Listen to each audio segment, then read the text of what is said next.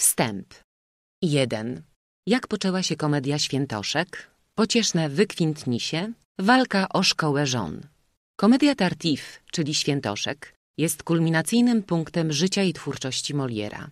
Raz przez swoją doniosłość artystyczną, a powtórę przez walkę, do jakiej dała powód i wpływ tej walki na twórczość pisarza. Ale już sam Świętoszek jest dalszym ciągiem, jest, mimo swego olbrzymiego znaczenia, tylko epizodem walki, jaką toczy Molière niemal całe życie. Aby właściwie zrozumieć ten utwór, trzeba tedy sięgnąć wstecz aż do początków paryskiej kariery Moliera, a nawet jeszcze wcześniej. W kilku słowach. Dwudziestoletni chłopiec z dobrego mieszczańskiego domu, od dziecka trawiony pasją do teatru, zakochał się w młodej aktorce, Magdalenie Beżart i założył z nią teatr w Paryżu. Teatrzyk bankrutuje. Molière puszcza się z młodą trupą, której rychło staje się głową, na prowincję i obiega ją przez kilkanaście lat. Rozgłos wędrownego teatrzyku rośnie. Wreszcie otwiera Molierowi drogę do Paryża i to pod najlepszymi auspicjami. Trupa debiutuje z powodzeniem przed samym królem.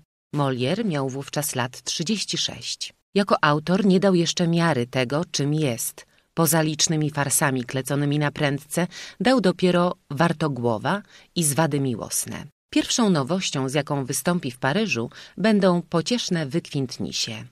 Przybywszy do Paryża, Molière, który opuścił stolicę tak młodo, a kilkanaście lat strawił na swobodzie cygańskiego życia, rozgląda się dokoła siebie. Widzi wielką komedię próżności. Salony literackie, koterie silące się zmonopolizować talent i zamknąć go w swoich regułach. Mizdrzenie się języka, a pod nim chamstwo uczuć. Autorów obnoszących się z ważną miną z lada madrygałem, aktorów dostrajających się do tonu powszechnej sztuczności. I parska śmiechem, śmiechem młodym, zdrowym, z pełnej piersi. To pierwsze wystąpienie Moliera jest kijem wsadzonym w mrowisko. Pierwszy to raz zabrzmiała na scenie satyra i to tak mocna. Cały Paryż tłoczy się na tę sztukę, która staje się wypadkiem dnia, ale odtąd Molière ma mnóstwo wrogów, czyhających na chwilę odwetu. Autorzy, aktorzy, salony. Wszystko to utworzy niebawem wspólny front przeciwko niemu. Już pewne sfery czyniły starania o zakaz grania tej zuchwałej sztuki. Niebawem Molière dalej wysuwa pazurki. W komediobalecie Natręty zbiera wzorki z samego dworu.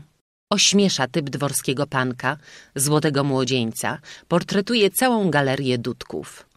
Jedno zmarszczenie brwi Ludwika XIV mogło położyć koniec tej zabawie i może nie mielibyśmy wówczas Moliera. Ale król, który widział cały świat niziutko u swoich stóp, dość rad był tej niwelującej wszystko satyrze. Uśmiechnął się i sam poddał Molierowi temat do nowych wzorków. Podniecony triumfem Molière wali sztukę po sztuce. Staje się bohaterem dnia w Paryżu. Nowa ta gwiazda budzi zdumienie. Osobistość jego rysuje się coraz wyraźniej. Przedstawia on tężyznę, humor, naturalność przeciwko wszelakiemu mizdrzeniu się i udaniu. Staje się sztandarem nowej literatury. Boileau, La Fontaine, Racine uważają go za swego wodza. Wszystko, co jest szczerością, prawdą, życiem, skupia się koło niego. Przeciw niemu są przeżytki minionej epoki, pedanci, snoby, dewoci, wreszcie zawistni wszelkiej kategorii. W miarę sukcesu szeregi niechętnych mnożą się. Ten geniusz komedii, pociągający ku sobie umysły i wysuwający się na czoło teatru, dla którego dotąd jedynym szlachetnym wyrazem była tragedia, niepokoi wielu. Cóż dopiero mówić o takich, a było ich wówczas niemało, którzy w ogóle na teatr patrzyli jak na dzieło szatana. Niechęć przeciw Molierowi nurtuje głucho, ale nie ma się do czego przyczepić. Cóż zarzucić tym wesołym komediom, zwłaszcza gdy ich autor cieszy się tak wyraźną łaską króla. Wreszcie nadchodzi sposobność. Jest nią szkoła żon, której powodzenie przeszło wszystkie dotychczasowe sukcesy Moliera. Taki był rozmach, taka świeżość w tej ślicznej komedii, że nieuprzedzona publiczność przyjęła ją z zachwytem. Jest to znów wielkie zdarzenie dnia w Paryżu, ale zarazem zawrzało przeciw Molierowi. Powstaje istna wojna literacka, z tych, które mają tak ożywcze i płodne w literaturze znaczenie. Wojnę tę można by porównać z tą, która toczyła się 30 lat w przódy o Cyda, Cornela, później zaś o wesele Figara i Hernaniego. Sypią się broszury, pamflety, dwór, salony rozbrzmiewają jedynie namiętnymi dyskusjami na temat szkoły żon. Ale wojna ta, zrazu czysto literacka, przybrała niebawem i inny charakter. Wszyscy ci, którzy mieli z Molierem na pieńku, dojrzeli moment, aby się z nim policzyć. Nareszcie znaleźli broń przeciw niemu. Jakaż ta broń? Ta sama, którą z reguły prawie wytacza się przeciw każdemu nowemu twórczemu zjawisku. Niemoralność. Elegantki, o których Molière powiada, że z całej osoby jedynie uszy mają czyste, zasłaniają sobie te uszka ze zgorszeniem, urażone niby w swej skromności paroma żartami Moliera, podczas gdy bez rumieńca zwykły się przysłuchiwać plugawym farsom stanowiącym codzienny ówczesny repertuar. Ale znaleziono jeszcze inną broń. Obraza religii, żarty z rzeczy świętych. W naukach, jakie Arnolf daje młodziutkiej Anusi, akt trzeci, scena druga, dojrzano parodię nauk świętego Grzegorza z Nazjansu. Niemniej zgorszenia wywołało w pewnych kołach tych kilka wierszy z przemowy Arnolfa. Pomnij też, że są w piekle kotły rozpalone, w których szatani smażą każdą grzeszną żonę. Idąc za tą nauką, twa duszyczka mała będzie zawsze jak lilia, czyściutka i biała. Lecz jeśli ją ku złemu zwabi chętka marna, dusza stanie się zaraz niby węgiel czarna. Wszystkim będziesz przedmiotem wstrętu lub obawy i pójdziesz kiedyś jako łup szatana prawy, tam, gdzie złe żony smoła roztopiona czeka. Można by łatwo odpowiedzieć, że Molière nie żartuje tu zwierzeń religijnych, ale z użytku, jaki z nich ludzie czynią dla swoich świeckich i samolubnych celów. Bądź co bądź, groźna kongregacja świętego sakramentu krzątała się, tym razem nadaremnie, aby uzyskać zakaz grania sztuki. Tą bronią można było wiele wówczas zdziałać. Tu każdy cień oskarżenia miał swoją wagę. Ten moment życia pisarza komplikuje się jeszcze jego życiem prywatnym. Jest to chwila jego małżeństwa z młodziutką Armandą Béjart, dzieckiem teatru, które od małego chowało się przy jego kompanii. Armanda była siostrą owej Magdaleny Béjart, dla której Molière uciekł przed laty z domu i z którą wspólnie założył teatr. Do tej pory Magdalena była w tym teatrze. Teatr rządził się w tych rzeczach zawsze cokolwiek specjalnymi prawami, ale małżeństwo to wywołało liczne komentarze. Szeptano, i to dość głośno, że Armanda jest tylko urzędownie siostrą Magdaleny, a w istocie jest jej córką i że to tylko dobra mama Beżart. Ideał wszystkich mam teatralnych zgodziła się na tę metrykalną substytucję. Ojcem miał być niejaki pan de Modène. Jak tam w istocie było, tego już nikt nie dojdzie. Od tych pogłosek było dość niedaleko do innych potwornych insynuacji. Znaleźli się ludzie, którzy postarali się podsunąć królowi te wnioski. I znowuż losy Moliera zawisły na włosku. Ale tym razem chodziło o niebezpieczniejsze sprawy. Król odpowiedział na te potwarze po królewsku. Ofiarował się trzymać do chrztu dziecko swego nadwornego komika. Sam zachęcił Moliera, aby odpowiedział napastnikom. Bawiła go ta komiczna wojna. Molière odpowiedział już przedtem pedantom, literatom i wykwintnisiom, pisząc krytykę szkoły żon. Obecnie dorzuca jeszcze improwizację w Wersalu mimochodem stwarzając w tych dwóch jednoaktówkach nowy rodzaj literacki. Ale dojrzewa w nim zarazem inna odpowiedź. Aż dotąd satyra Moliera obracała się w kręgu niewinnych śmiesznostek literackich czy towarzyskich, o ile nie brała za temat wiekuistych niedoli miłosnych lub małżeńskich. Niebacznie wrogowie obudzili w nim drzemiącego lwa. Kampania przeciw niemu, a zwłaszcza metody, jakich użyto, zmieniły jego spojrzenie na ten świat – Ujrzał inne oblicze człowieka, ziejące nienawiścią, zawistne, drapieżne, podłe. Oczy jego otworzyły się zarazem na zarazę społeczną, która nieodzownie towarzyszyła silnie rozwiniętemu życiu religijnemu w ówczesnej Francji, na świętoszkostwo i obłudę. Z kampanii o szkołę żon urodził się Tartif, czyli świętoszek. Molière zrozumiał, czym jest i ile złego może zdziałać ta obłuda – nadużywanie rzekomych wartości moralnych do osobistych arcyświeckich celów. Przejrzał na wylot tych ludzi, co pod nabożnym płaszczem kryją zwykłe wady, swą zawiść, niedowiarstwo, swoje fałsze, zdrady i gdy chcą kogoś zgubić, osłonią, gdy trzeba, swoją własną nienawiść interesem nieba. Dojrzał ich, przejrzał i postanowił się z nimi zmierzyć. 2. Wystawienie świętoszka i walka o niego. Don Juan, Ponowne cofnięcie świętoszka ze sceny. Mizantrop, ostateczne zwycięstwo. Można przypuszczać, iż Molière zdawał sobie sprawę z trudności i niebezpieczeństw swego zamiaru. To też uczynił wszystko, aby złagodzić jaskrawość swego czynu, a zarazem aby stworzyć najbardziej sprzyjające okoliczności dla premiery Świętoszka. Obrał na ten cel uroczystość inauguracyjną pałacu i ogrodów w Wersalu, świeżo stworzonych przez Ludwika XIV. Król wydał wielką zabawę, oficjalnie dla królowej i dla królowej matki, ale w istocie heroiną tej fety była kochanka królewska, panna de la Vallière. Miano zabawy było rozkosze czarodziejskiej wyspy. Ariostowa wyspa czarodziejki Alcyny zapłynęła jakoby do Francji, aby się stać teatrem uczt, balów, turniejów, a wreszcie komedii. Molière, impresario całej zabawy, rozwija niestrudzoną czynność. Odgrywa Boga Pana, wygłasza powitanie królowej, wystawia z dawniejszych utworów natrętów i małżeństwo z musu. Prócz tego zaś dwie nowe sztuki. Księżniczkę Elidy 8 maja, zaś 12 maja 1664 trzy akty świętoszka. W jakim stosunku te trzy akty świętoszka były do dzisiejszej pięcioaktowej komedii, nie wiemy. Zdaje się, że nie była to skończona sztuka, ale zdaje się również, że nie były to pierwsze trzy akty komedii w jej obecnej formie. Te trzy akty świętoszka rozpętały nad głową pisarza burzę trwającą lat pięć.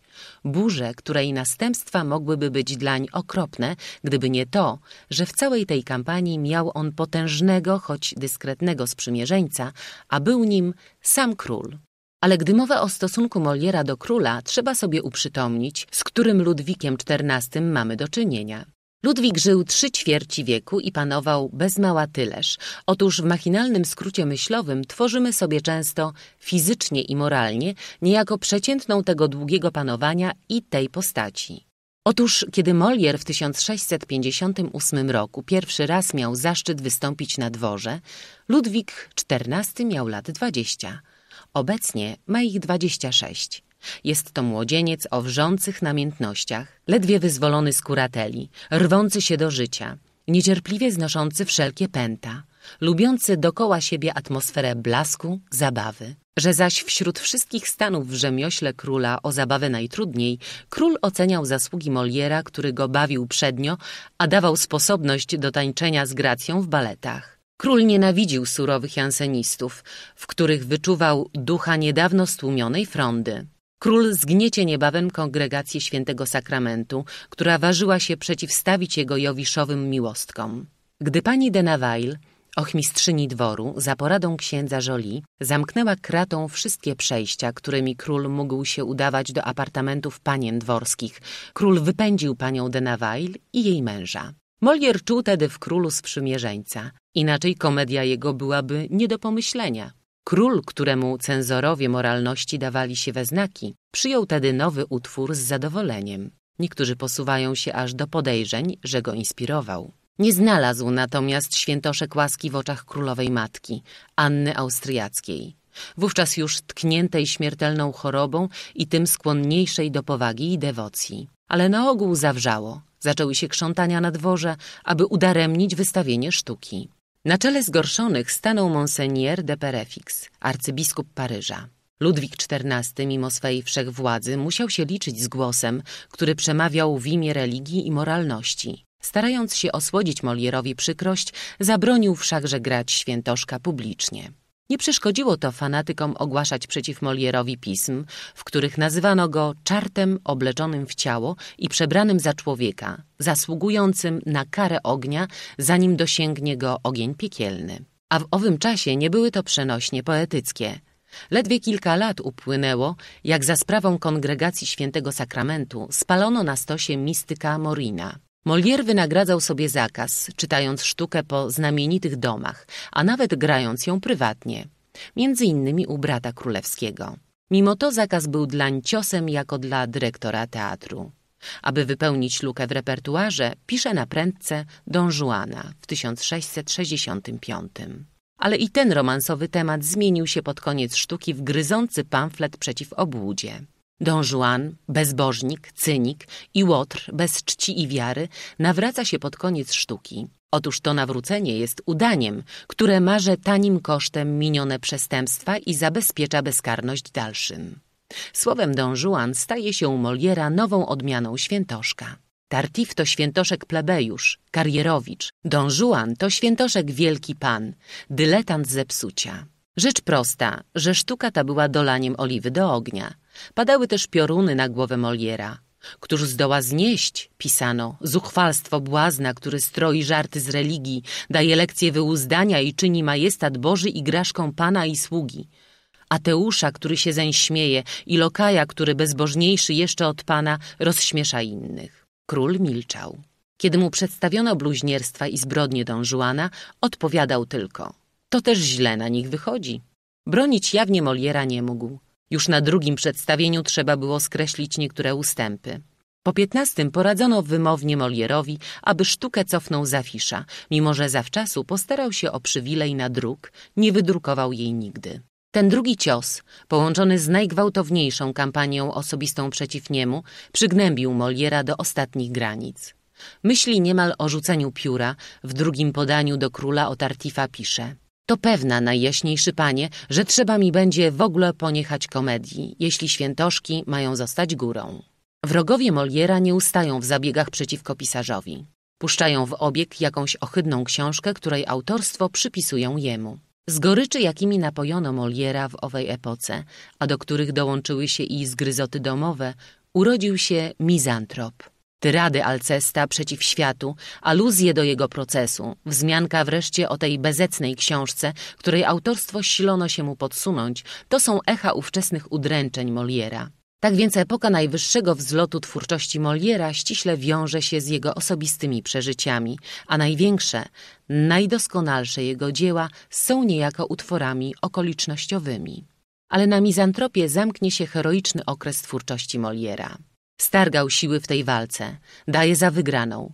Nie poniecha komedii, bo to niepodobieństwo, ale odtąd poprzestanie na tym, aby bawić publiczność. A jeżeli dosięgnie kogo satyrą, to w każdym razie nie tak niebezpiecznych wrogów. Tematem jego komedii będą próżność mieszczucha, uczoność kobieca, wreszcie lekarze. Och, ci zapłacą za wszystkich. Na razie zacisnąwszy zęby i nie tracąc nadziei odwetu, Molière wraca do roli dworskiego bawiciela. Odwdzięczając usługi swego niestrudzonego wesołka, król, wyjeżdżając do obozu we Flandrii, daje Molierowi pozwolenie, niewyraźne co prawda, wystawienia świętoszka po dokonaniu pewnych zmian. Istotnie, dnia 5 sierpnia 1667 odegrano sztukę. Imię Tartif, które działało już na pewne sfery niby czerwona chusta, znikło zupełnie. Tytuł sztuki był Szalbierz. Bohater jej zaś, przecież gnięty w światowego kawalera, nosił miano Panulfa. Nic nie pomogło. Już drugie przedstawienie spotkało się z zakazem pobożnego prezydenta de Lamoignon, któremu król, wyjeżdżając, oddał władzę w mieście Paryżu. Molière próbuje interweniować u prezydenta Lamoignon, ale onieśmielony wybąkał tylko parę słów. Przepraszam pana, ale zaraz jest południe, spóźniłbym się na mszę. Przerwał mu prezydent. Czyż to nie jest żywcem odpowiedź, jaką Tartif, przyparty do muru, kłopotliwym pytaniem daje Kleantowi? Strapiony Molière wysyła dwóch aktorów do Flandrii z podaniem do króla. Król przyjmuje ich łaskawie, ale jest bezsilny wobec tego, że arcybiskup paryski obłożył klątwą każdego, kto by w jego diecezji zgoła słuchał czytania tego utworu. Dopiero w dwa lata później, przy pomyślnym układzie okoliczności, chwilowe załagodzenie sporu między jansenistami a jezuitami, Tartif uzyskał wreszcie trwałe prawo do sceny. Dzień 5 lutego 1669 roku był dniem odwetu i triumfu Moliera. 44 wieczory tłoczono się na świętoszku. Sam Molier grał Orgona, żona jego Armanda Elmirę. Jednakże mimo, że odtąd Tartif nie zeszedł już ze sceny, jeszcze długi czas po śmierci Moliera utwór ten był przedmiotem ataków. Burdelu, Bossuet, jako szczególnie niebezpieczny dla religii. Napoleon wyrażał zadowolenie, iż sztuka ta przeszła cenzurę za Ludwika XIV, gdyż on sam nigdy by jej nie pozwolił wystawić. 3. Podłoże Świętoszka. Życie religijne we Francji w XVII wieku. Aby oglądać arcydzieło Moliera we właściwym świetle, trzeba sobie uprzytomnić w kilku słowach charakter życia religijnego we Francji w epoce powstania komedii. Ingerencja religii we wszystkie sfery życia była w XVII wieku olbrzymia. Niedawno jeszcze ster rządów dzierżyli kolejno dwaj kardynałowie Richelieu i Mazarin. Katolicyzm, zagrożony postępami protestancyzmu i pogaństwem odrodzenia, skupia się do obrony. Wyrazem tego jest wskrzeszenie idei zakonnej, zwyrodniałej poniekąd na schyłku średniowiecza, przygasłej pod wpływem intelektualnego przeobrażania renesansu. Powstaje mnóstwo zakonów, bądź nowych, bądź odnowionych w surowym ascetycznym duchu. Wzmaga się w siły potężny zakon jezuitów. Powstaje z drugiej strony jego nieprzejednany wróg. Port Royal, który skupia nie tylko duchownych, ale i świeckich samotników. Niedawne wojny religijne, wewnętrzna walka jansenizmu z molinizmem, wszystko to sprawia, że sprawy religijne obchodzą wszystkich bez wyjątku, znajdują się jakby w stanie zapalnym, a ludzie świeccy biorą w nich udział nie mniej żywy niż duchowni. Dotkliwa lekcja nauki chrystusowej, jaką otrzymał świeżo potężny zakon prowincjałki Paskala, wyszła spod pióra świeckiego człowieka. Ale nie każdy był Paskalem a całe mnóstwo ludzi świeckich czuło się w prawie zaprzątać sprawami religijnymi. Ten dyletantyzm religijny stanowi jedną z cech epoki, jest jej plagą. Wiele salonów paryskich staje się jakby filią Port Royalu. Grasują świeccy dyrektorowie sumień.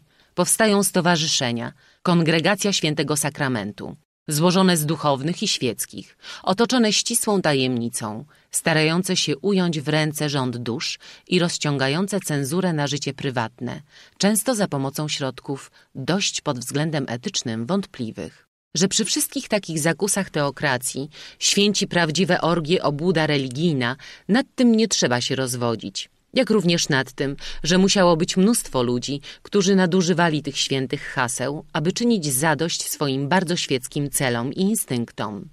Nawet świątobliwi kapłani wskazują na obłudę religijną jak na raka żrącego ówczesne społeczeństwo. Z drugiej strony trzeba rzucić okiem na drugi kraniec. Wiek XVII, tak przesiąknięty kwestią religijną, przedstawia dwa krańcowe negatywy prawdziwej religii. Jeden to obłuda religijna, drugi to libertynizm, ateizm. Ale ten ateizm to nie był ów mdły, nowoczesny indyferentyzm był czynny, bluźnierczy. Nacisk religii był taki, że wywoływał reakcję tejże samej siły. W libertynizm ten wchodziły różne elementy. Pogaństwo wyssane z humanizmu, kartezjanizm pojęty z żarliwą świeżością, krytyka prawd wiary niesiona przez zwalczające się sekty, wszystko na tle brutalnej jeszcze bujności temperamentów oraz tej wspomnianej już bezczynności, która nastała po burzliwej dobie frondy. Zaledwie można przytoczyć świętokradzkie pomysły, na jakie pozwalali sobie libertyni. Przypominają one rysy młodocianych ateistów ze szkolnej ławy, bo też ta emancypacja spod ojcowskiej władzy Kościoła miała w sobie coś ze zbuntowanego uczniaka. Wielki kondeusz, zanim się nawrócił, ułożył wespół z innymi osobami cały spisek, aby spalić kawałek drzewa z Krzyża Świętego. Młodociany książę de Nevers dał ochrzcić świnie. Pani de Ulier ochrzciła swego psa, a nie ochrzciła córki, która została bez chrztu do 29 roku życia. Paru złotych młodzieńców wyprawiło wesołą ucztę w kościele, w czasie której wydobyli z grobu świeżego trupa, aby z nim tańczyć. Molière zarówno daleki był od obu krańców. Ten dzielny, uczciwy człowiek musiał się brzydzić wyuzdaniem intelektualnym, które niebawem napiętnuje w swoim dążuanie, ale i z surową pobożnością, zwłaszcza o ile wciskała się zbyt czynnie w życie prywatne, nie mógł on sympatyzować. Raz z natury swojej. Jego filozofia natury, pokrewna filozofii Montaignea i Rablesgo, Płynąca raczej z ducha odrodzenia, obca była tym hasłom umartwień. Zanadto kochał życie, aby sprzyjać tym, którzy kazali nim gardzić. Znał zresztą życie wielu tych świątobliwych ludzi. Wiedział, co kryje ta ich troska o dobro nieba. Ale gdyby nawet niechęć ta nie płynęła z jego natury, to musiałaby się zrodzić z fachu. Surowemu chrystianizmowi, chcącemu opanować umysły i pozyskać je wyłącznie dla sprawy Boga, solą w oku był teatr. Port Royal nazywa wręcz pisarzy dramatycznych trucicielami dusz. Nie tylko Molière, ale i wychowanek Port Royalu Racine, ba surowy Corneille, są przedmiotem gwałtownych napaści zelantów. Wiadomo, czym był aktor w oczach kościoła. Aby uzyskać ostatnią absolucję, musiał rewokować swój zawód niby sromotny grzech. To wszystko musiał widzieć Molière wzrokiem genialnego obserwatora, spostrzegacza wszystkich wypaczeń ludzkiej natury. Ale można przypuszczać, że nie przyszłoby mu do głowy poruszać podobne tematy. Były one zbyt niebezpieczne, nie dopuszczała ich zresztą ówczesna forma teatralna. Nie było dla nich po prostu miejsca na scenie. Wyzwany jednak, podrażniony, dotknięty w najboleśniejszych strunach, podjął wyzwanie. Napisał Świętoszka. 4. Stosunek Moliera do swego tematu. Stosunek jego przeciwników. W tydzień po zakazie, jakim król zmuszony był obłożyć Świętoszka po jego pierwszym wystawieniu, włoscy aktorzy grali na dworze bardzo drastyczną farsę pod tytułem Skaramusz pustelnikiem. Wychodząc, król rzekł do Kondeusza Chciałbym wiedzieć, czemu ludzie, którzy się tak gorszą komedią Moliera, nie mówią nic na Skaramusza. Na co Konteusz? Bo Skaramusz wyszydza niebo i religię. O co ci panowie się nie troszczą? Komedia Moliera natomiast wyszydza ich samych i tego nie mogą znieść. Odpowiedź dowcipna i niewątpliwie trafna w stosunku do wielu wrogów komedii Moliera, ale niepodobna jej uważać za całkowite rozwiązanie kwestii.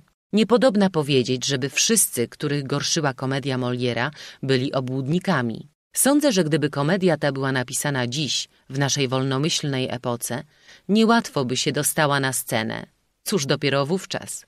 Samo poruszenie tych tematów, samo wprowadzenie przedmiotu z natury swojej należącego do ambony i konfesjonału na scenę, do komedii, która daleką była wówczas od dzisiejszej swej godności i sąsiadowała najbliżej z plugawym błazeństwem, była, powtarzam, dla wielu skandalem.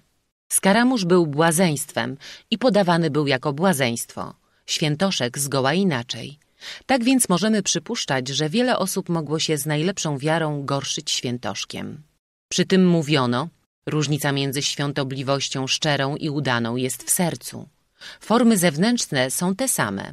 Niepodobna tedy okryć śmiesznością jednej, aby coś z tej śmieszności nie przylgnęło i do drugiej. Niepodobna skaleczyć maski, aby przy tym nie drasnąć i twarzy. Tartif jest obłudnikiem, ale Orgon jest szczerze, choć ciasno nabożnym. I cóż zrobiła zeń ta rzekoma religia? Głupca, człowieka bez serca, wyzutego z ludzkich uczuć, złego ojca rodziny. Kwestia jest tedy dość złożona. Jak pojmować, nie biorąc się dosłownie na lep jego wymownej argumentacji w podaniach do króla, prawdziwy stosunek Moliera do jego tematu, do religii? Nie mamy żadnego prawa przypuszczać, aby był wrogi, ale religia Moliera to była raczej ta sama religia natury, którą wyznaje Montaigne. Schylenie głowy przed niewiadomym, przed formami katolicyzmu, przy równoczesnym żądaniu swobodnego rozwoju instynktów. Owa religia posępna, groźna i zaborcza, jak również religia wciskająca się w cudzy dom, narzucająca się wszystkim na cenzora i chcąca wytępić radość i swobodę życia, musiała mu być wysoce antypatyczna, porówni jako pisarzowi, człowiekowi, i jak wspomnieliśmy, dyrektorowi teatru. Dlatego mimo, że Molière się zarzeka, iż w utworze swoim mierzy jedynie w obłudę, niezupełnie trzeba mu dowierzać. Mierzy on, mimo iż bardzo oględnie i zręcznie, także i w formy tej religii, choćby i szczerej, które mu się zdają ciasne i wrogie życiu.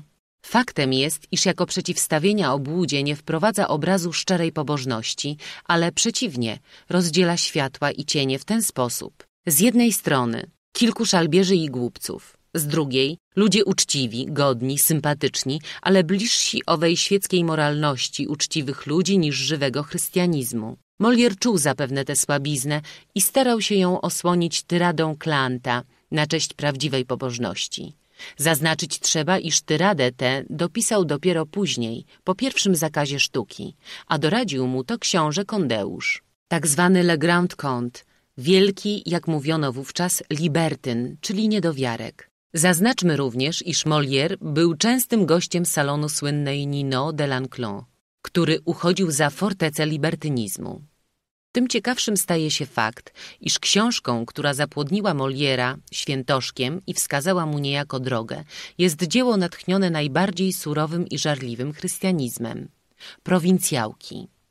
Bez prowincjałek nie można sobie wyobrazić świętoszka. Tylko mistrzostwo ironii, które rozwija Pascal przeciw jezuitom, Molière zwróci także i przeciw jansenistom, a raczej stworzy typ tak ogólny, iż obie walczące strony będą się w nim szukać nawzajem.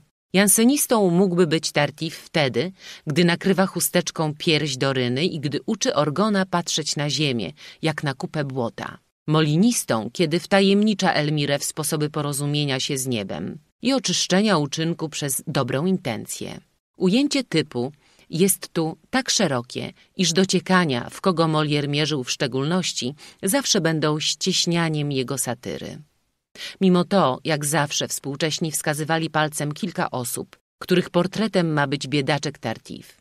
Najwięcej prawdopodobieństwa ma pogląd, iż świętoszek, nie zatracając swych cech ogólnych, mierzy jednak osobliwie we wspomnianą już kongregację świętego sakramentu, która umiała w praktyce połączyć jansenistyczną nietolerancję z jezuickimi metodami.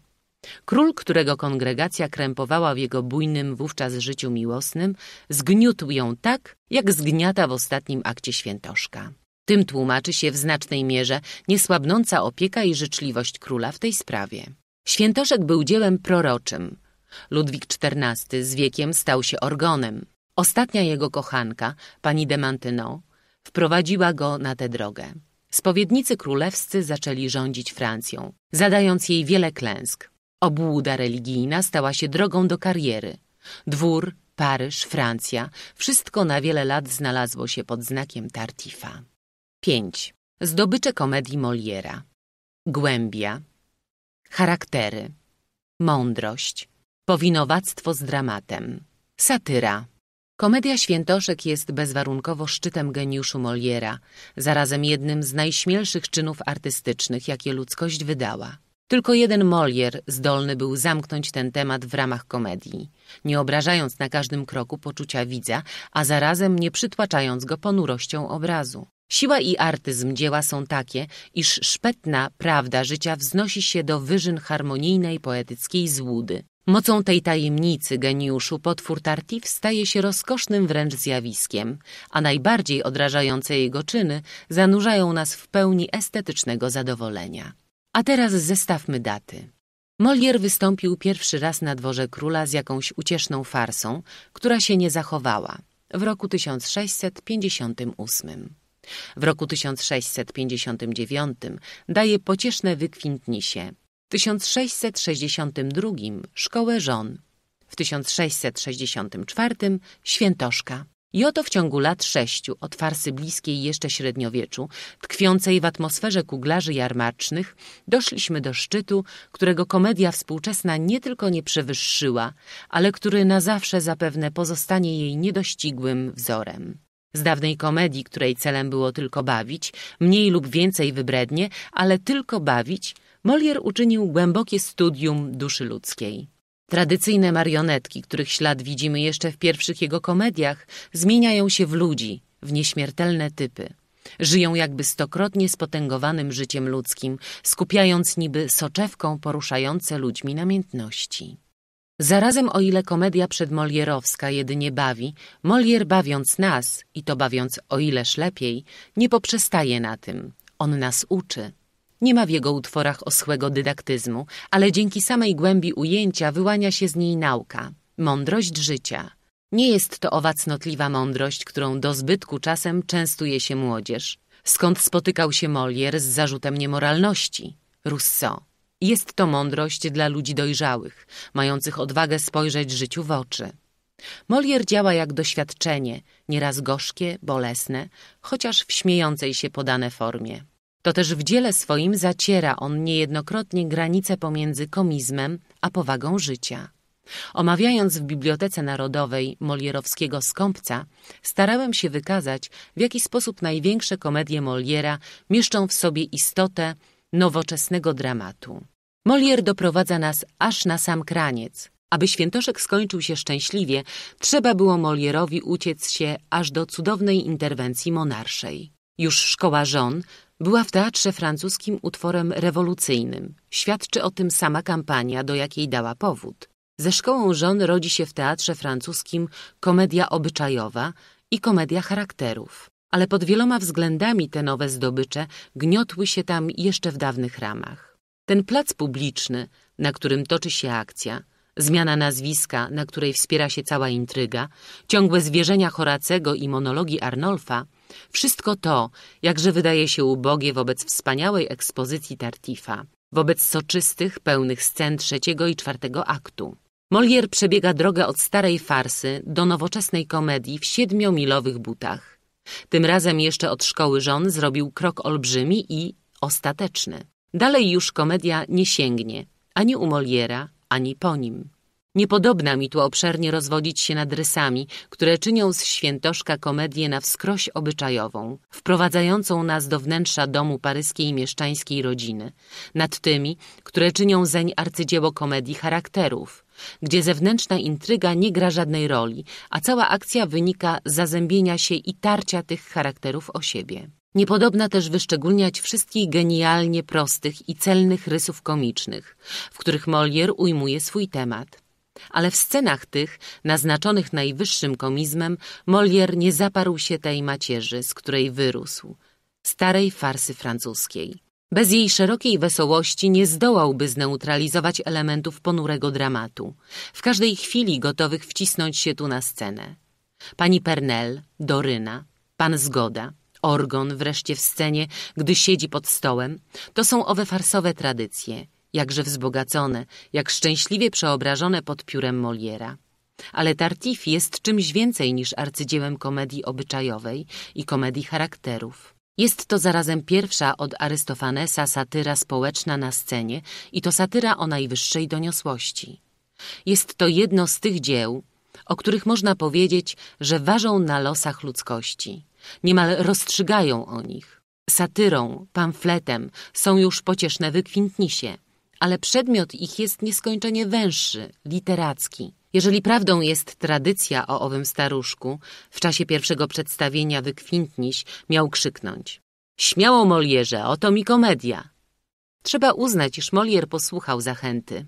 Tartif, a później Don Juan, dają miarę śmiałości i głębi, z jaką Molier zdolny był ujmować zjawiska społeczne. Kto wie, co byłby jeszcze osiągnął na tej drodze, gdyby zbyt nierówna walka nie złamała jego sił. 6. Doniosłość społeczna satyry Moliera Molier odkrył jedną tajemnicę. Odkrył w teatrze nową potęgę. Jedną z największych, jakie istnieją. Mianowicie zabijać śmiechem. Śmiechem brzmiącym ze sceny. W ręku Moliera komedia staje się satyrą. Jedną z najgwałtowniejszych, najcelniejszych, jakie istnieją. A równocześnie, piętnując to, co go przejmuje wstrętem, Molière głosi swą twórczością własny ideał życia. Komedia staje się u niego niejednokrotnie trybuną, mównicą. I posiadłszy tę potęgę, Molière jest nie tylko twórcą komedii. On jest i twórcą życia.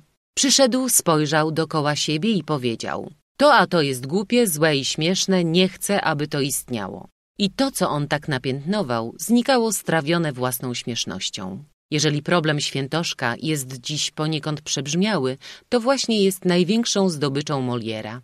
Nie zmienił oczywiście Molier zasadniczych cech ludzkiej natury, ale w momencie przeobrażania się społeczeństwa zwalił swoją satyrą niejeden z bałwanów stających na przeszkodzie idącemu nowemu życiu i tak potężnie jak może nikt inny przyczynił się do jego ewolucji w duchu światła i swobody. Przyszłość ziściła wszystkie postulaty Moliera.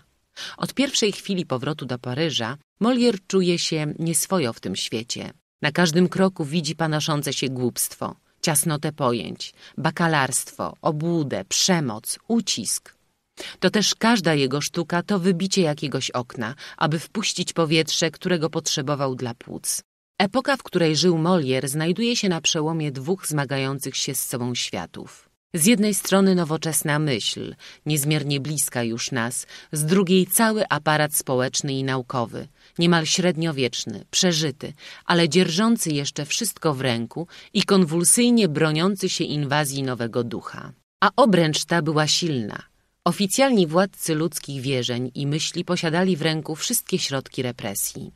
Medycyna, Prawoznawstwo, filozofia i najgroźniejsza z nich teologia podawały sobie ręce, gdy chodziło o poskromienie śmiałka, który się odważył podkopywać autorytet lub rutynę. Ateuszem jest, kto nie wierzy w puszczanie krwi, heretykiem, kto nie wierzy w Arystotelesa.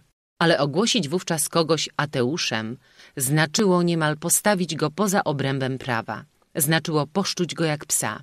To nam tłumaczy doniosłość walki Moliera z ówczesną medycyną. To nam tłumaczy, jak świętoszek czy farsy lekarskie Moliera, czy też jego pocieszni filozofowie, wszystko płynie z jednego i tego samego źródła. Pamiętajmy o potędze ówczesnych tartifów i orgonów. Przed nimi to Kartezjusz chroni się przezornie do Holandii, a i tam, na wiadomość o skazaniu Galileusza, niszczy swój traktat o świecie. Wobec zjednoczonych potęg duchownych i świeckich jakże słabe były środki, którymi rozporządzali ówcześni bojownicy światła. Myśli ich, wyrażane z nieskończonymi ostrożnościami, krążyły wyłącznie niemal w szczupłym kręgu naukowego świata. Przenikanie ich do ogółu było bardzo ograniczone. I naraz przybył im nieoczekiwany sukurs. Ten aktor wędrowny, wesołek królewski, który nim puścił się z trupą komediantów na prowincję, liznął co nieco z filozofii Gassendiego, a później nauczył się po prostu czytać w księdze życia. Stanął w szeregu walczących o światło, mając w ręce najsprawniejszą broń śmiech i szyderstwo. I stał się ten cud, iż od potężnego wybuchu śmiechu, wywołanego geniuszem komicznym Moliera, zatrzęsły się mury gmachu, którego nie mogły zburzyć zespolone trudy uczonych.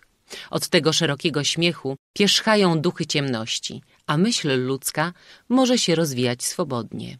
Strzały Moliera docierają tam, gdzie nie mogą dosięgnąć kolumbryny mędrców. W nieśmiertelnych typach, zdaniach piętnuje on swoje ofiary znamieniem śmieszności spod której się już nie podniosą.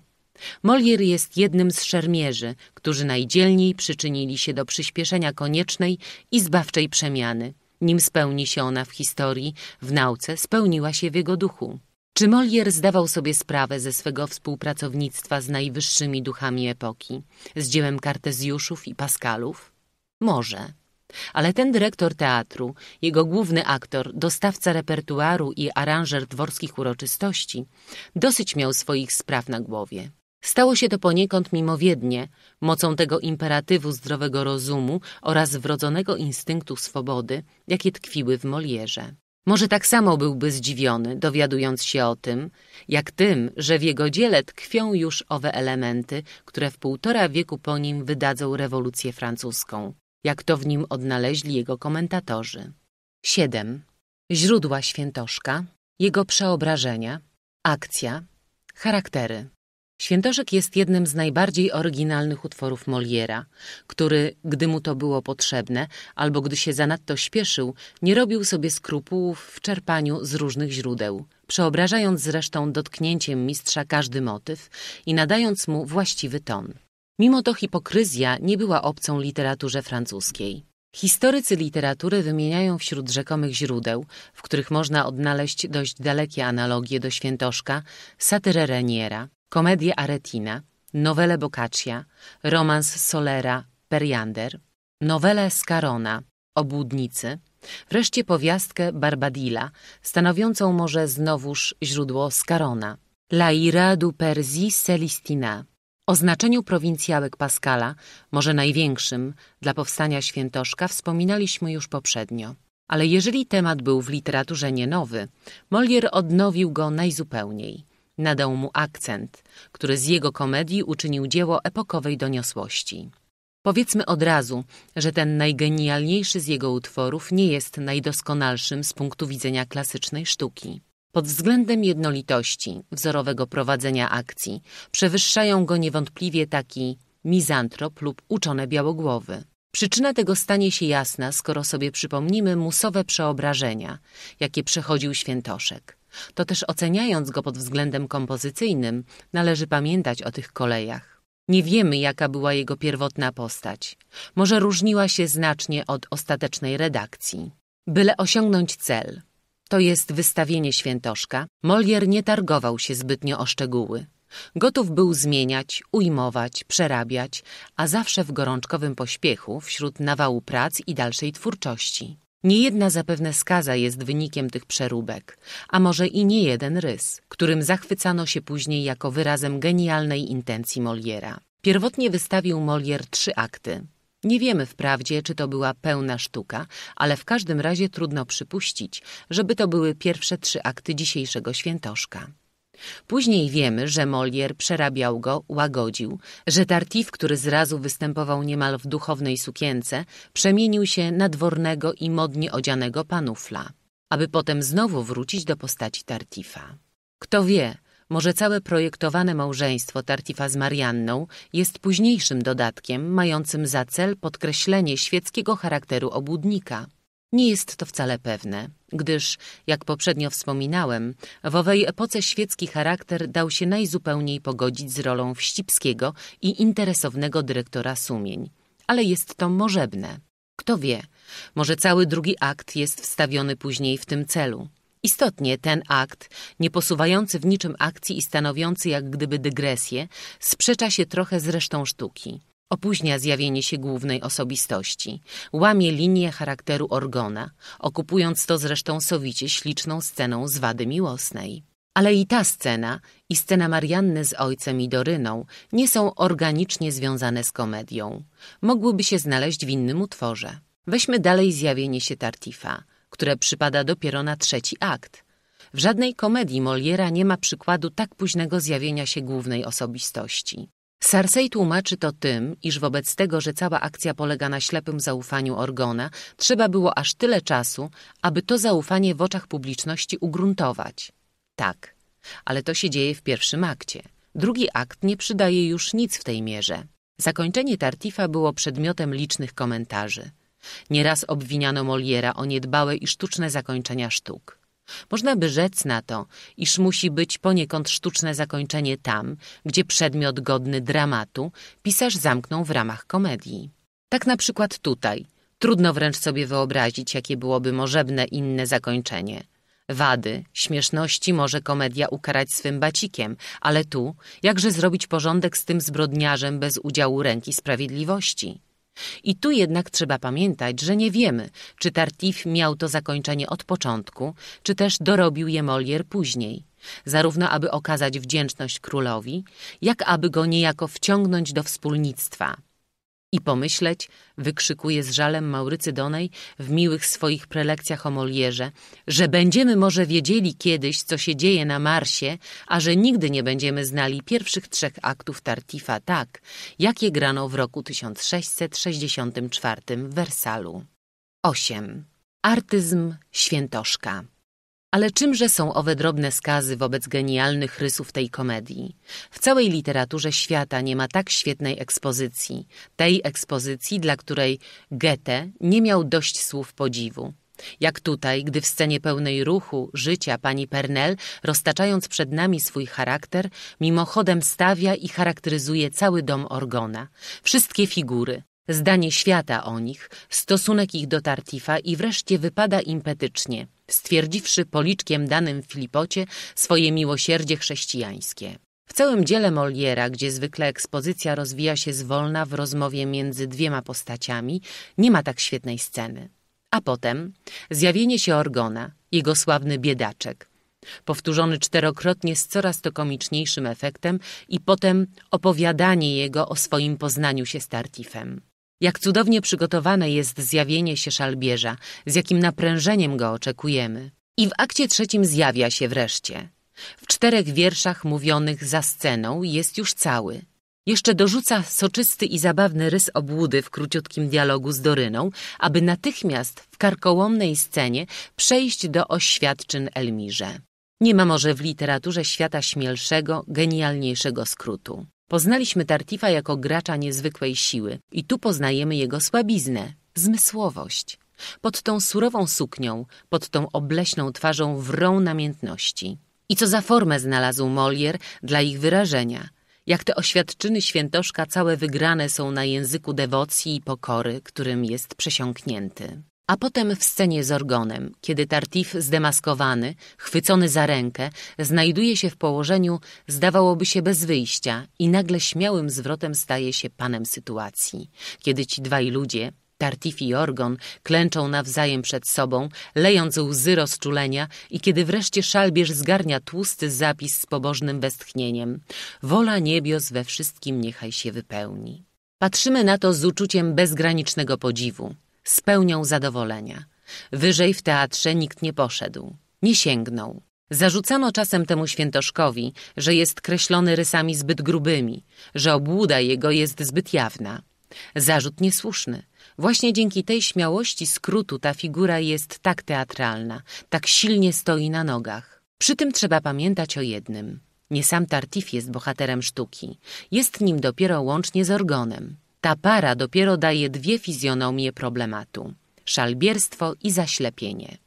Szalbierstwo Tartifa musi być grube, aby na jego tle uwydatniła się ślepota i zacietrzewienie Orgona.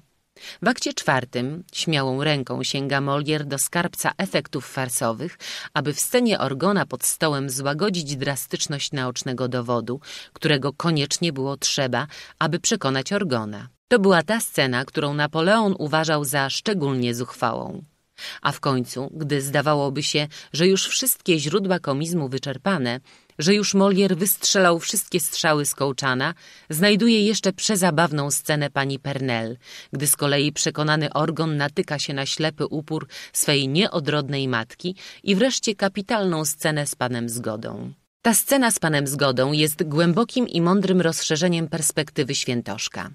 Czujemy tu, że w osobie Tartifa nie z jednym świętoszkiem mamy do czynienia – ale z całą kliką, z kilką czarno odzianych, słodko mówiących jegomościów, którzy stanowią wszyscy jedno wielkie bractwo, zawsze gotowe udzielić sobie pomocnej ręki. Mamy tu wszystkie szczeble. Tartif, pan Zgoda i niewidzialny Wawrzyniec to szalbierze. Pani Pernel i Orgon to członkowie tej samej kliki, tym niebezpieczniejsi, że wnoszą w nią przy swoim zaślepieniu uczciwość i dobrą wiarę. Tej klice przeciwstawia Molière Elmirę, dzieci Orgona, rozsądną Dorynę i szlachetnego Klitandra.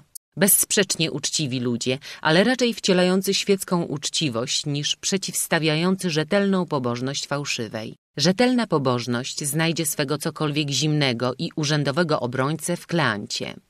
Gorzej jeszcze zdarzyło się jej w Don Juanie, gdzie ataki na religię wkłada Molière w usta świetnemu Juanowi, a obronę jej powierza ciurze i głupcowi z Ganalerowi. Artyzm Moliera sprawia, iż dzisiaj, gdy tło jego komedii stało się na pozór tak mało aktualne, sztuka ta pozostała jedną z najbardziej teatralnych, jedną z najbardziej ulubionych. Nie zestarzała się ani trochę, mimo że zestarzał się jej temat. Ale czy ten temat naprawdę się tak zestarzał? Nie sądzę. Wprawdzie nacisk spraw religijnych na życie społeczne i indywidualne nie jest dziś taki, jaki był wtedy, ale cóż stąd? Czyż mało jest innych terenów, na których grasuje świętoszek? Dobro nieba zmieniło się dziś może na dobro kraju, dobro ludu, dobro społeczeństwa, ale istota rzeczy jest ta sama. Jest nią nadużywanie szanownych i świętych haseł dla osobistych celów. A sztuka a ideały jakiego bądź rodzaju, czyż to nie żer dla tartifów? Trzeba tylko umieć patrzeć, a odkryje się tartifa częściej niż się myśli. Jest on nieśmiertelny. Jeżeli nie całego, bo to jest genialna synteza, skrót, to ułamki jego spostrzega się raz po raz. Świat jest pełen tartifów i organów we wszelkich kombinacjach. Notuję Zakielskim utwory, w których można dopatrzyć się od dźwięków tej komedii. Bohomolca, Figlacki z Księżyca, Krasickiego, Frant, Fredry Zemsta i Ostatnia Wola. Ja bym dodał z nowszych Sąsiadkę Jaroszyńskiego, Eustachy. Przekłady. Baudin, 1781, Franciszek Kowalski, 1848, Aureli Urbański i Kazimierz Zalewski. Przekład niniejszy dokonany został wedle pomnikowego wydania Le Grand Écrivain de France. Główne prace krytyczne, którymi posługiwałem się przy opracowaniu, są na ogół te same, które wymieniono, częściowo bodaj w poprzednich tomikach Biblioteki Narodowej, poświęconych Molierowi. Tu pragnę zwrócić szczególnie uwagę na jedyną w swoim rodzaju książkę pod tytułem Świętoszek aktorski. Jest to tekst Świętoszka opracowany przez starego aktora komedii francuskiej z uwzględnieniem wszelkich gier scenicznych, intonacji, akcentów, których tradycja utrwaliła się na tej klasycznej scenie. Dla teatru, dla reżysera wystawiającego Świętoszka jest to wydawnictwo nieocenioną pomocą. Przedmowa. Oto komedia, która narobiła wiele hałasu i narażona była na długie prześladowania. Losy jej stanowią wymowny dowód, że ludzie, których wyszydza, są we Francji o wiele potężniejsi niż wszyscy, z których autor żartował sobie dotąd. Markizowie, wykwintnisie, rogacze i lekarze znosili potulnie to, iż ośmielono się przedstawić ich na scenie. Udawali nawet, że i oni wraz z całym światem bawią się zdjętymi z nich żywcem wzorkami. Ale obłudnicy nie puścili tak łatwo szyderstwa mimo uszu. Uczuli się dotknięci i w ogóle zdumieni tym, iż ktoś ośmielił się wydrwić ich szalbierstwo i targnąć na rzemiosło, którym się trudni tyle możnych i wpływowych osób. Takiej zbrodni nie mogli mi przebaczyć. To też wszyscy ruszyli w pole przeciw mej sztuce z nieopisaną wprost zajadłością. Rozumie się samo przez się, iż nie zaczepili jej o to, co ich uraziło. Zbyt dobrymi politykami są na to i zbyt wiele mają sprytu, aby tak odsłaniać wnętrze własnej duszy. Idąc za swym chwalebnym obyczajem, osłonili pobudki osobiste sprawą Boga. Tartif, wedle ich sądu, stał się utworem obrażającym religię. Podług nich sztuka ta jest od początku do końca pełna wszelakiej ohydy. Nie ma w niej nic, co by nie zasługiwało na zniszczenie ogniem. Każda zgłoska jest bezbożna, gesty nawet są zbrodnicze. Najlżejsze drgnienie oka, ruch głowy, najmniejszy krok na prawo lub na lewo kryją dla tych panów tajemnice, które umieją wykładać na mą niekorzyść. Nic nie pomogło, iż przedłożyłem sztukę sądowi przyjaciół i ocenie całego świata. Na nic nie zdały się poprawki, które postarałem się wprowadzić. Sąd samego króla i królowej, przychylne mniemanie książąt krwi i panów ministrów, którzy zaszczycili publicznie mą sztukę swoją obecnością. Świadectwo zacnych i bogobojnych ludzi, którzy uznali ją za budującą. Wszystko to nie zdało się na nic. Wrogowie moi nie chcą dać za wygraną. Codziennie jeszcze podsycają publiczne krzyki zbyt gorliwych zelantów, którzy obsypują mnie obelgami z czystej pobożności i ciskają na mnie kamieniem przez chrześcijańskie miłosierdzie. Niewiele bym się pewnie troszczył o sądy tych panów, gdyby nie przebiegłość, z jaką szkodzą mi w oczach osób, które poważam. Umieli wciągnąć do swego stronnictwa ludzi naprawdę czcigodnych, których dobrej wiary udało się im nadużyć. Ci bowiem przez żarliwość właściwą im we wszystkim, gdzie idzie o sprawę nieba, łatwo ulegają wpływom starającym się trafić do nich z tej strony. Oto co mnie zmusza do tego, by podjąć obronę. Chodzi mi o osoby naprawdę nabożne i przed nimi pragnę oczyścić z zarzutów swą sztukę. Zaklinam je z całego serca, aby nie potępiały rzeczy, nim jej nie sprawdzą własnymi oczyma, aby się wyzbyły wszelkiego uprzedzenia i nie dały się używać za narzędzie złości tym, których obłuda ujmę przynosi prawdziwie wierzącym. Kto sobie zada trud rozpatrzenia się z dobrą wiarą w mej komedii, spostrzeże niewątpliwie, że intencje jej są wszędzie na wskroś niewinne i że nie ma ona bynajmniej zamiaru szydzić z rzeczy godnych poważania, że postępowałem sobie z całą ostrożnością, jakiej wymaga drażliwość przedmiotu i że dołożyłem całej sztuki i wszystkich możliwych starań, aby dobrze odróżnić charakter obłudnika od człowieka naprawdę pobożnego. Obróciłem całe dwa akty umyślnie na to, aby przygotować zjawienie się zbrodniarza. Nie trzyma on ani przez chwilę słuchacza w niepewności. Każdy go pozna od pierwszego rzutu oka po cechach, którymi go naznaczyłem. Od początku do końca nie mówi ani słowa, nie spełnia ani jednego uczynku, który by nie malował charakteru niegodziwca, a nie uwydatniał przymiotów prawdziwie zacnego człowieka, będącego jego przeciwstawieniem. Wiem dobrze, że jako odpowiedź ci panowie starają się szerzyć mniemanie, iż nie w teatrze jest miejsce, aby poruszać tego rodzaju przedmioty. Ośmielę się jednak spytać, za ich pozwoleniem, na czym opierają tę piękną zasadę. Albowiem twierdzenie to podsuwają jedynie, lecz nie starają się go dowieść w najmniejszym sposobie. To pewna, iż nie trudno byłoby wykazać, że komedia u starożytnych wzięła swój początek z religii i stanowiła cząstkę jej obrzędów. Że Hiszpanie, nasi sąsiedzi, nie obchodzą żadnego święta bez udziału komedii. U nas nawet zawdzięcza ona początek staraniom bractwa, którego dziś jeszcze własnością jest Pałac Burgundzki. Miejsce owo zostało oddane na to, aby w nim przedstawiano najważniejsze tajemnice naszej wiary. Dziś jeszcze można oglądać owe komedie, drukowane gotyckimi czcionkami, a podpisane nazwiskiem doktora Sorbony, a nie szukając nawet tak daleko, grywano tam za naszych czasów tak budujące sztuki pana de Corneille, które stały się przedmiotem podziwu całej Francji. Jeśli zadaniem komedii jest poprawiać przywary ludzkie, nie pojmuję, czemu niektóre z nich mają być pod tym względem uprzywilejowane.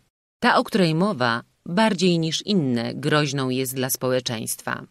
Widzieliśmy zaś, że gdy chodzi o poprawę błędów, wpływ teatru może być nader znaczny. Najpiękniejsze usiłowania poważnej moralności okazują się zazwyczaj mniej potężne aniżeli bicz satyry. Gdy chodzi o poprawę, nic tak skutecznie nie wpływa na ludzi, jak odmalowanie ich przywar. Najstraszliwszy cios zadaje się ułomnościom, wystawiając je na szyderstwo świata. Ludzie znoszą z łatwością przygane, ale nie szyderstwo. Człowiek godzi się na to, iż może być złym, ale nikt nie godzi się być śmiesznym. Zarzucają mi, iż włożyłem w usta szalbierza język prawdziwej nabożności. Jakże więc? Mogłem, że tego poniechać, gdy chodziło o wierne przedstawienie obłudnika? Wystarcza, o ile mi się zdaje, że odsłoniłem zbrodnicze pobudki, dyktując mu ten język i że usunąłem zeń uświęcone terminy, które, obrócone w jego ustach na karygodny użytek, słusznie mogłyby razić. Lecz on wygłasza w czwartym akcie zasady z gruntu przewrotne. Ale czy w tych zasadach mieści się cokolwiek, co by nie było oklepanym i znanym całemu światu? Czy one głoszą w mej komedii cokolwiek nowego? I czy można się obawiać, aby rzeczy tak powszechnie zohydzone wywarły jakiekolwiek wrażenie na umysły, aby autor przydał im niebezpieczeństwa, każąc im przemawiać ze sceny, aby nabierały powagi wypowiadane przez usta zbrodniarza? Nie ma co do tego najmniejszej obawy. Zatem powinno się ocenić przychylnie komedię o świętoszku lub też potępić w czambuł wszystkie komedie w ogólności. Ku temu też zmierzają od pewnego czasu niektórzy i to z całą zajadłością. Nigdy nie miotano się tak gwałtownie przeciwko teatrowi. Nie mogę przeczyć, że istnieją ojcowie Kościoła potępiający komedię, lecz nie można mi również zaprzeczyć, że byli między nimi i tacy, którzy żywili o teatrze nieco łagodniejsze mniemanie. W ten sposób powaga, którą by usiłował ktoś poprzeć swoje wyroki, zachwiana jest tym rozdwojeniem. A jedyny wniosek, jaki można wyciągnąć z tej różnicy zdań w umysłach ludzi oświeconych światłem płynącym z tegoż samego źródła jest to, że brali oni komedię z rozmaitego punktu widzenia. Jedni rozważali ją w czystej postaci, podczas gdy drudzy sądzili ją w jej zepsuciu i mieszali ze wszystkimi szpetnymi widowiskami, które z całą słusznością nazwano widowiskami ohydy. I w istocie, jeśli mamy mówić o rzeczach, a nie o słowach, i skoro sprzeczności pochodzą przeważnie stąd, że ludzie nie umieją się porozumieć i podkładają pod ten sam wyraz sprzeczne pojęcia, należy przede wszystkim zdjąć zasłonę dwuznacznika i przyjrzeć się, czym jest komedia sama w sobie, aby zobaczyć, czy jest w istocie godną potępienia. Uznamy wówczas z pewnością, że jest ona niczym innym, jak tylko zmyślnym utworem poetyckim, który za pomocą przyjemnie podanej nauki tępi przywary ludzkie. Nie zasługuje zatem zgoła na przyganę. Jeżeli zechcemy posłuchać w tej kwestii starożytności, powie nam ona, że najsłynniejsi jej filozofowie nie szczędzili pochwał komedii. Oni, którzy głosili zasady tak surowej cnoty i powstawali nieustannie przeciw błędom swego wieku. Ukaże nam ona, że Arystoteles poświęcał teatrowi swój czas i mozoły i zadał sobie trud ujęcia w reguły sztuki pisania komedii. Nauczy nas ta starożytność, że jej najwięksi ludzie i pierwsi dostojnicy czynili sobie chwałę z tego, aby układać sztuki dla teatru, że byli inni, którzy nie wstydzili się recytować publicznie własnych utworów. Grecja dała świetny wyraz czci dla tej sztuki przez wspaniałe nagrody i pyszne teatry, poświęcone jej kultowi. W Rzymie wreszcie taż sama sztuka otoczona była niezmiernymi zaszczytami. Nie mówię o Rzymie zepsutym i w czasie wyuzdanego cesarstwa, lecz w Rzymie karnym i surowym, pod roztropnym rządem konsulów i w czasie pełnego rozkwitu rzymskiej cnoty. Wyznaję, że bywały czasy, w których komedia uległa skażeniu. I czegóż na tym świecie ludzie każdego dnia nie psują? Nie masz rzeczy tak niewinnej, z której by nie mogli uczynić narzędzia zbrodni. Nie masz sztuki tak godziwej, której intencji nie byliby zdolni przeinaczyć. niczego tak dobrego w istocie swojej, czego by nie mogli obrócić do złego użytku. Medycyna jest pożyteczną sztuką i każdy ją poważa jako jedną z najlepszych rzeczy, które posiadamy. A jednak był czas, gdy otoczona była wstrętem i często czyniono z niej sztukę zabijania ludzi. Filozofia jest wszak darem niebios. Została nam dana, aby wznosić nasz umysł do poznania Boga przez rozważanie cudów przyrody. A przecież nie jest dla nikogo tajemnicą, że nieraz odwracano tę naukę od jej przeznaczenia i używano jej publicznie do podsycania bezbożności. Najświętsze nawet rzeczy nie są bynajmniej ubezpieczone przed ludzkim zepsuciem. Widzimy wszak zbrodniarzy, którzy codziennie nadużywają pobożności i posługują się nią przewrotnie do najczarniejszych występków. Mimo to należy koniecznie rozróżnić. Nie godzi się opacznie mieszać wartości rzeczy, które podlegają zepsuciu, ze złośliwością tych, którzy je psują. Należy zawsze oddzielić zamiary jakiejś sztuki od jej złego spożytkowania. Podobnie jak nikt nie poważyłby się zabronić medycyny dlatego, że ją wygnano z Rzymu, ani też filozofii, ponieważ publicznie potępiono ją w Atenach. Tak samo nie powinno się występować przeciw komedii dlatego, że ją surowo osądzono w pewnych epokach. Ten wyrok miał niewątpliwie wówczas swoje przyczyny, które tutaj nie istnieją. Sąd ów odnosił się do tego, co miał przed oczami, nie godzi się tedy przesuwać go poza granice, które sobie sam zakreślił, rozciągać go dalej, niż przystoi i ścigać za jego pomocą niewinnego wraz z winnymi. Komedia, w którą ów wyrok miał zamiar ugodzić, nie jest bynajmniej tożsamą z komedią, której my zamierzamy bronić. Bezwarunkowo nie należy mieszać ich z sobą. Są to niejako dwie osoby, których obyczaje na wskroś są od siebie odmienne. Jedna z drugą nie ma żadnego związku, prócz podobieństwa w nazwie – Toż byłoby straszliwą niesprawiedliwością chcieć potępić Olimpię, która jest kobietą ze wszechmiar szanowną, dlatego że istnieje Olimpia pędząca rozpustne i naganne życie. Podobne wyroki musiałyby wprowadzić w ludzkie stosunki największe zamieszanie. W ten sposób nie ostałoby się nic przed potępieniem. Skoro więc nie stosujemy bynajmniej tej surowości do tyłu rzeczy podlegających codziennym nadużyciom, Winilibyśmy przyznać tę samą łaskę i komedii i nie potępiać sztuk teatralnych pisanych w godziwych i budujących celach. Wiem, że istnieją umysły, które w swej drażliwości wrogo odnoszą się do każdej komedii w ogóle. Ci ludzie twierdzą, iż im, która poczciwsza, tym bardziej niebezpieczna, ponieważ odmalowane w nich uczucia, im bardziej zacne, tym łatwiej trafiają do duszy, przyprawiają o wzruszenia. Nie pojmuję, czemu ma być zbrodnią wzruszenie wywołane obrazem godziwego uczucia. To jakiś bardzo wysoki szczebel cnoty ta zupełna bezczułość, do której ludzie tak myślący pragnęliby podnieść naszą duszę. Wątpię, czy natura ludzka ma dość siły, aby się wznieść do takich wyżyn i nie wiem, czy nie lepiej pracować nad tym, aby dobrze kierować i łagodzić ludzkie uczucia, niż chcieć je wyrugować z człowieka w zupełności. Przyznaję, że istnieją miejsca, które można odwiedzać z większym pożytkiem dla duszy niż teatr. Jeśli ktoś ma zamiar potępić wszystkie sprawy, które nie dotyczą bezpośrednio służby Bożej i troski o zbawienie, nie ulega wątpliwości, że i komedia musi się znaleźć w ich rzędzie. Wówczas godzę się, aby ją potępić razem ze wszystkim innym. Lecz przyjąwszy, jak jest w istocie, że w wykonywaniu pobożnych ćwiczeń dozwolona jest niejaka pauza i że pewna rozrywka niezbędna jest dla ludzi, twierdzę, że nie możemy wynaleźć dla nich niewinniejszej uciechy. Rozwiodłem się nad tą kwestią może zbyt obszernie. Zakończymy rzecz przytoczeniem uwagi pewnego dostojnego księcia krwi o komedii Tartif. W tydzień po zakazie grania tejże wystawiono przed zebranym dworem sztukę Skaramusz pustelnikiem. Wychodząc, król odezwał się do księcia, o którym wspomniałem.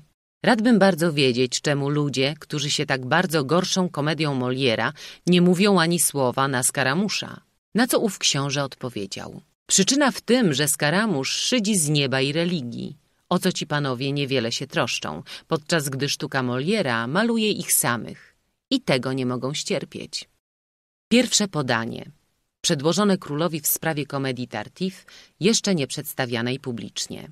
Najjaśniejszy panie, ponieważ zadaniem komedii jest poprawiać ludzi, bawiąc ich równocześnie, mniemałem, iż z tytułu mego powołania nie mogłem znaleźć sobie lepszego celu, niż ścigać za pomocą uciesznych obrazów błędy epoki.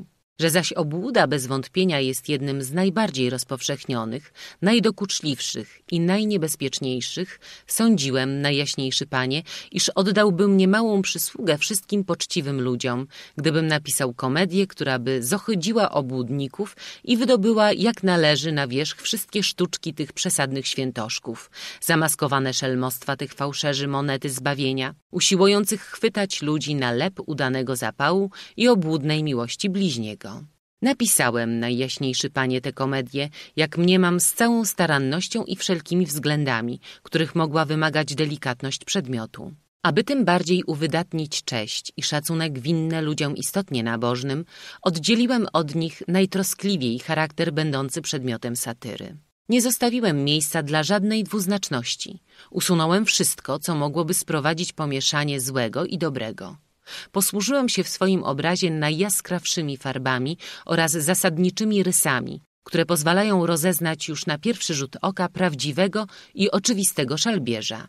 Jednak wszystkie ostrożności okazały się daremne. Skorzystano, najjaśniejszy panie, z drażliwości uczuć twoich w sprawach religijnych i umiano trafić do ciebie jedyną drogą, na której można cię było podejść, to jest drogą czci dla rzeczy świętych. Świętoszki umiały zręcznością swoją znaleźć łaskę w oczach waszej królewskiej mości.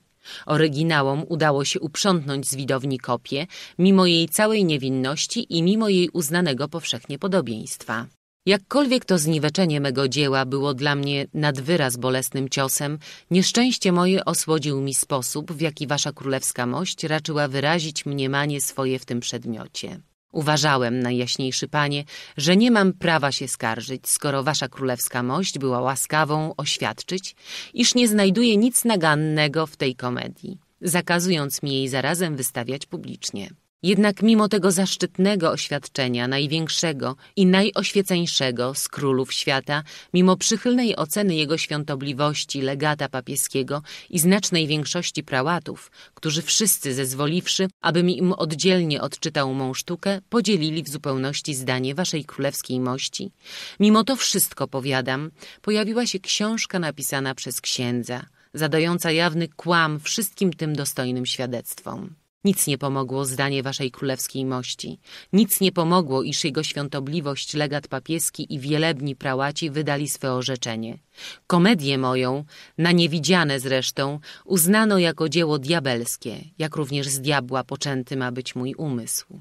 Wedle tej książki jestem jeno złym duchem, przybranym w ciało i przystrojonym za człowieka, niedowiarkiem, bezbożnikiem, godnym odstraszającej kary. Nie wystarczy, by ogień zniszczył publicznie sam przedmiot zgorszenia. Zbyt tanio w ten sposób wymigałbym się ze sprawy. Miłosierna gorliwość tego przezacnego człowieka nie poprzestaje na tym. Nie godzi się na to, abym mógł znaleźć litość bodaj przed obliczem Boga. Żąda koniecznie, abym był potępiony. To rzecz postanowiona. Książkę tę, najjaśniejszy panie, przedłożono waszej królewskiej mości. Bez wątpienia wasza królewska mość sama ocenia, jak bolesnym jest dla mnie znosić codziennie tego rodzaju zniewagi. Jaką krzywdę wyrządziłyby mi w świecie podobne oszczerstwa, gdyby się miały cieszyć zupełną bezkarnością. Jak ważną wreszcie jest dla mnie rzeczą oczyścić się z tej potwarzy i przekonać publiczność, że moja komedia nic zgoła wspólnego nie ma z tym, co z niej chcą uczynić. Nie będę mówił, najjaśniejszy panie, jakie zadośćuczynienie byłoby pożądane dla mej dobrej sławy i chęci dowiedzenia całemu światu niewinności mego dzieła. Królowie oświeceni, jak ty, najjaśniejszy panie, nie potrzebują, aby im wyrażać to, czego się pragnie. Widzą podobnie jak Bóg, czego nam trzeba i wiedzą lepiej od nas, czym nas obdarzyć. Wystarcza mi, iż składam mą sprawę w ręce waszej królewskiej mości i oczekuję od niej z całym uszanowaniem wyroku, jaki się jej spodoba wydać w tej mierze.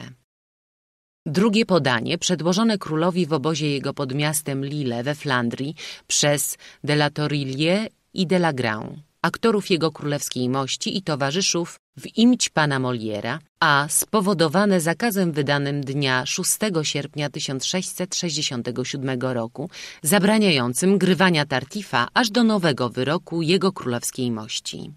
Najjaśniejszy panie, Niezmierne to zaiste zuchwalstwo z mej strony niepokoić w ten sposób wielkiego monarchę w chwili, gdy jest zajęty chlubnymi podbojami. Gdzież jednak znajdę, najjaśniejszy panie, w położeniu swoim pomoc i oparcie, jeśli nie u stóp twego majestatu?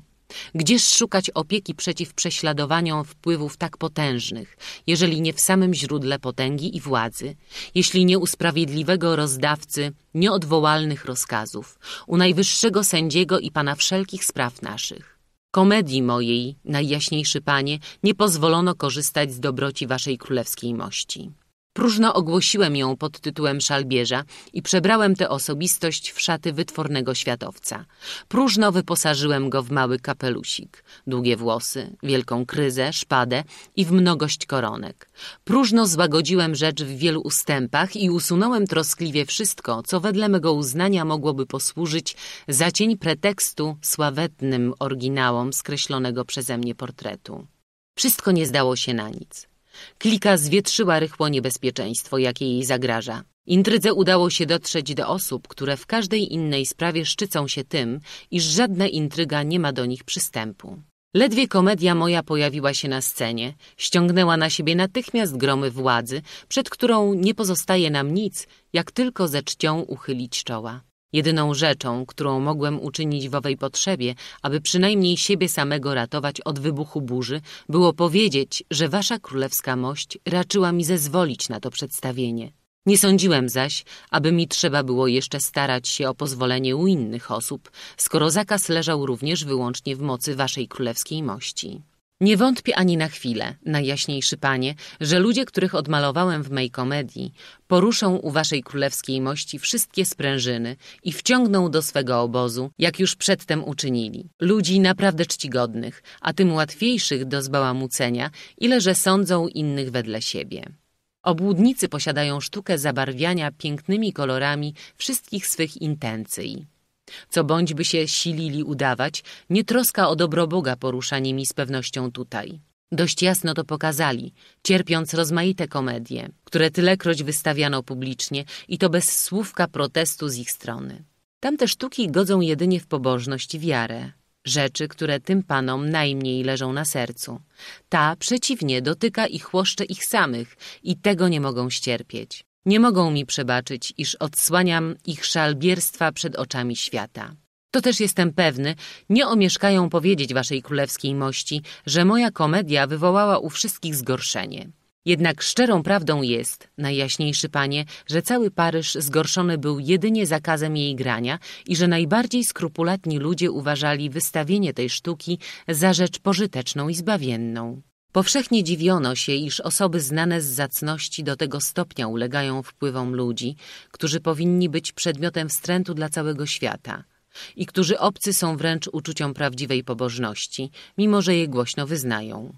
Oczekuję z uszanowaniem wyroku, jaki wasza królewska mość raczy wydać w tej sprawie, lecz to pewna, najjaśniejszy panie, iż trzeba mi będzie w ogóle zaniechać pisania komedii, jeżeli świętoszki mają zostać górą. Zwycięstwo to da im niejako prawo prześladowania mnie więcej niż poprzednio.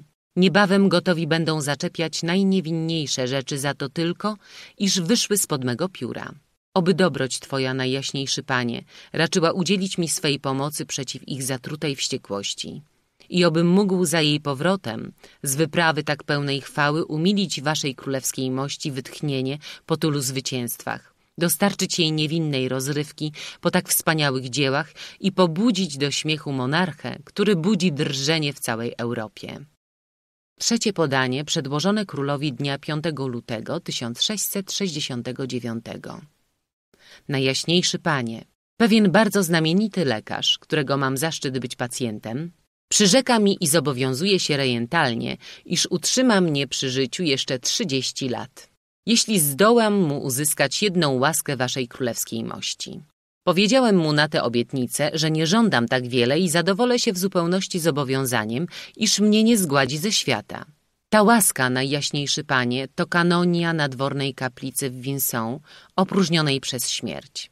Czy wolno mi będzie prosić jeszcze o tę łaskę, waszą królewską mość, właśnie w dniu wspaniałego zmartwychwstania Tartifa, wskrzeszonego dzięki jego dobroci? Przez ten pierwszy znak Twojej dobroci pojednałem się z ludźmi wiary.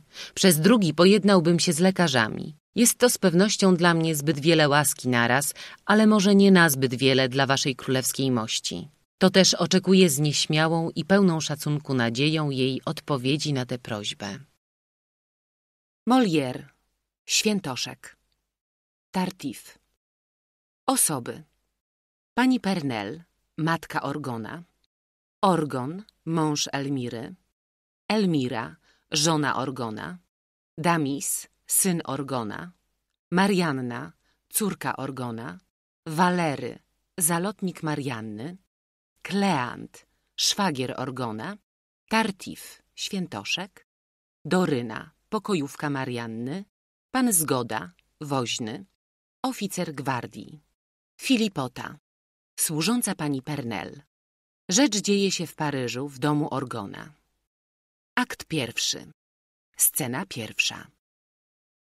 Pani Pernel, Elmira, Marianna, Kleant, Damis, Doryna, Flipota. Pani Pernel. Biegnie przez scenę ku drzwiom, wszyscy dążą za nią. Chodź, Filipoto, nie myślę tego dłużej znosić. Elmira. Ależ, kochana matko, dajże się uprosić. Pani Pernel. Zostaw, moja synowo, nie spiesz się daremno. Nazbyt wiele zadajesz sobie trudów ze mną. Elmira. Uchybiać pani na myśl nie przyszło nikomu. Cóż więc dziś panią matkę razi w naszym domu? Wyznaję więc, że wcale mi się nie podoba dom, w którym za nic liczy się moja osoba. Wcale mnie nie budują wasze nowe statki, gdzie każdy waży lekce głos sędziwej matki, gdzie nikt nic nie szanuje ni w czynach, ni w mowie i gdzie po prostu wszystko chodzi jak na głowie. Doryna. Jeśli pani... Pani Pernel. Ty jesteś w służbie niezbyt prędka, lecz za to mocna w gębie i impertynentka. Do wszystkiego się wtrącać zawsześ jest gotowa. Damis. Ale Pani Pernel. Ty jesteś głuptas, więcej ani słowa. Przyjmij to oświadczenie od swej babki własnej. Już dawnom ojcu twemu w sposób dosyć jasny tłumaczyła, że z syna pociechy nie zazna, jeśli będzie w ten sposób chował go na błazna. Marianna. Lecz... Pani Pernel. Ty, miła siostruniu, z ciebie też lalusia. Niby trzech słów nie zliczy, skromniutka jak trusia. Lecz ja wiem, cicha woda jakie ma wybryki. I nie ja się dam złapać na twe polityki. Elmira. Jednak... Pani Pernel. Ty też, synowo, bez wszelkiej obrazy, przyjm mojej co najwyżej nagany wyrazy. Przykładem dobrym świecić, tyś im wszak powinna i matka ich nieboszczka zgoła była inna. Jesteś płocha, rozrzutna, to wprost oczy rani, patrzeć, jak wciąż się stroisz niby wielka pani. Jeśli dla męża tylko chce być piękną żona, nie potrzebuje chodzić cała wyfioczona. Kleant. Ależ pani. Pani Pernel. Dla ciebie, mój szanowny panie, jej przezacny braciszku, mam pełne uznanie, lecz w miejscu syna mego rzekłabym ci wszakże, ruszaj sobie gdzie indziej, mój kochany szwagrze. Poglądy, jakie głosić ciągle się pan trudzi, nie nadają się wszakże dla uczciwych ludzi. Mą szczerość zbyt otwartą niech mi pan wybaczy, lecz co w mowie, to w myśli. Nie umiem inaczej. Damis. Pan Tartif w oczach babci bardziej jest szczęśliwy. Pani Pernel. Bo jest zacnym człowiekiem, godnym czci prawdziwej i trudno mi w istocie patrzeć jest spokojnie, że taki jak ty, błazen, w ciągłej z nim jest wojnie. Damis. Jak to? Więc ja mam znosić, aby ktoś bez sromu do wszystkiego się wtrącał, rządził się w tym domu i by wzbronioną była nam każda zabawa, póki ten chłystek do niej nie uświęci prawa? Doryna. Gdyby słuchać, co prawi on nam tutaj co dnia, co bądź człek czyni, wszędzie tkwi jakowaś zbrodnia. Bo ten krytyk żarliwy tylko sądzi, rządzi. Pani Pernel. I dobrze osądzone jest, co on osądzi. Do nieba chce was zawieść, odciąga od złego i słusznie syn mój wszczepia wam miłość do niego. Damis. Nie, babciu. Nawet ojcu sprawić się nie uda, by sympatię w mych oczach znalazła obłuda. Kłamać nie chcę i mówię tutaj najwyraźniej, że w tym człowieku wszystko gniewa mnie i drażni. I gdy nadto w mym sercu już zbierze odraza, przy pierwszej sposobności zdepcę tego płaza. Doryna.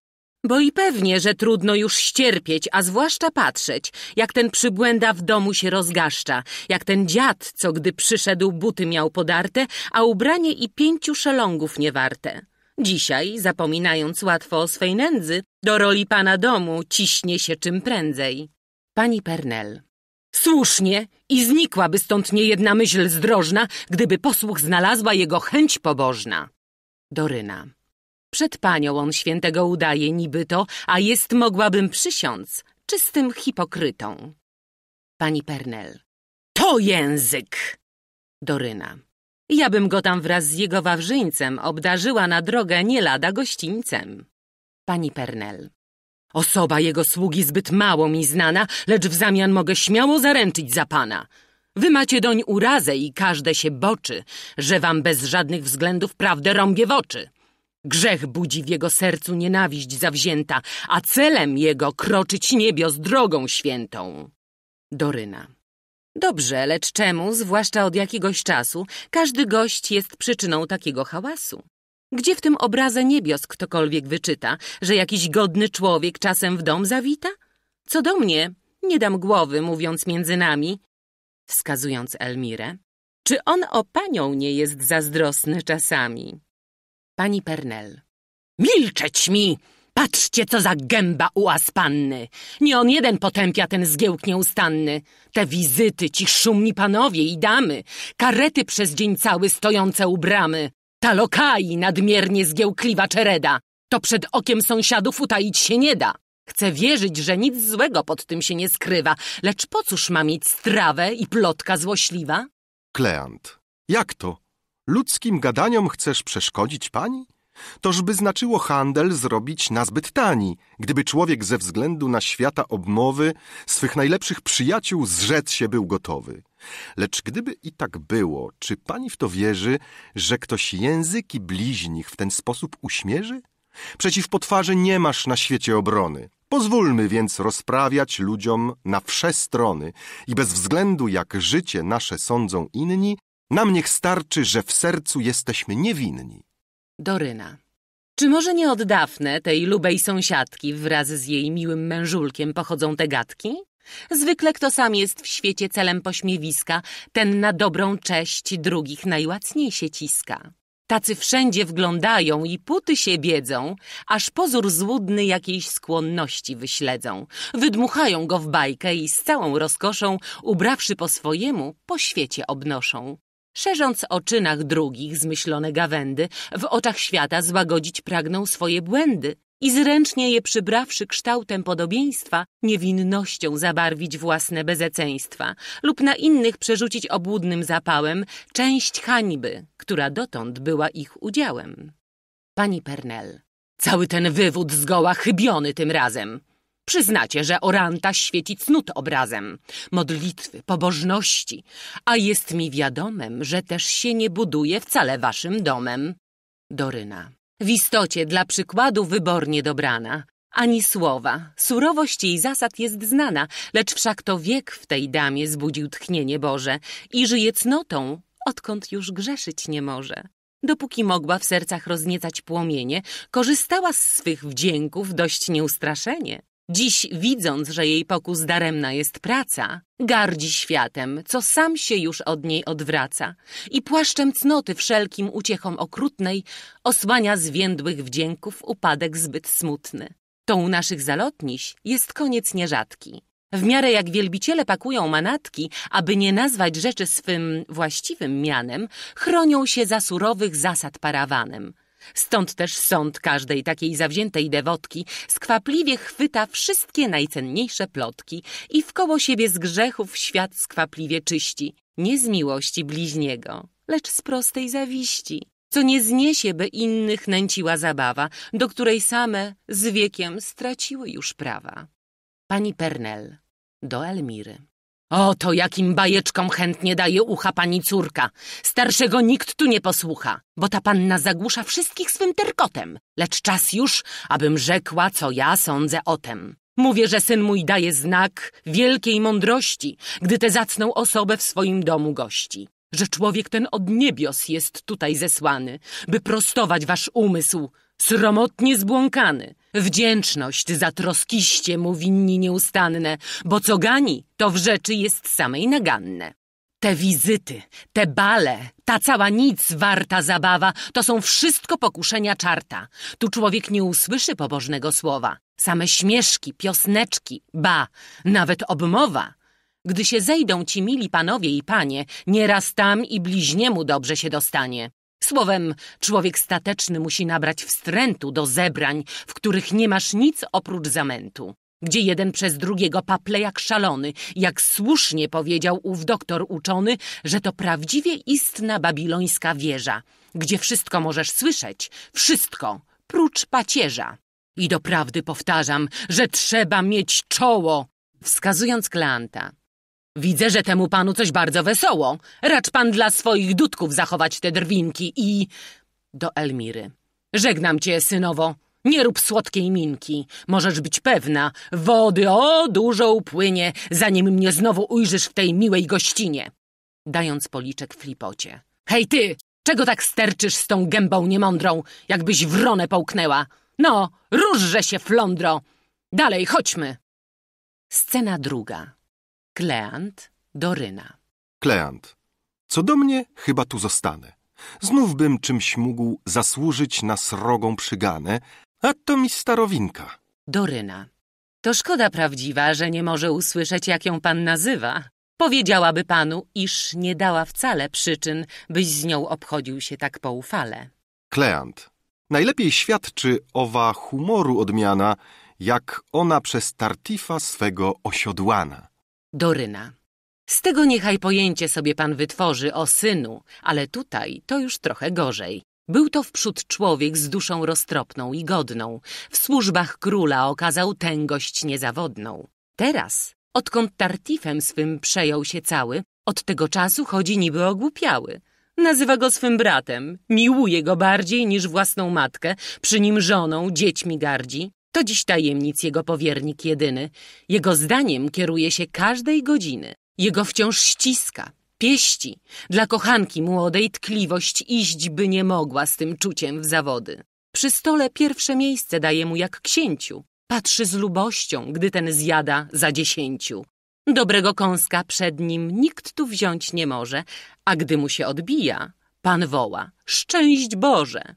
Słowem szaleje za nim, świat w nim widzi cały, przytacza jego słowa, obnosi pochwały, każdy postępek zachwyt w nim budzi niezwłocznie, a słówko bynajmniejsze ma wprost za wyrocznie. Tamten to szczwana sztuka, więc mu nie jest trudno sidłać swoją ofiarę świętością obłudną i raz w tak niezawodną trafiwszy słabiznę, za swe szczytne maksymy ciągnąć gotowiznę. Ba, i ten sługus jego też bawi się w księdza i nam również zrzędzenia swego nie oszczędza. Przewraca gały, wzdycha i prawi jak z książki. Swe kazania na muszki, bielidła i wstążki. Wszak nie dalej niż wczoraj rzucił mi do błota chusteczkę wywleczoną gdzieś z świętych żywota, mówiąc, że to jest zbrodnia straszna, niesłychana, mieszać ze świętościami przybory szatana.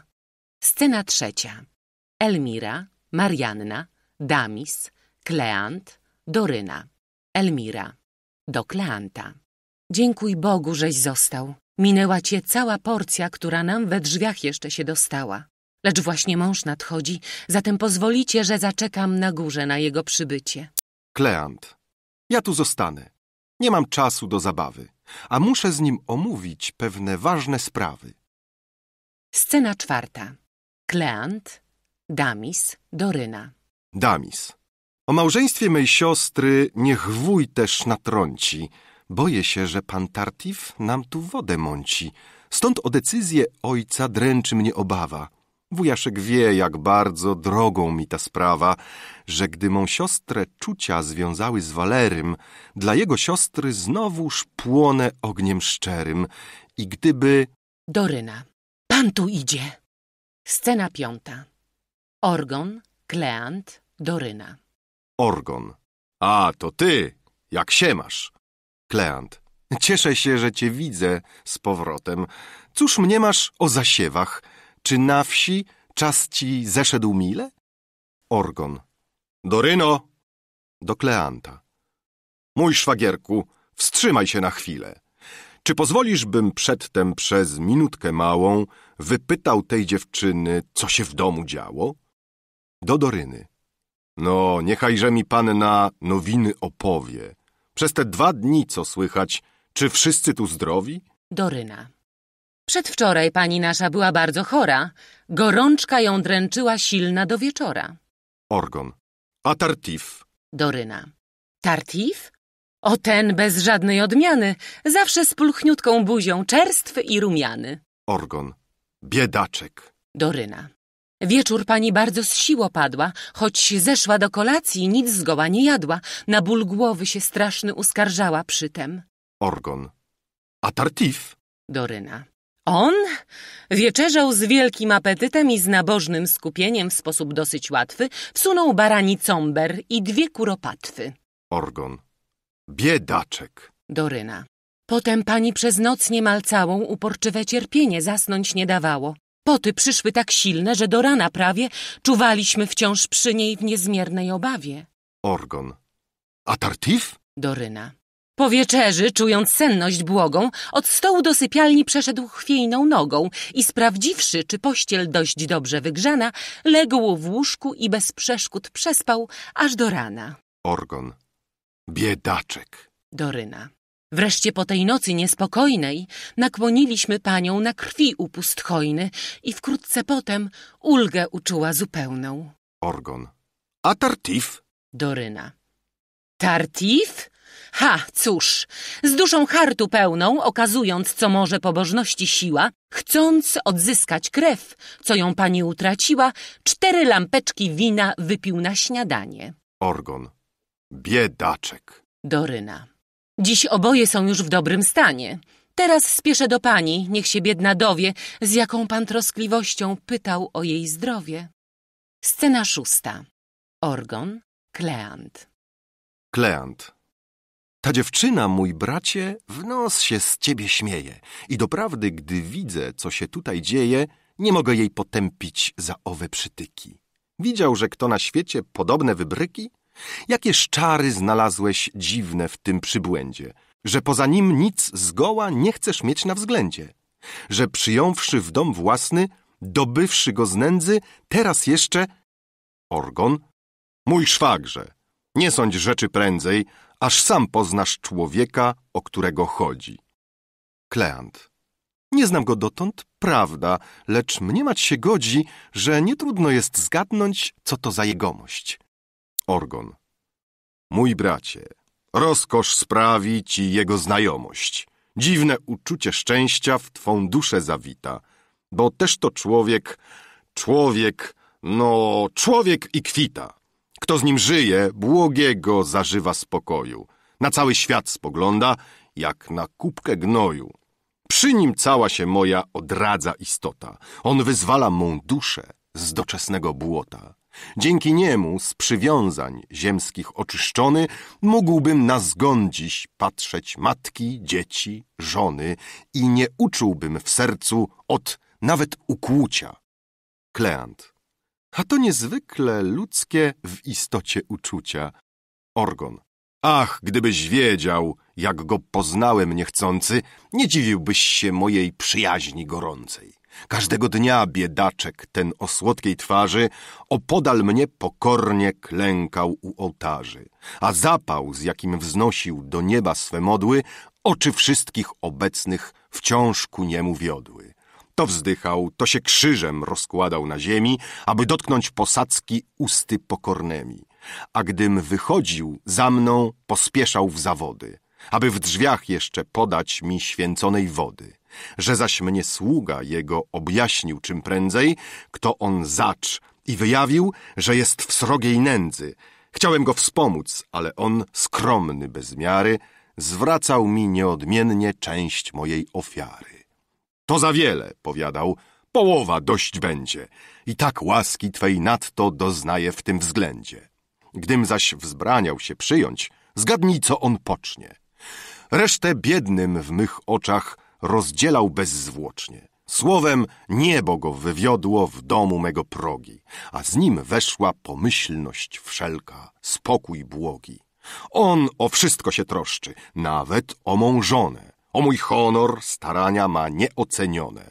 Jego straże każdemu do niej wstępu bronią i bardziej niż ja stokroć zazdrosny jest o nią. A przy tym sam dla siebie, ach, jakiż surowy, w lada drobnostce grzechu już dojrzeć gotowy, za rzecz najbłahszą żąda pokuty i kary. Wszak ci sam się obwinił, skruszony bez miary, że kiedyś w uniesieniu grzesznym, Bóg mi świadkiem, pchłę zabił przy pacierzu schwyconą przypadkiem. Kleant. Czyś ty oszalał, bracie, czy też od godziny bajaniem takim stroisz sobie ze mnie drwiny? Co ty chcesz wmówić we mnie? Czy myślisz, że można? Orgon. Mój bracie, twoja mowa jest wielce bezbożna. Wiem, że brat ku tym błędom chętnie ucha skłania i nigdy nie taiłem o tym mego zdania, że ci to niedowiarstwo nie wyjdzie na zdrowie. Kleant. Oto jakiego ćwieka każdy z was ma w głowie. Żądacie, aby wszyscy ludzie byli ślepi i bezbożnikiem dla was jest, kto widzi lepiej. Kto przed waszym bałwanem nie uchyli czoła, dlatego już na świecie nic świętego zgoła. Nie, bracie, twych pogróżek głos mnie nie poruszy. Wiem, co mówię, a Pan Bóg czyta w mojej duszy. Mów, co chcesz, ja przy swoim sądzie pozostanę. Są udane świętoszki, jak zuchy udane. Tak jak na polu walki nie tego człowieka mam za najdzielniejszego, co najgłośniej szczeka, tak samo i pobożność szczerą w sercu kryje nie ten, co leżąc krzyżem skręca sobie szyję. Cóż u licha? Rozróżnić, czyliż to tak trudno, między świątobliwością szczerą a obłudną? Jednakąż mają znaleźć w Twym uznaniu łaskę i porówni chcesz cenić ludzką twarz lub maskę, porówni wielbić szczerość i pozór kłamliwy i stawiać czcze mamidło obok prawdy żywej, brać fantom za osobę i z własnej ochoty przyjąć fałszywą blaszkę jako pieniądz złoty? Doprawdy, większość ludzi to stworzenia dziwne. Co w zgodzie jest z naturą, to im jest przeciwne. Im granice rozsądku nigdy nie wystarczą. Każde uczucie własnym szaleństwem obarczą i w swe zapały tyle dobrych chęci kładą, aż rzecz, choć najpiękniejszą, zepsują przesadą. Przyjm to zdanie nawiasem, mój kochany szwagrze. Orgon. Tak, tyś jest najmądrzejszy z doktorów. A jakże? W tobie jest cały rozum świata zgromadzony. Sam jeden jesteś światły, sam jeden uczony. Tyś jest katon, wyrocznia. Ty sam myślisz górnie, a wszyscy inni ludzie są przy tobie durnie. Kleant. Ani ja żaden doktor, nie jestem uczony, ni we mnie cały rozum świata zgromadzony. Jednak pochlebiam sobie, że potrafię zawdy bez trudności odróżnić udanie od prawdy. I tak samo jak człowiek prawdziwie pobożny, więcej dla mnie niż rycerz, niźli pan wielmożny, tak jak nie znam na świecie podnioślejszej rzeczy, od cnoty wyższe cele mającej na pieczy. Tak znów nic mnie nie mierzi bardziej na tej ziemi niż fałsz, co się pozory barwi nabożnymi, niż owi obłudnicy, nędzne szarlatany, którzy podłych grymasów dewocji udanej używają bezkarnie, by ciągnąć korzyści z tego, co ludzie w sercu swym wielbią najczyściej to, co dla wszystkich świętym być winno i wzniosłem, oni czyją niegodnie towarem, rzemiosłem i od losu pragną zyskać korzystną odmianę przez obłudne wzdychania i posty udane.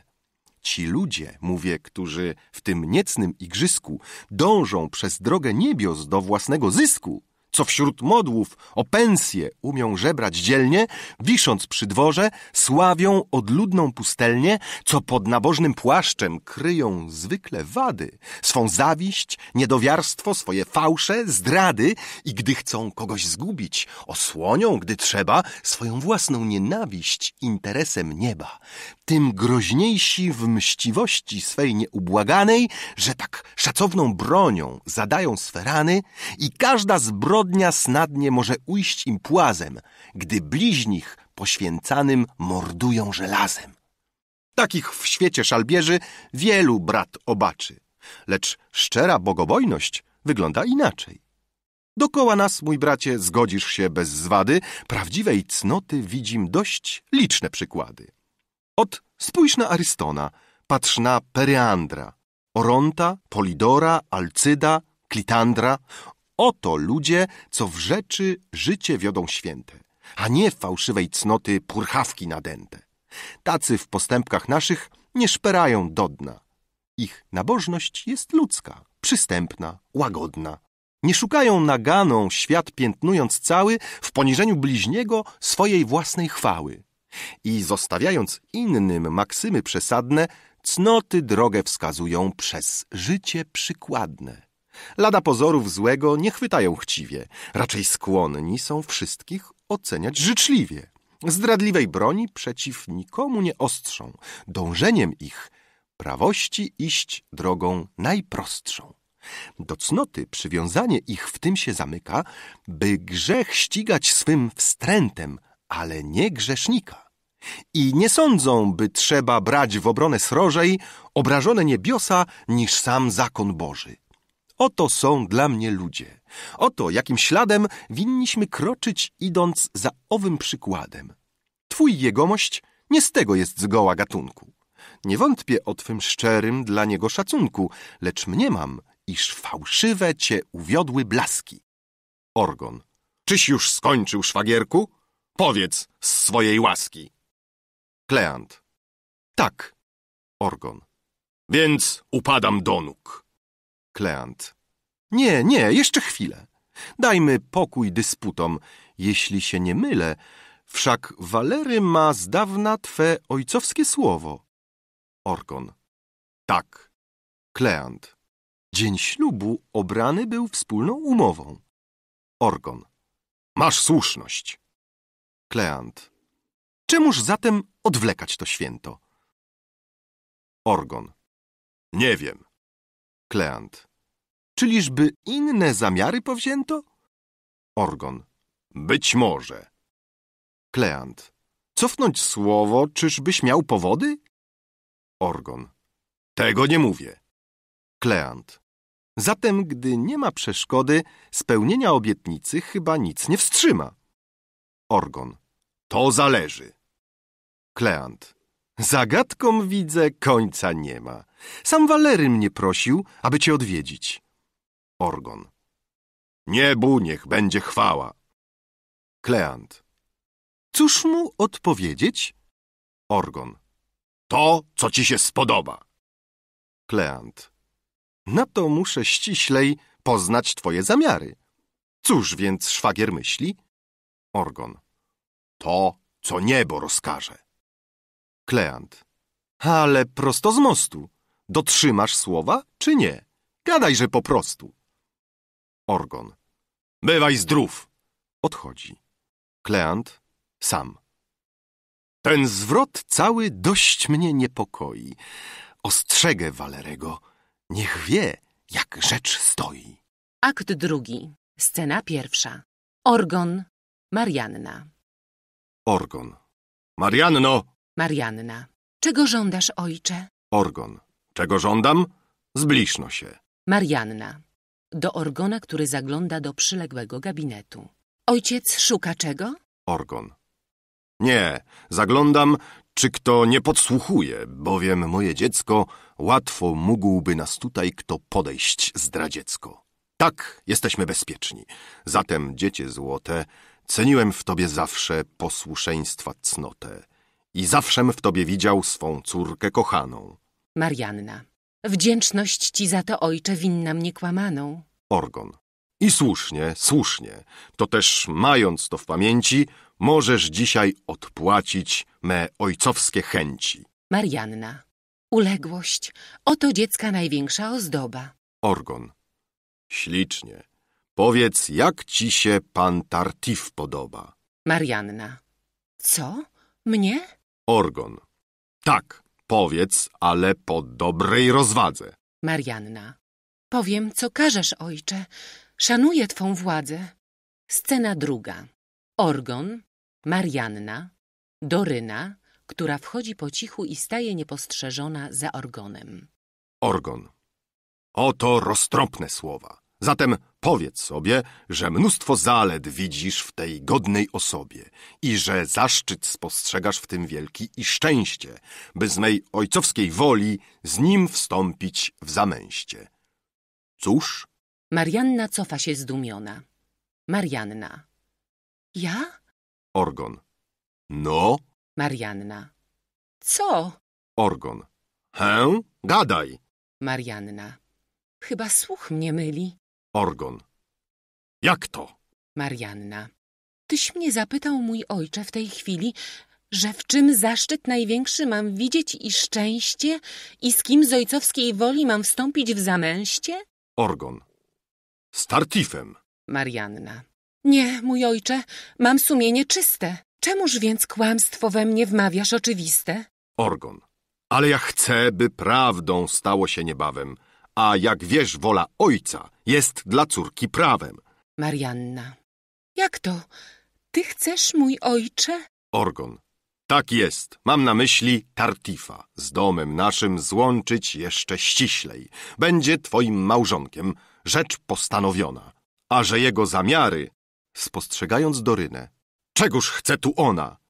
Widać pannę ciekawość bardzo mocno pali, żeś przyszła podsłuchiwać nas aż do tej sali. Doryna.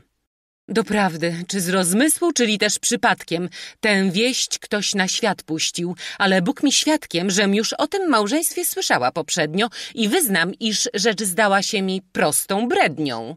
Orgon. Hę? Czy tak niepodobna? Doryna. Jeśli mam rzec szczerze, to i panu samemu jeszcze dziś nie wierzę. Orgon. Aby zbudzić tę wiarę, mam sposób dość łatwy. Doryna. Nie, takie strachy to są dobre, lecz dla dziatwy. Orgon. Mówię to, co wnet ujrzą tu wszyscy dokoła. Doryna. Bajki. Orgon. Nie, moja córko, nie zwodzę cię zgoła.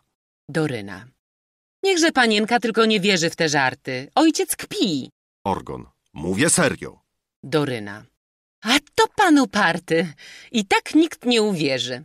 Orgon. A to niesłychana. Doryna. Dobrze, wierzymy zatem, tym gorzej dla pana. Jak to, czyż to możebne, by pan człek roztropny, z tą rozłożystą brodą i niezbyt pochopny, do szaleństw tak zbzikował, by... Orgon. Ej, mnie się zdaje, że panna tu przybrałaś dziwne obyczaje, których nie myślę znosić. Ostrzegam zawczasu. Doryna. Mówmy spokojnie. Po cóż tak wiele hałasu? Powiedz pan, czy to żarty? Co pana napadło, że córkę z tym bigotem chcesz połączyć w stadło? Wszak on ma inne, bardziej nabożne zajęcia. A pan? I cóż za korzyść masz z takiego zięcia? Czyż nie wstyd, by z posaszkiem takim ładnym panna szła za mąż za hołysza? Orgon. Milczeć mi Acana! Ubóstwo czyni mi go bardziej jeszcze drogim, bo jest zacnym człowiekiem i przez to ubogim. Ono właśnie wielkości blaskiem opromienia tego, co się pozwolił wyzuć z swego mienia, przez to, iż sprawy świeckie nie dość miał na pieczy, a duch jego wciąż wzlatał do niebiańskich rzeczy. Lecz dzięki mej pomocy już jest chwila bliska, w której on swój majątek stracony odzyska. Dobra jego są znane w stronach, skąd pochodzi, a on sam, jak go widzisz, ze szlachty się rodzi. Doryna.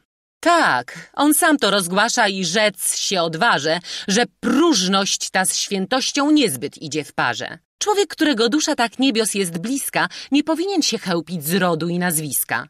I dziw mi, jakim cudem w jednym sercu gości tak anielska pokora przy świeckiej próżności. Po cóż ta pycha? Ale pan już gniewem płonie.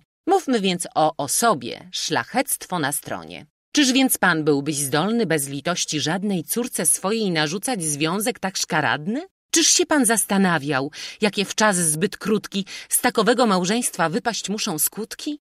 Wiedz pan, że wielce cnotę kobiety naraża, kto ją wbrew jej skłonnościom wlecze do ołtarza.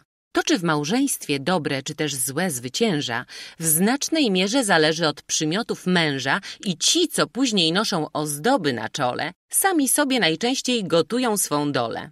Trudno, by się wierności spodziewał u żony mąż, przez naturę samą do rogów stworzony. Kto zaś łączy swą córkę z jej wstrętu przedmiotem, sam przed Bogiem odpowie za jej winy potem. Pomyśl pan, jaki ciężar czułbyś nieustanny. Orgon. Widzę, że się rozumu trza uczyć od panny. Doryna. W istocie, że już trudno rzecz wyłożyć jaśniej. Orgon. Zostaw ją, moja córko, nie słuchaj tych baśni. Jestem twym ojcem, sam wiem, co robię i czemu. Dałem wprawdzie poprzednio słowo Waleremu, lecz słyszę, że to karciarz. A któż mi odpowie, jakie ten panicz jeszcze ma figielki w głowie? Libertyn. Nikt w kościele nigdy go nie zoczy. Doryna. Chciałbyś pan pewnie, aby pchał ci się na oczy, jak ci, co po to idą, aby być widziani. Orgon. Nikt o zdanie nie pytał się szanownej pani. Tartif umiał pozyskać sobie łaski Boże. Jest to skarb, z jakim żaden równać się nie może. Z nim związek da ci wszystko, czego serce życzy. Będziesz pływać w rozkoszach, utoniesz w słodyczy. Będziecie żyli w zgodzie, w miłości, bez sprzeczki, jak para dzieci małych, jak dwie turkaweczki. Szczęścia waszego żadna nie zaciemni plama i zrobisz z męża wszystko, co zapragniesz sama. Doryna. Ona? Rogala z niego zrobi lub niech zginę. Orgon. Cóż za mowa bezwstydna. Doryna. Taką już ma minę, że mimo pańskiej córki najszczytniejsze cnoty musi nim zostać, choćby i bez jej ochoty. Orgon. Przestań mi raz przerywać i miej to na pieczy, aby nie wściubiać nosa do nie swoich rzeczy. Doryna. Przerywa mu zawsze w chwili, w której on się odwraca, aby przemówić do córki. Jeśli wściubiam, to tylko ze względu na pana. Orgon. Zbytek łaski. I proszę, mniej bądź wygadana. Doryna. Za to, że pana kocham. Orgon. Nie chcę tej miłości. Doryna. A ja chcę pana kochać, chociaż się pan złości. Orgon. Ech, Doryna. Cenię pański honor i patrzeć nie mogę, jak samochcąc wstępujesz na śmieszności drogę. Orgon. Nie zmilczysz mi nareszcie? Doryna. To mój obowiązek, dopóki sił mi stanie odradzać ten związek. Orgon. Milcz, żmijo, bo się znajdzie i na ciebie rada. Doryna. Co? Pan taki nabożny w taką wściekłość wpada? Orgon. Tak, krew się we mnie burzy, gdy te brednie słyszę. I jeszcze raz ostatni upraszam o ciszę. Doryna. Dobrze, lecz choć po cichu i tak myśleć będę. Orgon. Myśl, co ci się podoba. Tylko tę gawędę raz mi skończ, bo, rozumiesz, odwracając się do córki. Mam obyczaj zawdy każdą rzecz dobrze zważyć. Doryna. Na stronie. To można doprawdy oszaleć. Język świeżbi. Orgon. Więc co do urody, Tartif może iść z każdym. Doryna. Niedźwiadkiem w zawody. Orgon. I gdyby nawet w tobie jego cnota rzadka nie zdołała, Doryna. Na stronie. Ślicznego dostaniesz gagatka. Orgon zwraca się ku Dorynie i skrzyżowawszy ręce, słucha, wpatrując się w nią. Co do mnie, gdybym była na miejscu panienki, nikt by bezkarnie mojej nie wymusił ręki i wkrótce by przekonał się taki dobrodziej, że u kobiety zemsta piechotą nie chodzi. Orgon do Doryny. Czy rozkaz mój nie będzie nigdy usłuchanym? Doryna. Czego pan chce? Ja wcale nie rozmawiam z panem. Orgon. Cóż więc robisz, niecnoto? Doryna. Ja? Mówię do siebie. Orgon na stronie. Dobrze, jeszcze słóweczko, a jak Bóg na niebie, oberwie po facjacie dziewczyna zuchwała. Staje w pozycji, gotowy do wymierzenia policzka Dorynie i po każdym słowie powiedzianym do córki odwraca się i spogląda na Dorynę, która stoi wyprostowana, nic nie mówiąc. Moja córko, bądź pewna, że troska ma cała. Wierz mi, że mąż, że wybór, którego znaczenia... Do Doryny? Mówże co! Doryna. Nie mam sobie nic do powiedzenia. Orgon. Jeszcze jedno słóweczko. Doryna. Na nic pańska sztuka. Orgon. Czekam tylko. Doryna. Niech głupszej pan sobie poszuka. Orgon. Słowem dla córki prawem są ojcowskie chęci i wkrótce rychły związek wybór ten uświęci. Doryna. Uciekając. Ja bym go tam nie wzięła pewno, póki żyje. Orgon. Po daremnej próbie dania policzka Dorynie. Ha, dziecko, ty przy sobie chowasz istną żmiję. Bez grzechu żyć nie mogę z tą dziewczyną dłużej. Nie doścignę jej dzisiaj, bieganie mnie nuży. Do szaleństwa mnie swoim zuchwalstwem przywodzi. Pójdę wytchnąć, niech żółć mi nieco się ochłodzi. Scena trzecia. Marianna, Doryna. Doryna. Cóż to? Czy nagle język coś odjęło pannie? Ja mam za nią nadstawiać karku nieustannie? A panna znosi ojca szalone koncepta i najlżejszego słówka nawet nie wyszepta. Marianna. Cóż wyrzec przeciw ojca woli tak surowej? Doryna. To co trzeba, by wybić mu ten zamiar z głowy. Marianna. Cóż więc? Doryna. Że serce samo stanowi o sobie, że twój mąż ma być miły nie ojcu, lecz tobie, że gdy ciebie na celu ma owo zamężcie, ciebie pytać się godzi, w czym widzisz swe szczęście. Gdy zaś jego tak nęci Tartif swym powabem, może choćby dziś jeszcze żenić się z tym drabem. Marianna. Cóż, gdy na widok ojca taki strach mnie zbiera, że wprost na ustach słówko mi każde zamiera. Doryna. Mówmy zatem rozsądnie. Walery cię kocha, a ty kochasz go czy nie? Zastanów się trochę. Marianna. Doryno, więc mą miłość ty cenisz tak mało? Tobież stawiać mi takie pytanie przystało? Ty, której setki razy czyniłam zwierzenie mych uczuć, możesz mniemać, że ja się odmienię? Doryna. Kto wie, czy serce twymi przemawiało usty i czy to była miłość, nie zaś kaprys pusty. Marianna. Ranisz wielce mą duszę, wątpiąc w moje słowa. Dość jasną uczuć moich wszak była wymowa. Doryna. Zatem panna go kocha? Marianna. Nie można go ręcej. Doryna. On też, jak mnie mam, pannę kocha coraz więcej. Marianna. Tak sądzę. Doryna. I oboje chcielibyście wiecznie być z sobą połączeni? Marianna. Koniecznie, koniecznie. Doryna. A o tym drugim związku jakiś sąd panienki? Marianna. Gdy mnie doń zmuszą, raczej zginę z własnej ręki. Doryna. Wybornie. Wyznam szczerze, nie myślałam o tem. Wystarczy tylko zginąć, by skończyć z kłopotem. Przednie lekarstwo. Gniew mnie porywa szalony, gdy słyszę, jak ktoś takie wyplata androny. Marianna. Doryno, czyż w istocie twej nieczułej duszy żadnej ludzkiej niedoli obraz nie poruszy? Doryna.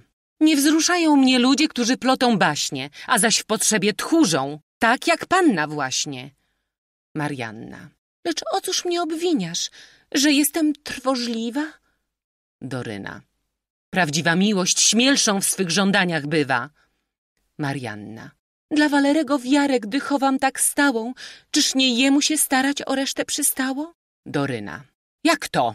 Że ojciec panny w zawziętym uporze poza tartifem świata już dojrzeć nie może i zrywa nagle związek z dawna ułożony. Czyż winę w tym ponosi panny narzeczony? Marianna. Mamże więc mą odmową jawną i wzgardliwą prawdziwych uczuć zdradzić skłonność na zbyt żywą? Mam dla niego, choć serce najlepiej mu życzy, zdeptać powinność córki i wstyd mój dziewiczy? Chcesz, by matkliwość w oczach świata tak naganna? Doryna. Nie, ja wcale nic nie chcę. Widzę już, że panna chce być żoną Tartifa i zachodzę w głowę, czemu miałabym związki odradzać takowe? Z jakiej przyczyny zwalczać twoje słuszne chęci? Nie dziw, że taka partia młodą pannę nęci. Pan Tartif, ho, ho, to nie żadne bagatele. Ba, ba, Tartif, pi, pi, pi. Można to rzec śmiele, jest człowiekiem nie lada i przyzna świat cały, że zostać jego żoną to zaszczyt niemały. Z tak wyraźną skłonnością nie myślę wieść wojny. Jest szlachetnego rodu, rozumny, przystojny, twarz ma pulchną, rumianą i uszy czerwone. Toż cię szczęście z nim spotka niczym niezmącone. Marianna. O Boże mój! Doryna. Rozkoszy jakiż płomień żywy czeka tę, którą pojmie mąż tak urodziwy. Marianna. Przez litość, przestań mówić tak. Ja błagam ciebie. I znajdź jakiś ratunek w tej ciężkiej potrzebie. Ustępuję. Na wszystko ważę się tym razem. Doryna. Nie, córka iść powinna za ojca rozkazem, choćby jej małpę stręczyć miał zamiast człowieka. Otóż się panna skarży. Świetny los cię czeka. Do rodzinnego miasta męża w Koczobryku nowiutkim zajedziecie. Tam poznasz bez liku jego wujów, kuzynów, a gdy przyjdzie kolej, pośród wielkiego świata zasiędziesz powoli. Będziecie odwiedzali w niedzielę i święta to panią burmistrzową, to pana rejenta, gdzie na kanapie zajmiesz miejsce honorowe. W karnawale co uciech, wciąż rozkosze nowe, bal, orkiestra złożona z kobzy, klarynetu, czasem małpa uczona, marionetki. Gdzie tu znaleźć czas na rozrywek tyle? Marianna. O, Doryno, rać mi co, zamiast dręczyć niedobra dziewczyno? Doryna. Sługa panny najniższa. Marianna. Nie bądź tak uparta. Doryna. Nie, nie, lepszegoś losu z pewnością nie warta. Marianna. Moja złota. Doryna. Nie. Marianna. Wybacz słabości nagannej. Doryna. Nie, nie, Tartif jest człowiek stworzony dla panny. Marianna. Dobrze więc, gdy twe serce wzruszyć się nie raczy moim losem, pozostaw mnie srogiej rozpaczy. W niej przeto dusza moja w swym ciężkim frasunku niezawodnego dzisiaj poszuka ratunku. Chcę odchodzić. Doryna. No wstrzymaj się, panienka, gniew gniewem wszelako, teraz musimy obmyśleć dla was pomoc jaką. Marianna. Jeśli nie zdołam wyrwać się dzisiaj z tej matni, będziesz na życia mego patrzeć dzień ostatni. Doryna. Niech się panna nie martwi. Znajdziemy w tej biedzie jakiś sposób. Lecz oto Walery tu idzie. Scena czwarta. Walery, Marianna, Doryna. Walery. Usłyszałem przed chwilą nowinę nie lada. Nie wiem, czy mi się cieszyć, czy dziwić wypada. Marianna. Cóż tedy? Walery. Że Tartifa masz zaślubić pono? Marianna. To mój ojciec mnie pragnie widzieć jego żoną. Walery. Ojciec pani? Marianna. Odmienił dawniejsze widoki i dziś właśnie obwieścił mi swoje wyroki. Walery. Jak to? I to na serio mówił? Marianna. Nie inaczej. Bardzo jasno w tym względzie chęci swe tłumaczy. Walery. I z jakim przyjęciem jego zamiar spotka u pani? Marianna. Jeszcze nie wiem. Walery. Odpowiedź dość słodka, więc jeszcze nie wiesz? Marianna. Nie. Walery. Nie? Marianna. Cóż pan mówi na to? Walery. Ja? Ja radzę w tym względzie iść za dobrym tatą. Marianna. Pan mi to radzi? Walery. Tak jest. Marianna. Szczerze? Walery. Jak najszczerzej. Wybór piękny i szczęście twe pewno w nim leży. Marianna. Dobrze więc? Radą pańskim zostanę powolną? Walery. I bez wielkiej przykrości tak mniemać mi wolno. Marianna. Nie zwiększą niż sam pan mi związek ten doradza. Walery. Ja radzę to, co pani widocznie dogadza. Marianna. Ja zaś, by cię ucieszyć, usłucham twej rady. Doryna, cofając się w głąb sceny. Zobaczmyż, co na końcu wyniknie z tej zwady. Walery. Toż więc była twa wiara? Twa miłość gorąca? I kiedy ja... Marianna. Te kwestie po cóż pan potrąca? Wszakże sam mnie pan prosto i szczerze nakłania, bym przyjęła ojcowski wyrok bez wahania. Ja zaś oznajmiam panu, iż ceniąc twe słowa, iść za twoją wskazówką dziś jestem gotowa. Walery. Nie chciej pani udawać naiwności świętej. Wybór pani w tej mierze dawno był powzięty. I dziś chwytasz skwapliwie za pozór najlżejszy, mniemając, iż to winę zdrady twej umniejszy. Marianna. Ma pan słuszność. Walery. Stąd wnosić godzi się najprościej, żeś nigdy w sercu szczerej nie czuła miłości. Marianna. Wolno panu obwiniać mnie o wszystkie zbrodnie. Walery. Tak, wolno. Lecz me serce, zdradzone niegodnie, może zdoła wyprzedzić cię w zmienności twojej i wiem, dokąd me uczucia zanieść mi przystoi. Marianna. Och, nie wątpię ni chwili, że każdej kobiety serce zalety pańskie. Walery. Zostawmy zalety. Mam ich zbyt mało, skorom przez ciebie wzgardzony, lecz ufam, iż nagrody doznam z innej strony. I wiem, kto, zdobywszy dawnych mych ogniów z pamięci, zgodzi się bez wahania wysłuchać mych chęci. Marianna. Strata to niezbyt ciężka i losu przemiana. Bardzo łatwo się w radość obróci dla pana. Walery. Wierz mi, że wszelkich starań po temu dołożę, dumy naszej bezkarnie nikt zdeptać nie może. Gdyby sercu zapomnieć nawet było trudno, winno na obojętność zdobyć się obłudną, bo tej hańby sam sobie człowiek nie przebaczy, by kochać te, co sama kochać nas nie raczy. Marianna. Tak wzniośle czuć potrafi jedynie mężczyzna. Walery.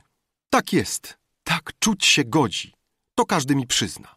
Jak to? Sądziłaś pani więc, że moje serce, wiecznie nieukojone w miłosnej rozterce, ścierpi, że ty z kim innym zażywasz słodyczy i że nikt mu pociechy w zamian nie użyczy?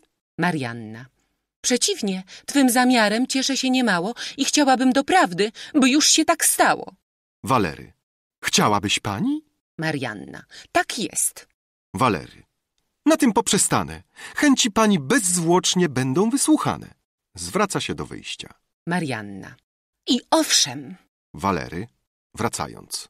Lecz przynajmniej niech pani pamięta, że to jest twoja wola, zawsze dla mnie święta. Marianna. Tak jest. Walery, wracając znowu. I że w zamiarze powziętym w tym względzie idę za twym przykładem. Marianna. Niechaj tak będzie. Walery, odchodząc. Będziesz zaspokojoną pani należycie. Marianna. Tym lepiej. Walery. Jeszcze wracając. Żegnam zatem i na całe życie. Marianna. Dobrze. Walery odchodzi. Kiedy jest przy drzwiach, odwraca się. Co? Marianna. Co? Walery. Myślałem, że pani wołała. Marianna. Ja? Śniło się coś panu. Walery. Zatem rzecz się stała. Żegnam cię pani. Oddala się zwolna. Marianna. Żegnam pana. Doryna do Marianny. A ja wnoszę, żeście oboje rozum stracili po trosze.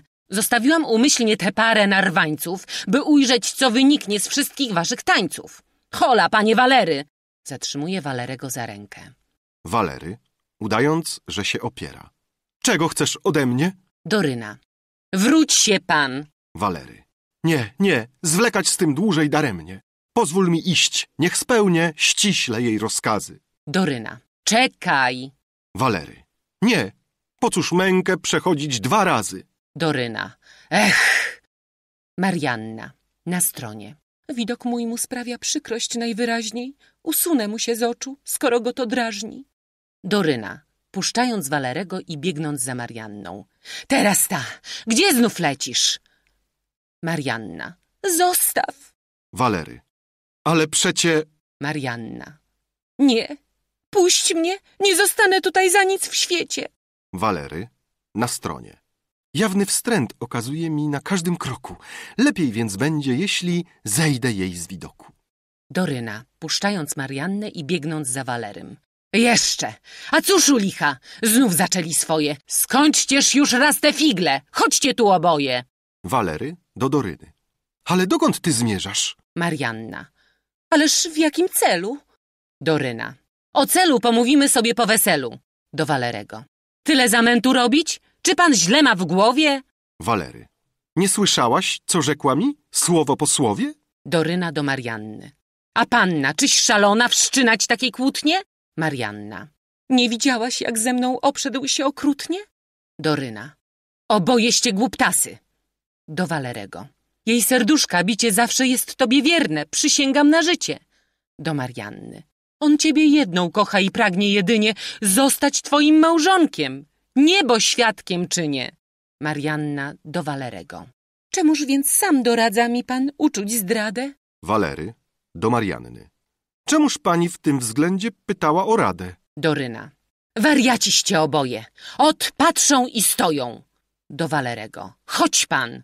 Walery, dając rękę Dorynie. Po cóż ta ręka? Doryna do Marianny. Dawaj panna swoją. Marianna, również podając rękę.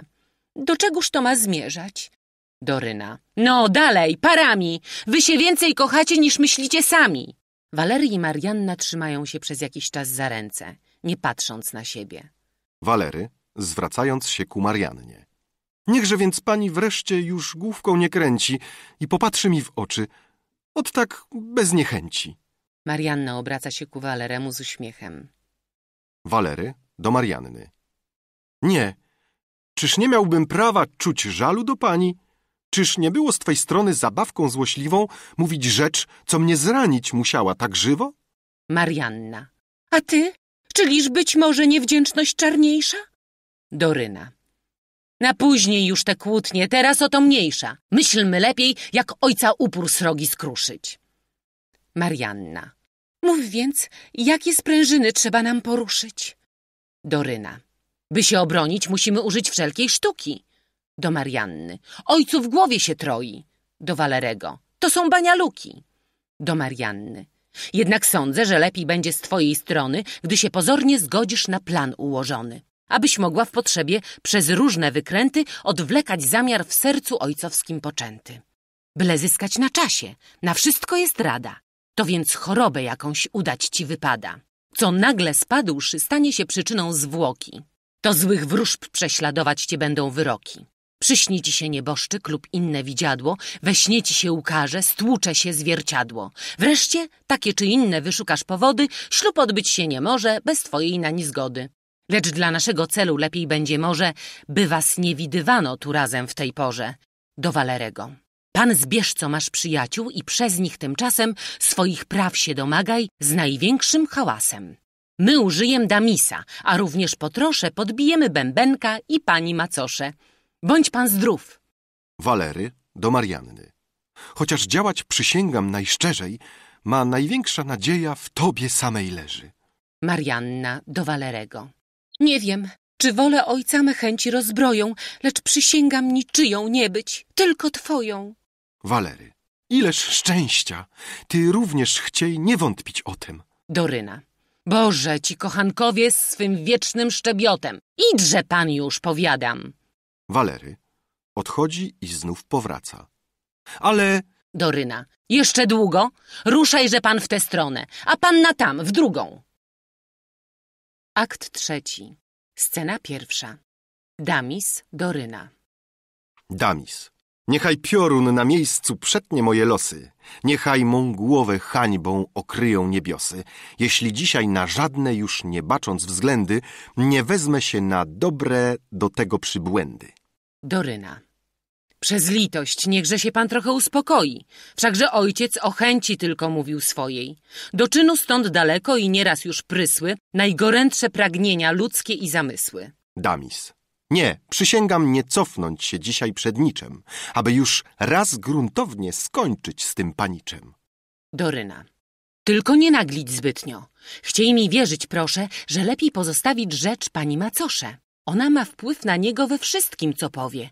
Jej stara się przymilić i myślę, że kto wie, czy coś więcej nie kryje ta słodycz układna. Dałby Bóg, by tak było. Rzecz byłaby ładna. Słowem, pani ma widzieć się z nim w sprawie twojej. Chce zbadać, czy cię słusznie wieść ta niepokoi, przeniknąć jego chęci i dać do poznania, iż sam prosty rozsądek upierać się wzbrania przy planie, co z oporem spotka się gorącym. On teraz przy pacierzu. Mówiłam z służącym, bo z nim samym nie mogłam, lecz rychło tu stanie. Oddal się więc, by owo ułatwić spotkanie. Damis. Wszak może się i przy mnie odbyć ta rozmowa. Doryna. Nie, muszą zostać sami. Damis. Nie rzeknę ni słowa. Doryna. Żartuje pan. Wszak jednym zwykłym swym wybuchem gotów byś całą sprawę zepsuć nam z tym zuchem. Idź już. Damis. Nie, nazbyt blisko sprawa ta dotyka. Doryna. Ach, jaki pan nieznośny. Idzie, niech pan zmyka. Damis chowa się w przyległym gabinecie w głębi. Scena druga. Tartif, Doryna. Tartif. Tartif, spostrzegłszy Dorynę, mówi głośno do służącego za sceną. Wawrzyńcze, skończ pacierze, potem pod obrazem złóż moją dyscyplinę z włosiennicą razem.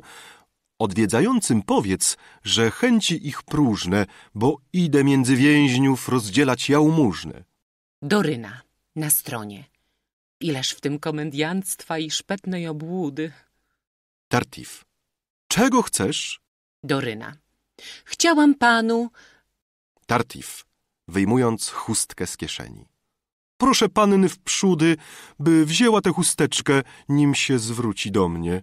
Doryna. A na co? Tartif, pierś przysłonić, co sterczy nieskromnie. Duszy spokój widokiem takim zmącić można i w ten sposób najłacniej myśl przychodzi zdrożna. Doryna. Ho, ho, coś na zgorszenie, pan wrażliwy bardzo i zmysły pańskie widać pokusą nie gardzą. Nie wiem, na co tam panu zaraz idzie chętka, lecz ja znów do pożądań nie jestem tak prędka i choćbyś stał tu nagi od dołu do góry, nie skusiłby mnie widok całej pańskiej skóry. Tartif. Proszę panny hamować języka swawole lub jeśli nie przestaniesz, ja stąd odejść wolę. Doryna. Nie, nie, to ja usunę się z oczu wać pana. Powiem tylko w dwóch słowach, z czym jestem przysłana. Za chwilę tu do sali zejdzie pani nasza i o rozmowę pana króciuchną uprasza. Tartif. Och, najchętniej. Doryna na stronie. Złagodniał dziwnie w jednej chwili. Pewna mi jest, że mnie moje przeczucie nie myli. Tartif. Czy zejdzie tu niebawem? Doryna. Słyszę już z daleka jej kroki. Do widzenia, niech pan tu zaczeka. Scena trzecia. Elmira Tartif. Tartif. Niechaj niebo dla ciebie, pani najłaskawsze, zdrowiem ciała i duszy obdarza cię zawsze i niechaj błogosławieństw tyle ci przysporzy, ile ich pragnie dla cię nędzny sługa Boży. Elmira. Wdzięcznością mnie przejmują pańskie zbożne chęci, lecz siądźmy. Chwilę czasu niech mi pan poświęci. Tartif, siedząc. Jakże się pani czuje po krótkiej niemocy? Elmira. Dziękuję. Już wybornie spałam dzisiaj w nocy. Tartif. Modlitwy moje pewno nie mają tej siły, bym mniemał, iż to one cud ten wyprosiły, lecz wszystkie jedno mają życzenie na celu, to jest oglądać ciebie w zdrowiu i weselu. Elmira. Brałeś pan tę drobnostkę z przejęciem zbyt żywym. Tartif. O twe zdrowie, czyż można być nadto troskliwym, by je ocalić moje oddałbym z rozkoszą. Elmira. Chrześcijańskie uczucia zbyt pana unoszą.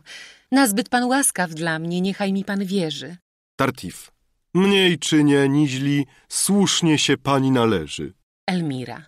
Chcę poufnie przedstawić panu, o co chodzi i cieszę się, że tutaj nikt nam nie przeszkodzi. Tartif. I jam również szczęśliwy, że choć chwilę małą w słodkim sam na sam z panią zyskać się udało. Z dawna o nią błagałem niebiosów, wszelako próżną się dotąd modlił o sposobność taką. Elmira. Liczę, że w tej rozmowie szczerze, jak na dłoni, całe swe serce pan mi z ufnością odsłoni. Damis, nie pokazując się, uchyla drzwi od gabinetu, w którym się ukrył, aby słyszeć rozmowę. Tartif. Ja również w tym pragnienie kładę najgorętsze, by otworzyć przed panią duszy moje wnętrze. Przysiąc ci, że jeślim krzywym patrzał okiem na tłum gości znęconych tu twoim urokiem, to powód nie tkwił w chęci dla cię nieżyczliwej, lecz raczej przychylności płomień nazbyt żywy, z czystych uczuć zrodzony. Elmira. Ja też zarówno wierzę, iż me zbawienie troską Pana główną. Tartif, biorąc Elmirę za rękę i ściskając jej palce. O tak, pani, i gdyby mi wolno wyraźniej... Elmira. Aj, zanadto Pan ściska. Tartif, to z szczerej przyjaźni.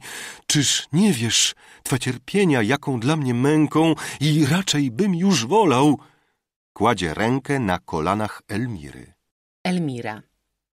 Co Pan tu z tą ręką? Tartif. Jaka miękka materia tej sukni. Elmira. O, proszę, niechże mnie Pan zostawi, łaskotek nie znoszę. Elmira cofa się z fotelem. Tartif przysuwa się. Tartif, bawiąc się jej chusteczką. Mój Boże, tych koronek jakiż to haft przedni. Postęp dzisiaj w tych rzeczach widzim niepośledni. Wszędzie napotkać można tak cudne wyroby. Elmira. To prawda, ale wróćmy do pańskiej osoby. Wszyscy mówią, że mąż mój dawne plany zrywa i panu chce dać córkę. Czy to wieść prawdziwa? Tartif. Tak, wspomniał mi, że rad by widział to zamęście, lecz Mówiąc szczerze, nie w nim kładę swoje szczęście i w innej zgoła stronie serce moje życzy znaleźć schronienie pełne wszelakiej słodyczy. Elmira. Doczesnej szczęśliwości nie ścigasz obrazu. Tartif. Jednak i w moich piersiach serce nie jest z głazu. Elmira. Mniemam, iż chęci jego idą niebios drogą, z której świata pokusy zwrócić cię nie mogą. Tartif. Miłość, co do wieczystych piękności nas wabi, nie znaczy, byśmy ziemskie odczuwali słabiej i łatwo w piersiach naszych pragnienie się budzi cudnych dzieł, które niebo stworzyło dla ludzi. Niebios to blaski w oczach pięknych istot płoną, lecz najcudniej w Twym wdzięku odbija się ono. Ono w oblicze Twoje tchnęło zdrój piękności, na której widok zachwyt w sercu naszym gości. I ilekroć na Tobie spoczęło me oko, podziw czułem dla Stwórcy i wdzięczność głęboką. A z nią Najtkliwsza miłość budziła się razem dla tej, co najpiękniejszym jest jego obrazem. Zrazu mlękał się, zali ten płomień tak żywy. Nie płynie ze złego ducha pokusy zdradliwej. Chciałem unikać ciebie w niepewności srogiej, widząc w tobie przeszkodę do zbawienia drogi. Lecz gdy przejrzałem wreszcie piękności czarowna, iż nie jest zbrodnią tkliwość moja niewymowna, iż słuchając jej z wstydem nie stawam w rozterce, odtąd nagłos tak słodki otwarłem me serce. Wyznaję, iż to śmiałość jest nad wszelką miarę, ważyć się z serca swego, składać ci ofiarę. Lecz czyniąc to, jedyniem dobroci Twej pomny, a nie własnej zasługi, lichej i ułomnej. W Tobie, moja nadziejo, dobro, spokój leży. Od Ciebie me zbawienie lub rozpacz zależy. Rzeknij słowo, a sługa twój ze snu się zbudzi, najnędzniejszym albo też najszczęśliwszym z ludzi. Elmira. Oświadczenie w istocie pochlebne niemało, lecz nieco dziwnym mi się zarazem wydało. Nad twym sercem przystało ci większą mieć władzę i zamiar taki poddać ściślejszej rozwadze. Człowiek jak pan nabożny, który życiem całym... Tartif. Będąc nabożnym, czyż być człowiekiem przestałem? I czyż w sercu olśnionym przez boskie uroki mogłem z zimną rozwagą ważyć moje kroki? Wiem, że z ust mych ta mowa zdumienie wywoła w tobie, pani, lecz czyliż masz mnie za anioła? Toż jeżeli jak zbrodzień dziś przed tobą stoję, nie mnie potępiaj, pani, lecz powaby swoje odkąd ich moc poznałem iście nadzmysłową. W Tobie ma dusza swoją uczuła królową i spojrzeń Twoich boskich czary niezwalczone wszelką w mym biednym sercu zniszczyły obronę. Przezwyciężyły wszystko, posty, łzy i modły i wszystkie me pragnienia ku Tobie uwiodły. Oczy moje wyznały ci je tysiąc razy. Niechże je dziś uświęcą me własne wyrazy.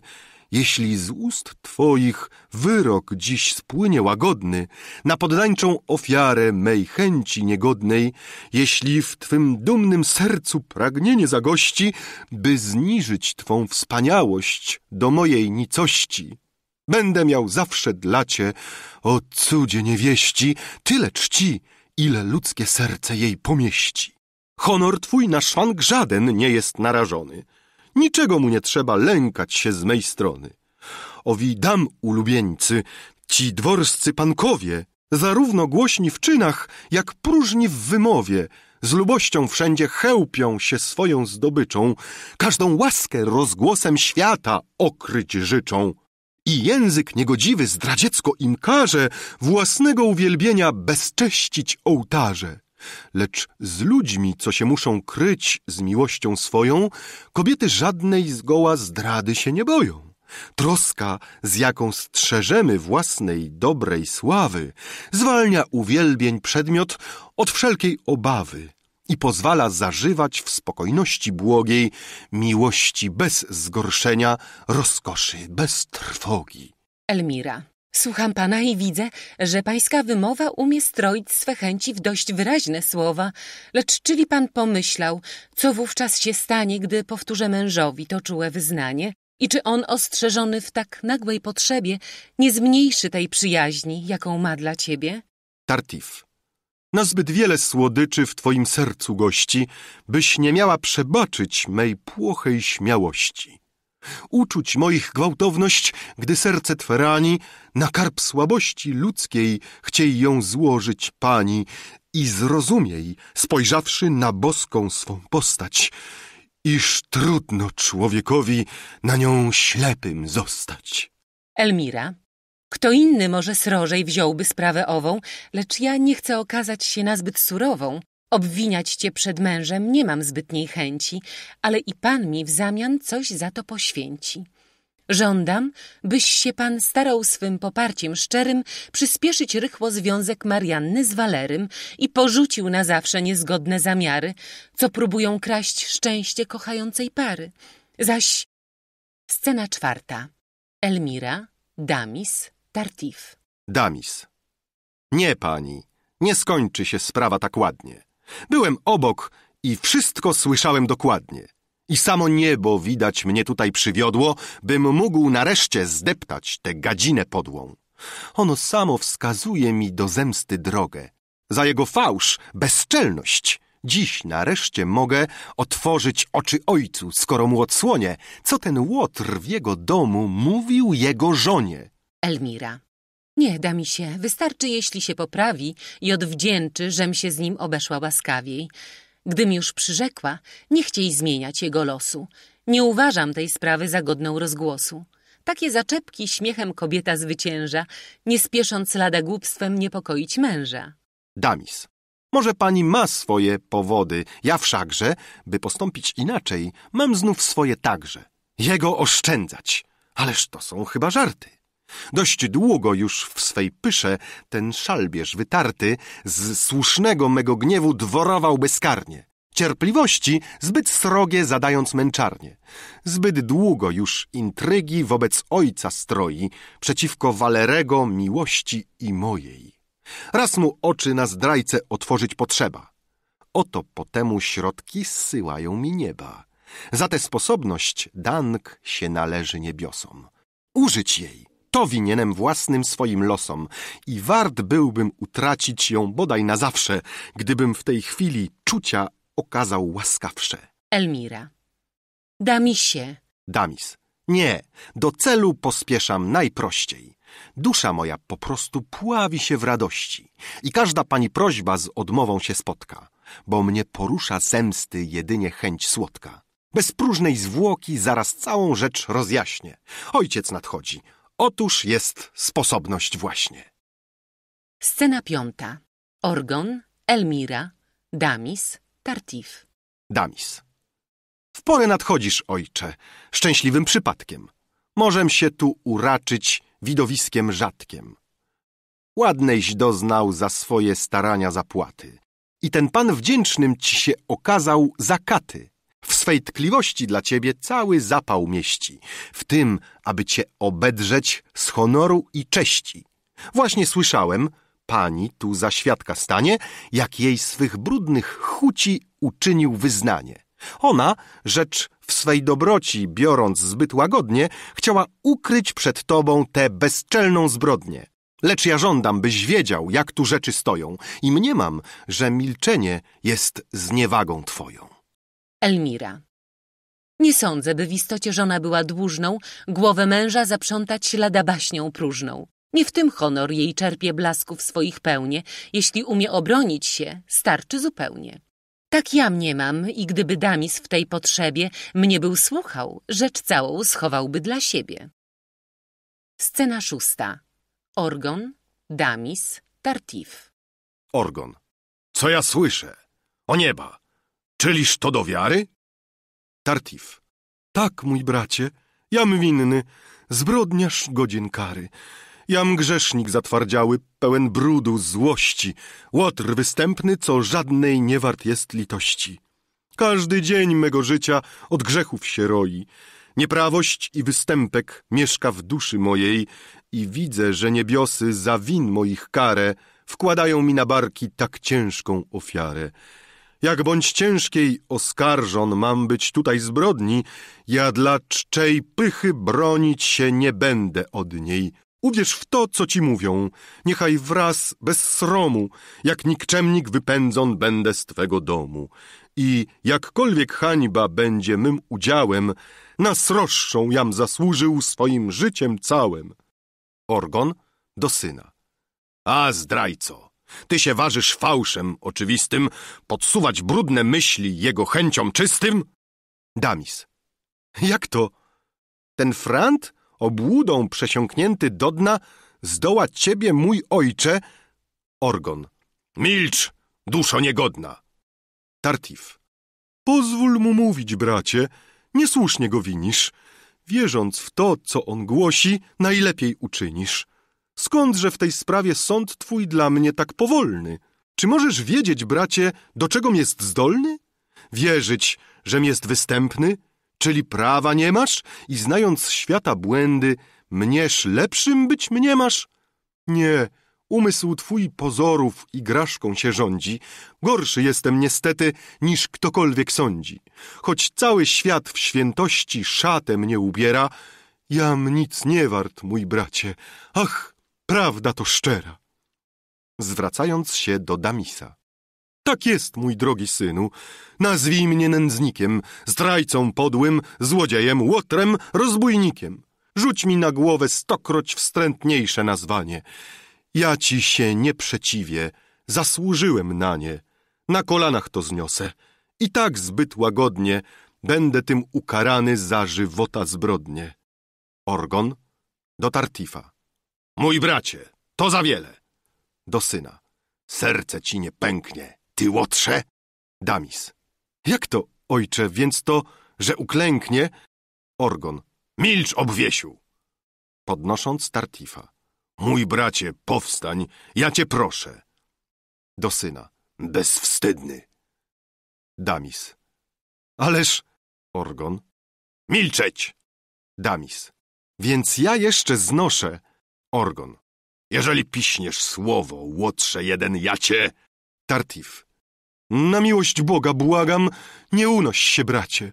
Wolę najsroższe męki znosić życie całe, niż by jego spotkało choć draśnięcie małe. Orgon do syna. Niewdzięczny. Tartif. Daj mu spokój, gdy chcesz na kolana przed tobą. Orgon, klękając również i ściskając Tartifa. O dobroci wielka, niesłychana. Do syna. Łotrze, widzisz? Damis. Więc... Orgon. Cicho! Damis. Jak to? Orgon. Cicho, żmijo! Twoje wszystkie ataki wiem, co w sobie kryją. Wszyscy go nienawidzą i wiem dobrze czemu. Żona, dzieci i służba, wszyscy przeciw niemu. Porusza się bezwstydnie wszelakie sposoby, aby się pozbyć z domu tej świętej osoby. Lecz im więcej będziecie trwać w swoim uporze, tym więcej, by go złamać, ja starań dołożę. I aby was zawstydzić krótkim przedsięwzięciem, dzisiaj ten godny człowiek zostanie mym zięciem. Damis. Siostra ma oddać rękę temu jegomości? Orgon. Tak, łotrze. Dziś wieczorem, a zaś wy ze złości możecie pęknąć wszyscy. Ja wam wnet pokażę, żem tu panem i słuchać macie, gdy ja każę. Dalej, szelmo, odwołaj, padnij na kolana i za wszystkie oszczerstwa przeproś mi tu pana. Damis. Jak to? Ja mam szalbierza, co zdołał omotać... Orgon. Co, ty łajdaku? Jeszcze śmiesz zniewagi miotać? Kija! Kija mi tutaj! Do Tartifa. Nie wstrzymuj mnie, proszę! Do syna. Precz! Niechaj w domu twego widoku nie znoszę! Ruszaj i niech mi noga twoja nie postanie! Damis. Odchodzę, ale... Orgon. Prędzej! Ruszaj stąd, mospanie! Wydziedziczam cię, łotrze, za twe bezeceństwo, a na przydatek daję ojcowskie przekleństwo. Scena siódma. Orgon, Tartif. Orgon. Znieważać tak człowieka, co swym życiem całym. Tartif. Niech mu niebo daruje, jak ja darowałem. Do Orgona. O, gdybyś wiedział, jakiej doznaję boleści, że tak przed bratem moim chcą mnie odrzeć z cześci. Orgon. Bracie. Tartif. Tej niewdzięczności już samo wspomnienie duszy mojej zadaje tak straszne cierpienie, taką zgrozę w niej budzi, ach, serce mi pęka, mówić trudno, dobije mnie chyba ta męka.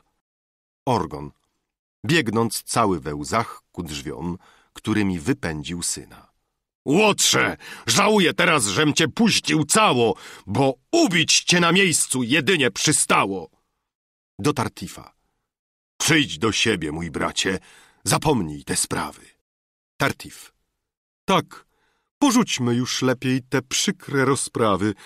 Widzę, jak bardzo mącę tutaj spokój drogi i sądzę, że mi trzeba opuścić te progi. Orgon. Czy drwisz? Tartif. Tu nienawidzą mnie wszyscy tajemnie i kuszą się podkopać twoją ufność we mnie. Orgon. I cóż stąd? Czyż ma dusza w czymkolwiek im wierzy? Tartif. Nie, ale ich nienawiść dziś się nie uśmierzy. I te same podszepty, których dziś nie słucha, twe serce jutro może trafią ci do ucha. Orgon. Nigdy, mój bracie, nigdy. Tartif. Ach, mój bracie, żona z łatwością swego męża, o czym chce, przekona. Orgon. Nie, nie. Tartif. Puść mnie stąd, bracie. Gdy już się oddalę, wówczas może ustaną w oszczerczym zapale. Orgon. Nie, ty mnie nie opuścisz. O me życie chodzi. Tartif. Jeśli tak, dłużej wzdrygać już mi się nie godzi. Poświęcę się, lecz gdybyś... Orgon. Ach! Tartif. Niech więc tak będzie, lecz wiem, jak mi należy postąpić w tym względzie. Honor to rzecz drażliwa, więc przyjaźń mi każe usuwać pozór plotek, uprzedzać po twarze. Twojej żony unikać będę, twe ognisko... Orgon. Nie, nie! Wszystkim na przekór zostaniesz jej blisko. Gdy się cały świat wścieka, to rozkosz mi czyni. I chcę, byś nieustannie bawił tylko przy niej. Nie dość na tym, by lepiej ugodzić ich w serce. Ciebie jedynie, bracie, chcę za spadkobiercę. I spieszę wraz uczynić wszelkie prawne kroki, by ci dobro me całe dziś oddać bez zwłoki. Dobry druh, a mąż przyszły mej córki jedynej, bliższy mi jest od żony, syna, od rodziny. Mniemam, iż zgodę twoją zyskam w całej pełni. Tartif. Wola niebios we wszystkim niechaj się wypełni. Orgon. Biedaczek. Chodźmy zaraz wszystko spisać pięknie, a zawiść, patrząc na to, niech ze złości pęknie. Akt czwarty. Scena pierwsza. Kleant Tartif. Kleant. Tak, wszyscy o tym mówią i niech mi pan wierzy. Nie na twą chwałę wieść ta płynie coraz szerzej. To też, gdym pana spotkał w samą porę właśnie, pozwól, że ci mój pogląd na rzeczy wyjaśnię. Nie pragnę się zapuszczać w ową sprawę całą i chcę z najgorszej strony wziąć to, co się stało. Przypuśćmy, że w istocie Damis tutaj zbłądził i że nie miał w tym racji, o co cię posądził. Czyliż prawem najświętszym nie jest chrześcijanina stłumić gniew, co się słusznej zemsty dopomina? A co więcej, czy godzi się to cierpieć komu, by zań własnego syna ojciec wygnał z domu? Powtarzam ci raz jeszcze i mówię to szczerze, że każdy bez wyjątku za złe ci to bierze. I jeśli mnie posłuchasz, rzecz załatwisz całą.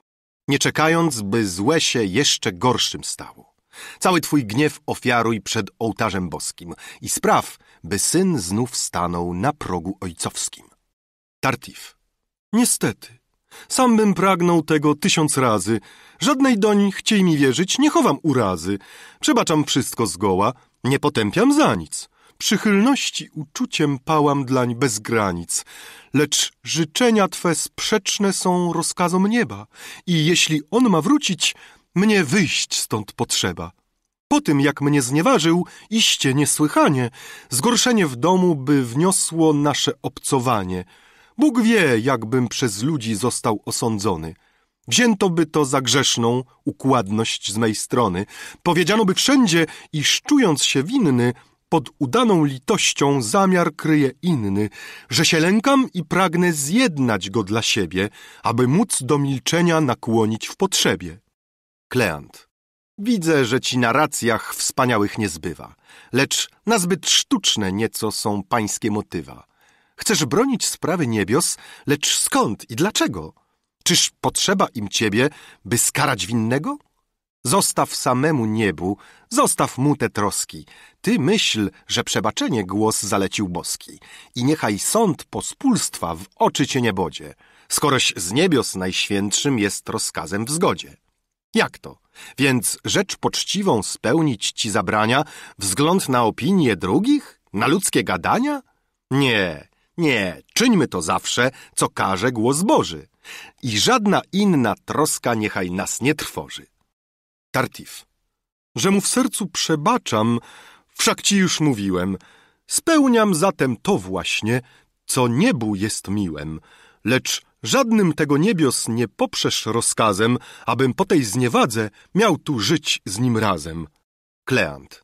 A jakiż rozkaz niebios pozwala ci ulec ojcu, co traci wszelki rozsądku hamulec i przyjmować tak hojny zapis z jego dłoni, tam gdzie prawo ci wszelkiej doń pretensji broni.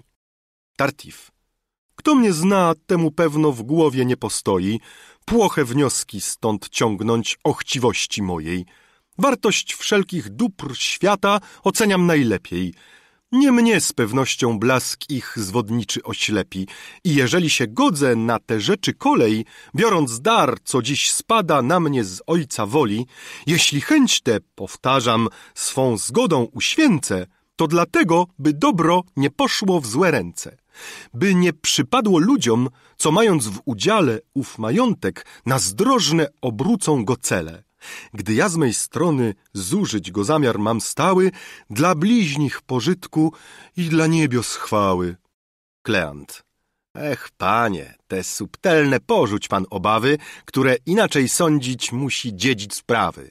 Pozwól, nie zaprzątając głowy sofistyką, by dóbr swoich był panem na własne ryzyko i raczej niech zmarnieją w ręku spadkobiercy, niżbyś ty odeń zyskać miał imię wydziercy. Wyznaję, że istotnie to przechodzi wiarę, jak pan mogłeś się zgodzić na taką ofiarę. Może znaną ci jakaś cnoty tajemnica, która każe obdzierać prawego dziedzica. A jeżeli z Damisem zażyłości twojej niebo samo, jak mówisz, na przeszkodzie stoi, czyż nie byłoby godniej, nie wadząc nikomu, jako uczciwy człowiek, wynieść z tego domu, niż znieść w ten sposób, aby wbrew wszelkiej logice dla ciebie ojciec syna wygnał na ulicę. Wierz mi, pan nie pojmuje, by człowiek tak zażarty w rzeczach cnoty. Tartif. Przepraszam, jest już w pół do czwartej. Pewną nabożną sprawę przypomniałem sobie, co zmusza mnie, bym rozstał się z panem w tej dobie. Kleant sam. Ah! Scena druga. Elmira, Marianna, Kleant, Doryna. Doryna do Kleanta. Panie, może w panu znajdziem poplecznika. Patrz pan, śmiertelna boleść duszę jej przenika. Ten związek, co go ojciec na dziś wieczór znaczy, do ostatecznej gotów przywieść ją rozpaczy. Nadchodzi już. Wytężmy wszystkie nasze siły i starajmy się w sposób miły czy niemiły zmienić zamiar, co wkrótce ma się stać rozkazem. Scena trzecia. Cisz sami i orgon. Orgon. A, dobrze, że was widzę wszystkich tutaj razem. Do Marianny. Oto właśnie kontrakcik, który ma tę cnotę, że panience do śmiechów wypłoszy ochotę. Marianna, klękając przed orgonem. Ojcze, przez litość Boga, co znamy, katusze, na wszystko to, co zmiękczyć zdoła Twoją duszę. Nie chciej się tak upierać w swym ojcowskim prawie i racz od posłuszeństwa zwolnić mnie łaskawie. Nie przymuszaj mnie, ojcze, rozkazem tak srogim, bym musiała na ciebie skarżyć się przed Bogiem. I życia, które dałeś mi, niestety, ojcze, nie chciej zamieniać dzisiaj w katusze zabójcze. Jeśli wbrew twojej woli nie śmiem marzyć o tem, bym mogła się połączyć z mych uczuć przedmiotem, niechaj choć dobroć twoja to pragnienie ziści, bym nie żyła z przedmiotem swojej nienawiści i gdy twa wola błagań mych słuchać nie raczy, nie chciej mnie rzucać bodaj na pastwę rozpaczy. Orgon na stronie wzruszony. Odwagi, serce moje, precz z ludzką słabością. Marianna. Na twą przyjaźń ku niemu nie patrzę ze złością. Okaż ją światu, oddaj mu fortunę całą, oddaj i mój majątek, jeśli to za mało. Zgadzam się chętnie. O to me serce nie stoi, lecz przynajmniej osoby chciej oszczędzić mojej i pozwól mi w klasztoru surowej ustroni dni pędzić, gdy mi szczęścia zakaz ojca broni. Orgon. Otóż to!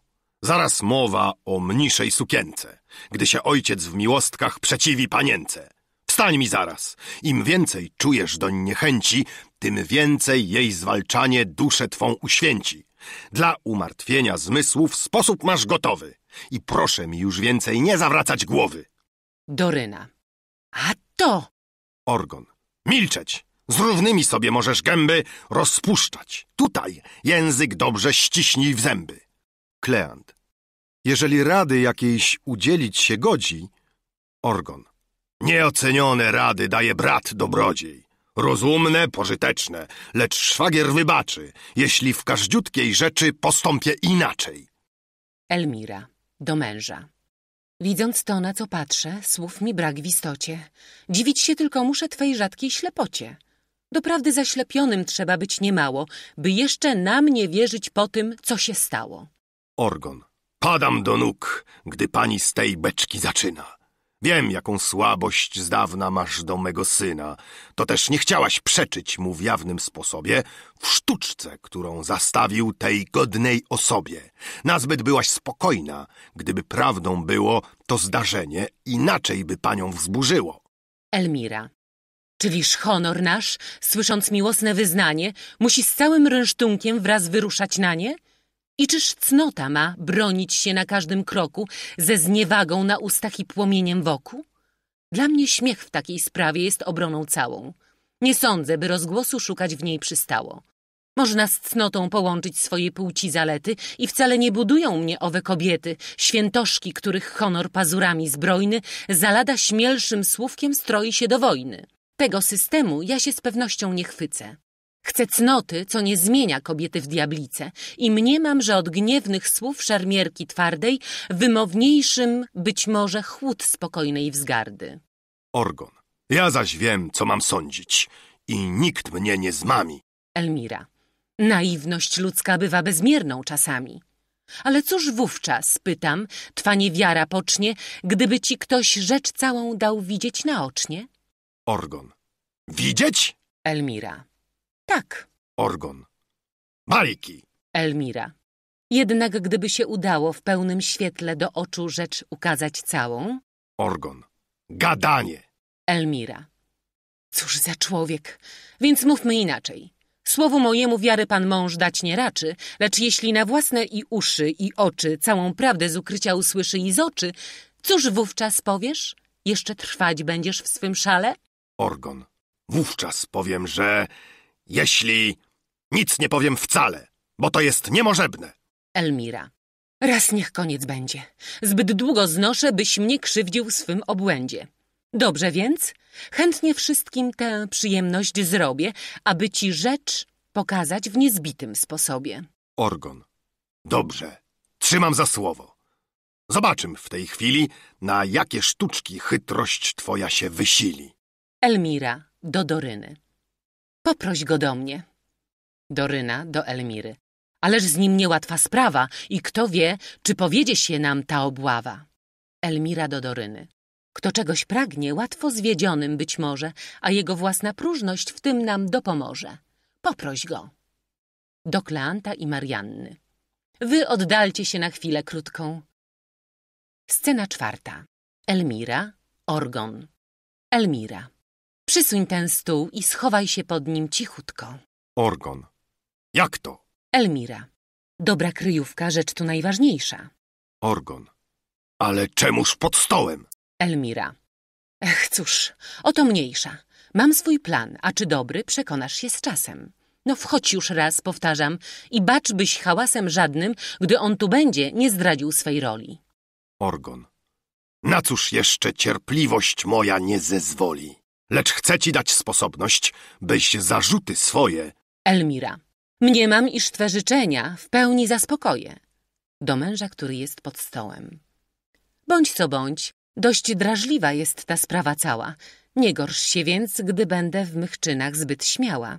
Co bądź bym rzekła, wszystko niech mi będzie wolno.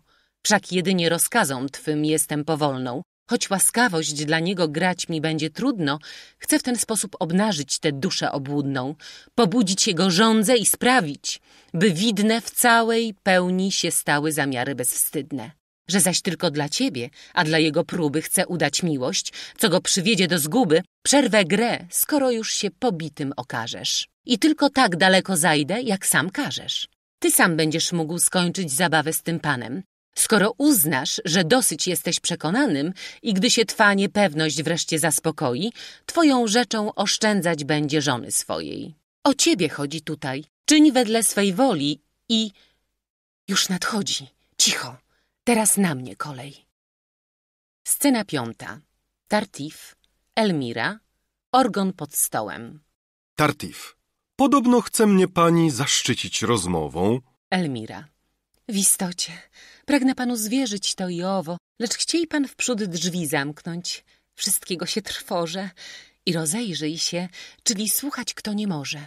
Tartif idzie zamknąć drzwi i wraca.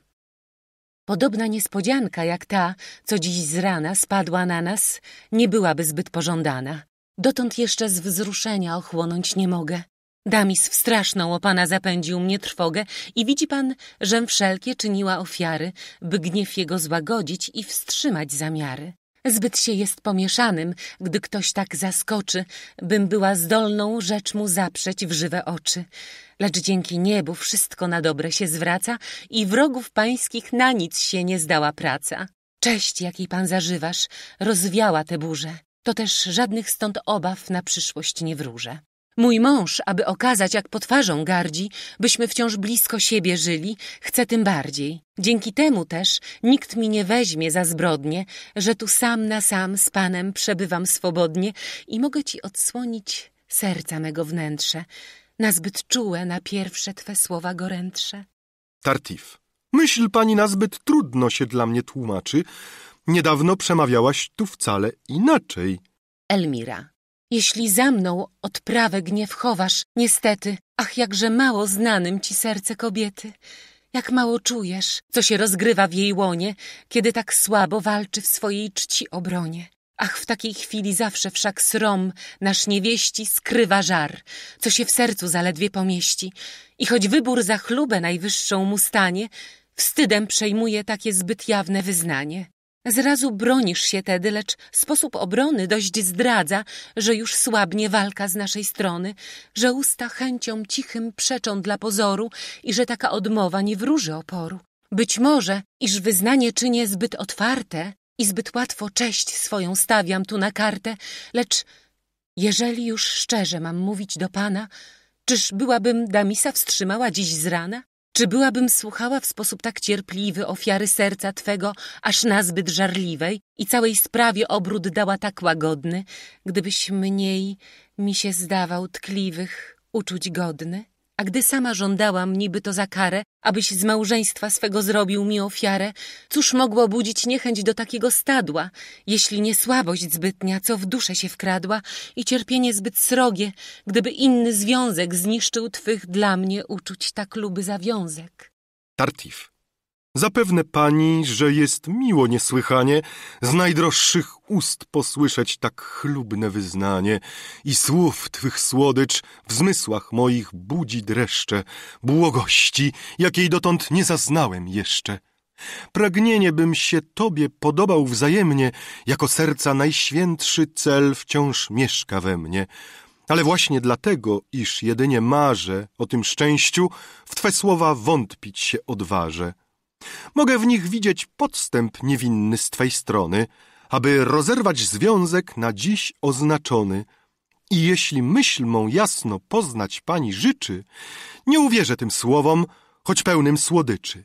Póki łask twoich pani dowód wyraźniejszy, powątpiewania mego w twą szczerość nie zmniejszy i nie zaszczepi w duszy mej wiary niezmiennej w twej przychylności dla mnie skarb tak bardzo cenny.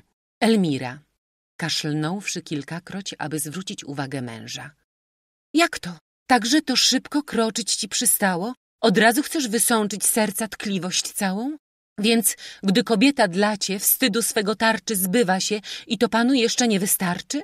Wszystkie uczuć dowody najsłodsze masz za nic, dopóki rzecz nie dojdzie do ostatnich granic? Tartif. Im mniej zasług, tym mniejsze do nadziei prawa. To też w słowach zbyt wątła dla niej jest podstawa. W los tak chlubny uwierzyć jest sercu zbyt trudno. Nim czyn wprawdę odmieni nadzieję ułudną. Ja świadom swojej nędzy, powiem bez ogródki, nie śmiem ufać w wyznania Twego lube skutki i każde Twe zaklęcie z niewiarą się spotka, póki jej nie pokona rzeczywistość słodka. Elmira. Mój Boże, miłość pańska jakże jest gwałtowną. Jej tyrania mnie w trwogę wprawia niewymowną. Jak łatwo serca chęci do swej woli nagnie i jak stanowczo żąda tego, czego pragnie. Jak to? Czyż się przed Panem człowiek niczym zgoła nie zasłoni, czy nawet odetchnąć nie zdoła? Godzisz się czyjąś cnotę oblegać tak strogo i wszystkich ofiar naraz tak żądać od kogo? Nadużywać, nastając na nie tak wytrwale, serca, co ci odmówić niezdolne ci wcale? Tartif.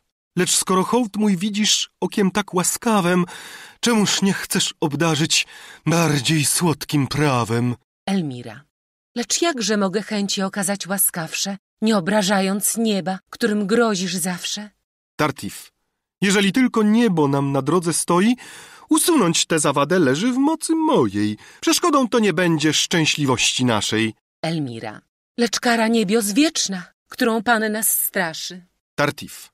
Mogę rozproszyć pani dziecinne obawy. W zwalczaniu tych skrupułów mam bo nieco wprawy.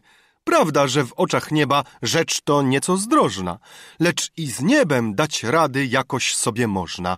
Jest sztuka, która wedle potrzeby przemienia, rozluźnia, ścieśnia węzły naszego sumienia i która umie zmniejszyć złych czynów rozmiary, jeżeli czyste dla nich wynajdzie zamiary. Na zgłębienie tajemnic tych nadejdzie kolej. Niech mi się tylko pani prowadzić pozwoli. Chciej spełnić me pragnienia, a ja w tej potrzebie odpowiadam za wszystko. Grzech biorę na siebie. Elmira kaszle silniej. Mocny pani ma kaszel. Elmira. Tak, bardzo mnie nuży. Tartif, podając jej papierową torebkę. Ten ulepek z lukrecji może jej posłuży. Elmira. To katar dość uparty i wielce się trwoże, że mi żaden ulepek na to nie pomoże. Tartif. To przykre, bardzo przykre. Elmira. O tak, niewymownie. Tartif. Słowem, brać tych skrupułów nie trzeba dosłownie, wszak wiedzieć nikt nie będzie, a niech pani wierzy, że zło naszych postępków w ich rozgłosie leży. Zgorszenie świata, oto, co sumienie gniecie, i wcale ten nie grzeszy, kto grzeszy w sekrecie. Elmira. Już widzę, że nie wyjdę zwycięsko w tym sporze, że dłużej walczyć z panem nic tu nie pomoże i że za mniejszą cenę żądałabym próżno, byś mnie serca swojego chciał darzyć jałmużną. To pewna, że jest ciężką dla kobiety próbą względy płci jej należne przekraczać tak grubo. Lecz gdy już nic innego nie chcesz widzieć we mnie, gdy słowa moje żebrzą, twej wiary daremnie, póki jej ostateczny dowód nie uświęci, trzeba się poddać wreszcie i spełnić twe chęci. A jeśli mi ta słabość wstydem czoło spłoni, tym ci gorzej dlatego, kto zmusił mnie do niej. Winę za to z pewnością nie ja tu ponoszę. Tartif. Ja ją biorę na siebie. W zamian tylko proszę. Elmira. Zechciej pan drzwi otworzyć i spojrzeć dokoła, czy mój mąż w jaki sposób zajść tu nas nie zdoła. Tartif. Skądże ta troska w pani dziś się mogła zrodzić? Wszak to człowiek stworzony, by go za nos wodzić. Toż on przyjaźni naszej sam pragnie najszczerzej i sprawiłem, że choćby widział, nie uwierzy. Elmira. Mimo to, proszę bardzo, przejdź się pan po domu i zobacz, czy nie śledzi nas kto po kryjomu. Scena szósta. Orgon, Elmira. Orgon. A to jest, muszę przyznać, łotrzyk, co się zowie. Przyjść nie mogę do siebie. Mąci mi się w głowie. Elmira. Co? Ty już chcesz wychodzić? Nie, to jeszcze mało. Żartujesz chyba, wracaj. Wszak nic się nie stało. Z wydaniem sądu czekaj ostatecznej pory. Wszak ci to wszystko mogą być tylko pozory. Orgon. Nie, nic gorszego jeszcze piekło nie wydało. Elmira. Mój Boże, nazbyt lekko sądzisz sprawę całą. Czekaj pewnych dowodów. Taka nagłość zdrożna sprawia, iż niewinnego czasem winić można. Elmira ukrywa Orgona za sobą. Scena siódma. Tartif, Elmira, Orgon. Tartif, nie widząc Orgona. Wszystko jak najszczęśliwiej chęciom naszym sprzyja. Nie przeszkodzi nam tutaj obecność niczyja. Całe mieszkanie puste i moment radosny. Kiedy Tartif zbliża się z otwartymi ramionami do Elmiry, chcąc ją uściskać, ta usuwa się na bok i odsłania Orgona. Orgon wstrzymując Tartifa. Powoli. Coś tak nagły w swej chętce miłosnej. Spiesząc zbytnio w osobie, możesz łatwo zbłądzić.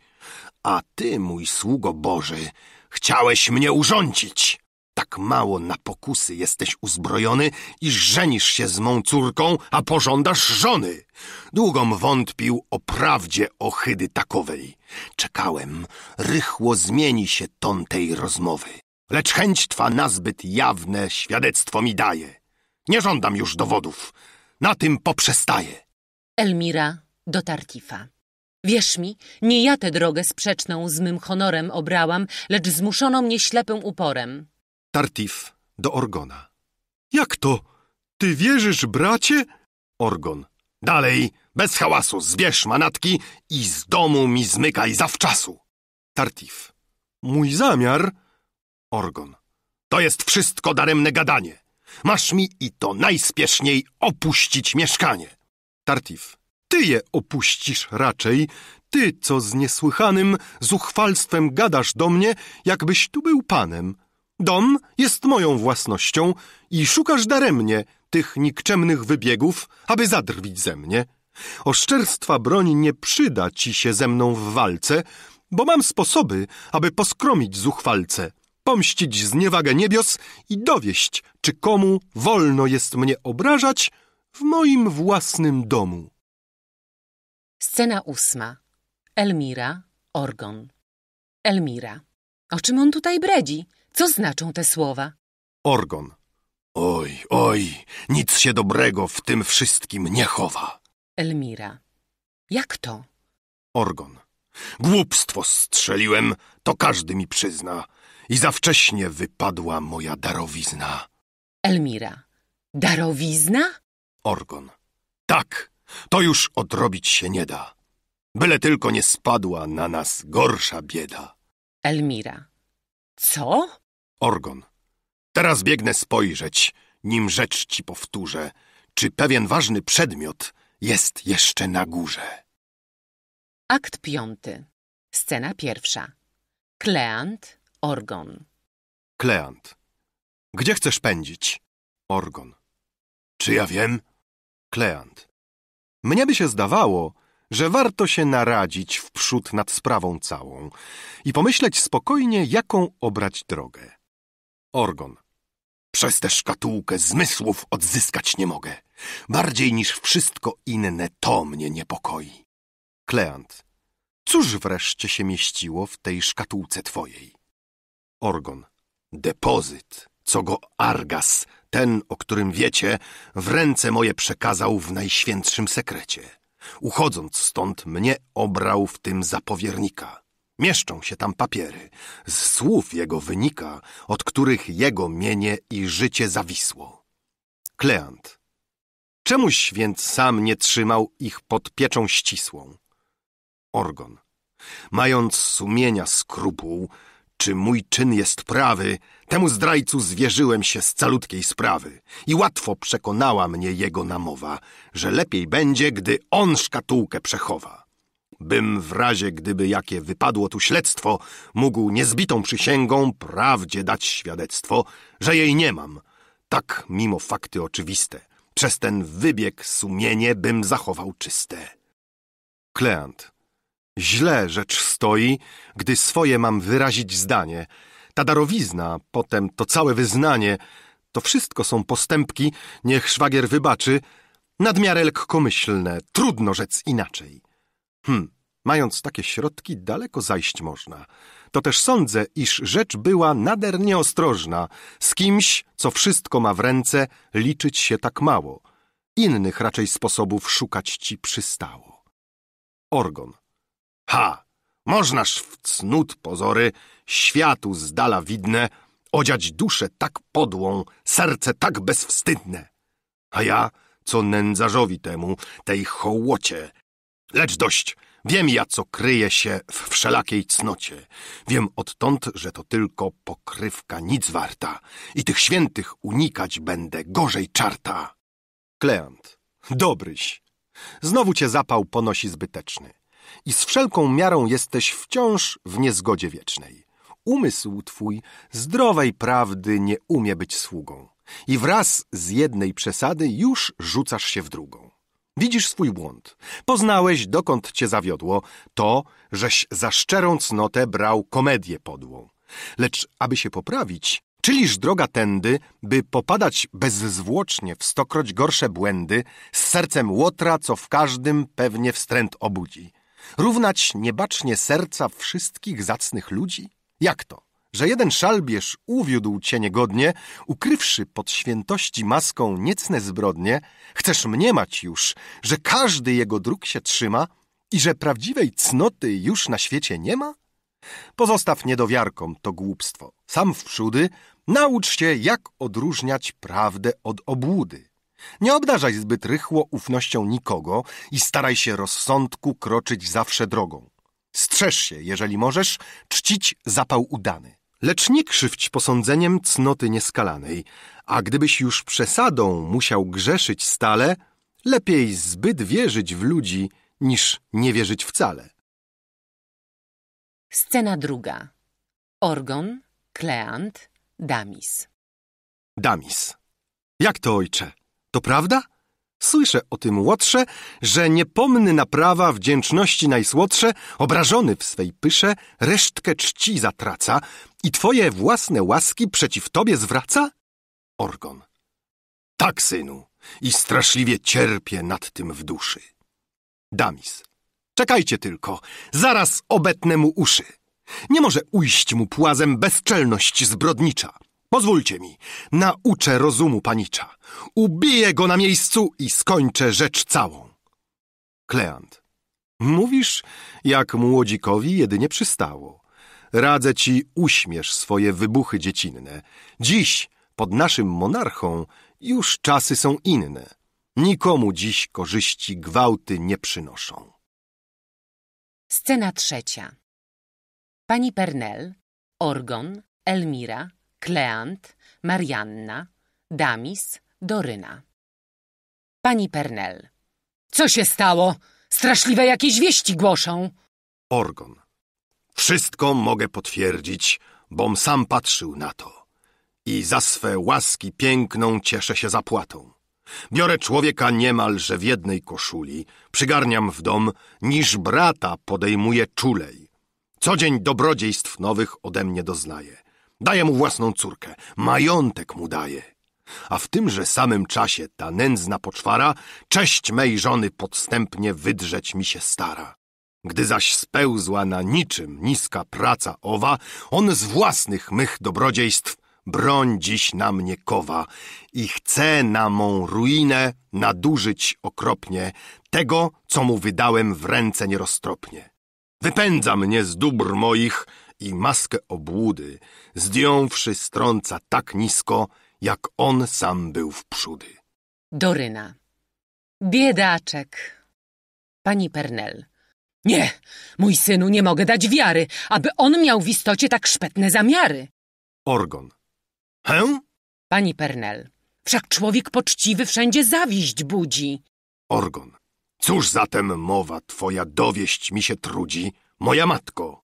Pani Pernel, że dom twój idzie trybem dziwnym i że z dawna już każdy był mu tu przeciwnym. Orgon. Lecz jakiż to ma związek z tym czynem zuchwałym? Pani Pernel, zawszem ci powtarzała, gdyś był dzieckiem małym, że cnota zwykle w świecie obudza nienawiść, że zawistni przeminą, ale nigdy zawiść. Orgon. Ale cóż te maksymy dzisiaj właśnie znaczą? Pani Pernel, ot, głupią bajkę sobie ubrdali i kraczą. Orgon. Ty chcesz, abym oszalał, matko. Toż powiadam, żem widział na swe oczy wszystko, co tu gadam. Pani Pernel, języki ludzkie jad swój obnoszą dokoła i nic się od nich złości uchronić nie zdoła. Orgon. Jeszcze chwila, a człowiek ze skóry wyskoczy. Widziałem, sam widziałem na me własne oczy. Widziałem, co się zowie widzieć. Czy do ucha mam krzyczeć matce, aż mnie nareszcie posłucha? Pani Pernel. Mój Boże, z mniemań naszych prawda nieraz szydzi. Nie zawsze można sądzić z tego, co się widzi. Orgon. Zwariuję! Pani Pernel, często człowiek sprawę przeinaczy i właśnie co jest dobrem, jako złe tłumaczy. Orgon. Mam więc cnotą tłumaczyć i bojaźnią nieba, że chciał mi ściskać żonę?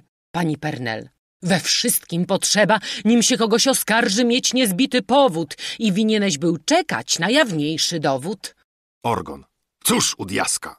Rzecz sprawdzić, mówisz, własnym okiem? Więc matka chce, bym czekał, aż on mi pod bokiem rozpocznie. Tfu! O mało człowiek głupstwa nie zbreszył. Pani Pernel, ten człowiek raczej zbytkiem cnót najczystszych grzeszył i w głowie mi się nie chce pomieścić do prawdy, by w tym, co mi mówicie, bodaj cień był prawdy. Orgon.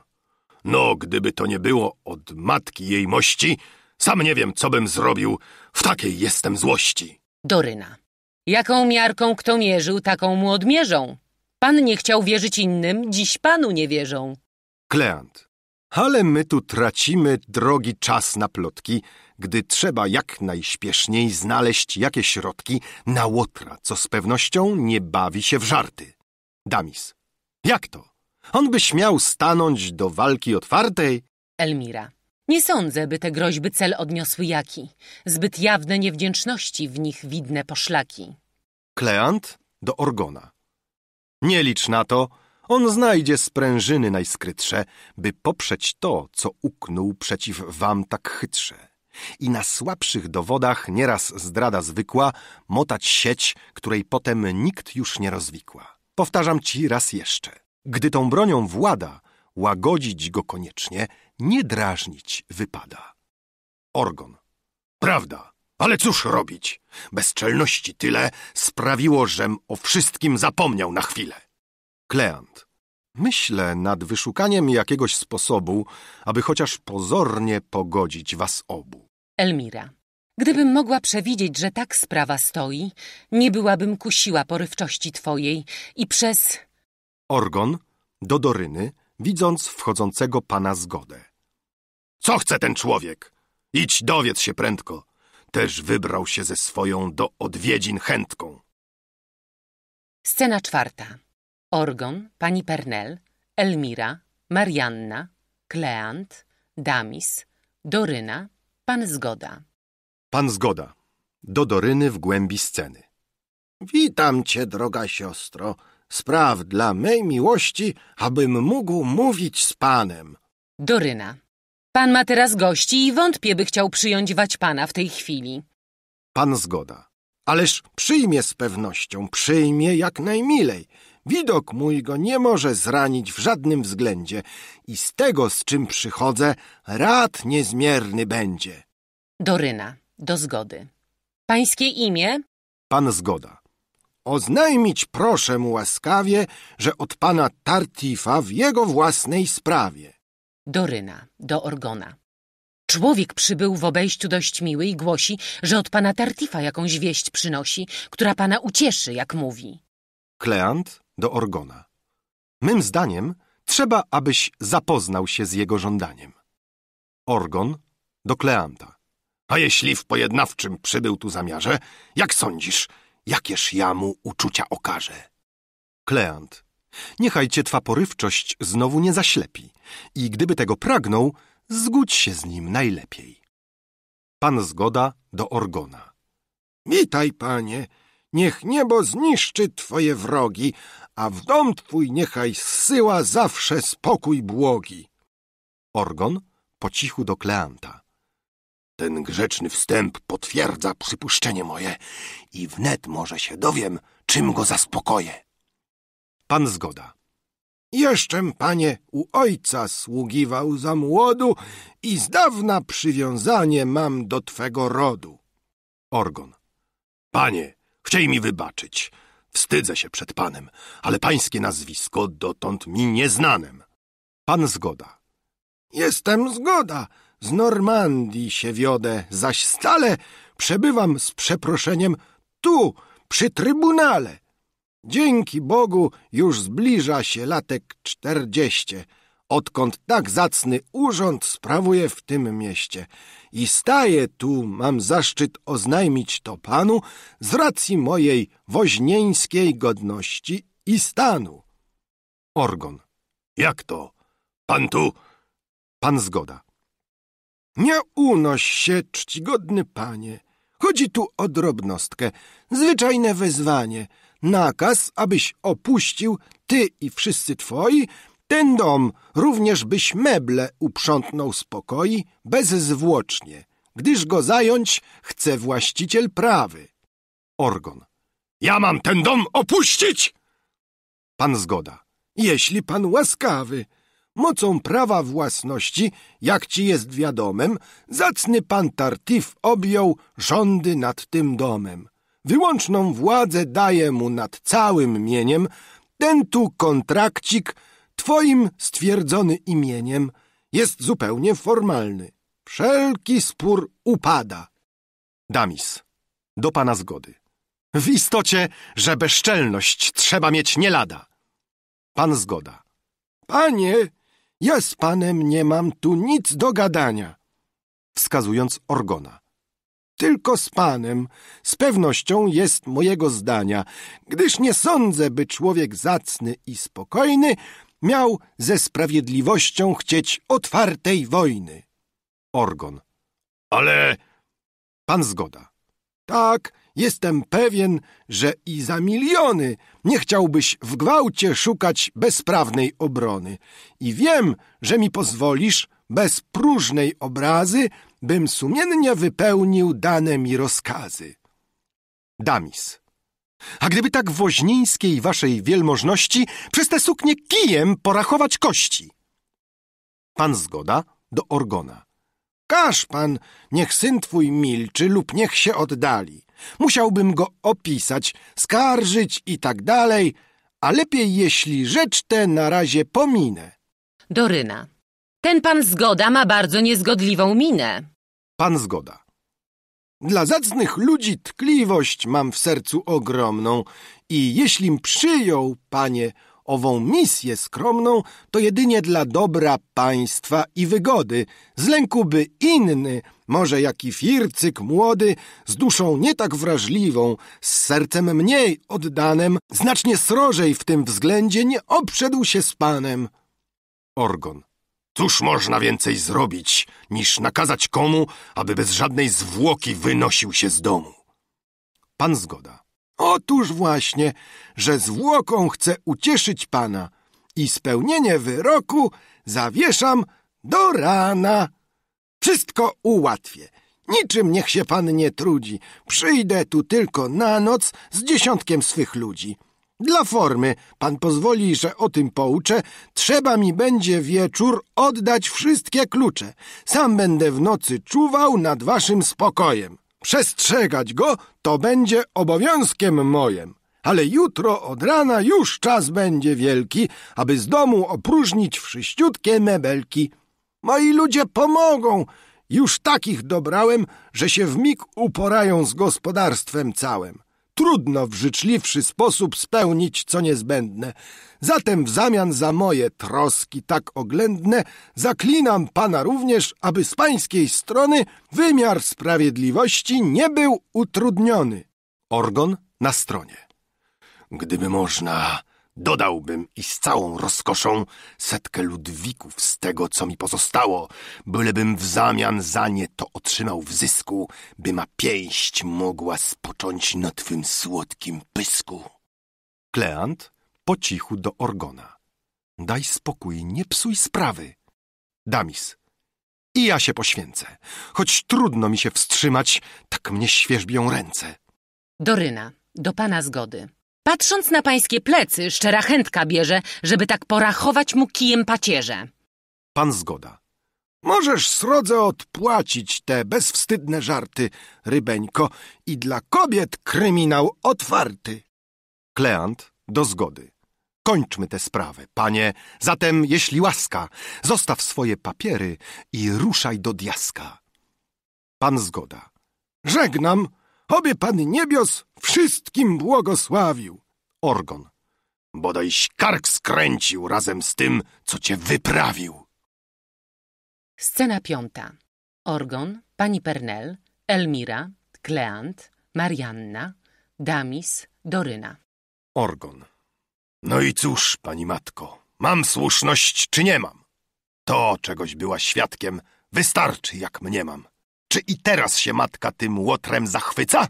Pani Pernel. Głowę tracę, dalibóg, spadłam jak z księżyca. Doryna do Orgona. Niesłusznie się pan żali i szuka z nim zwady. Wszak w tym właśnie jaśnieją jego cnót przykłady. Dusza jego wciąż dobra swych bliźnich docieka, wiedząc jak często psuje bogactwo człowieka. Przez prostą dobroczynność chcecie obrać zmienia, by nie stanęło panu w drodze do zbawienia. Orgon. Cicho siedź! Wciąż powtarzać trzeba ci to słowo. Kleant do Orgona. Chodźmy radzić, co począć z tą napaścią nową. Elmira. Idźcie rozgłosić zdradę tego niewdzięcznika. Wszak stąd jawna nieważność kontraktu wynika i nazbyt jest bezczelność jego oczywistą, by z niej w ten sposób zyski mógł ciągnąć na czysto. Scena szósta. Walery, Orgon, pani Pernel, Elmira, Kleant, Marianna, Damis, Doryna. Walery. Daruje pan, że go wieścią bolesną przerażę, lecz twe dobro najśpieszniej działać tutaj każe. Przyjaciel mój, oddany mi w każdej potrzebie, wiedząc jak ścisłe węzły wiążą mnie do ciebie, z uczucia dla mnie czyniąc ten krok tak odważny, zdradził przede mną pewien sekret stanu ważny i przesłał mi wiadomość, w której wniosek mieszczę, że trzeba, byś ucieczką chronił się dziś jeszcze. Szalbierz, który się z dawna panoszył w twym domu, przed księciem cię oskarżyć zdołał pokryjomu i złożył w jego ręce coś, z czego wynika, że w tobie zbrodzień stanu znalazł powiernika i że pan obowiązków dla księcia niepomny przechowałeś w swym domu sekret wiarołomny. Nie znam, co jest w tej sprawie kamieniem obrazy, lecz wiem, że przeciw tobie dane już rozkazy. A dla większej pewności on sam ma zlecenie z pomocą zbrojną sprawić twoje uwięzienie. Kleant. Otóż i znalazł środki. Po takim początku łatwo mu wejść w dziedzictwo twojego majątku. Orgon. Człowiek, trzeba to przyznać, jest nikczemne zwierzę. Walery. Za chwilę sprawa obrót najgorszy przybierze. Zatem dalej, już czeka mój powóz u bramy. Oto tysiąc ludwików. Śpiesz pan, a zdołamy może ujść. Skoro nie da się inaczej bronić, lepiej rychłą ucieczką żywot miły chronić. Wszystko biorę na siebie. Jestem pana gotów dowieść w miejsce bezpieczne od wszelkich kłopotów. Orgon. Ileż winien ci jestem za twoje oddanie. Przyjdzie czas, że potrafię odwdzięczyć się za nie. I błagam tylko nieba, by zesłało chwilę, w której bym mógł odpłacić szlachetności tyle. Żegnajcie mi. Wy myślcie, co czynić. Kleant. Śpiesz się żwawo. My tu będziemy, bracie, czuwać nad twą sprawą. Scena siódma. Tartif, oficer gwardii, pani Pernel, Elmira, Kleant, Marianna, Walery, Damis, Doryna. Tartif, wstrzymując Orgona. Gdzież to tak śpieszno? Zwolna, zwolna, dobry panie. Bliżej niż myślisz, znajdziesz wygodne mieszkanie. Ten pan bierze cię w areszt z polecenia księcia. Orgon. Zdrajco, nie szczędziłeś ostatniego cięcia. Dobijasz mnie nim. Przez tę niegodziwą zbrodnię wszystkie łotrostwa swoje wieńczysz dzisiaj godnie. Tartif. Mów, co chcesz, nie dosięgną mnie twoje potwarze i wszystko umiem ścierpieć, gdy niebo tak każe. Kleant. Umiarkowanie wielce chwalebne, przyznaję. Damis. Łotr bezczelnie niebiosy na drwiny podaje. Tartif. Wszystkie wasze wybuchy przejąć mnie nie mogą. Celem mym kroczyć tylko obowiązku drogą. Marianna. Zapewne i niemały zachwyt w świecie zbudzi czynność taka, tak godna przyzwoitych ludzi. Tartif. W każdej czynności zaszczyt jedynie i chwała, jeśli źródłem jej władza, co mnie tu przysłała. Orgon. Czyś zapomniał, że gdyby nie me tkliwe serce, w nędzy byś dotąd tułał się i poniewierce? Tartif. Tak przyznaję, iż byłeś dla mnie dość łaskawym, lecz służby księcia są dla mnie najpierwszym prawem. Miłość dlań tak potężna w sercu moim gości, że głos jej tłumi wszelkie inne powinności i dla tak świętych węzłów oddałbym w potrzebie krewnych, żonę przyjaciół, a nawet i siebie. Elmira.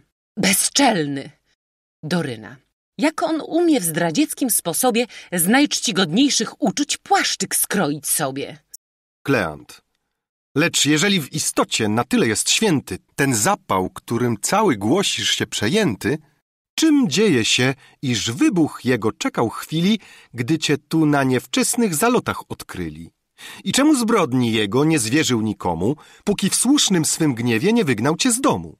Nie chcę już i wspominać, mówić by daremno, o majątku zdobytym sztuką tak nikczemną.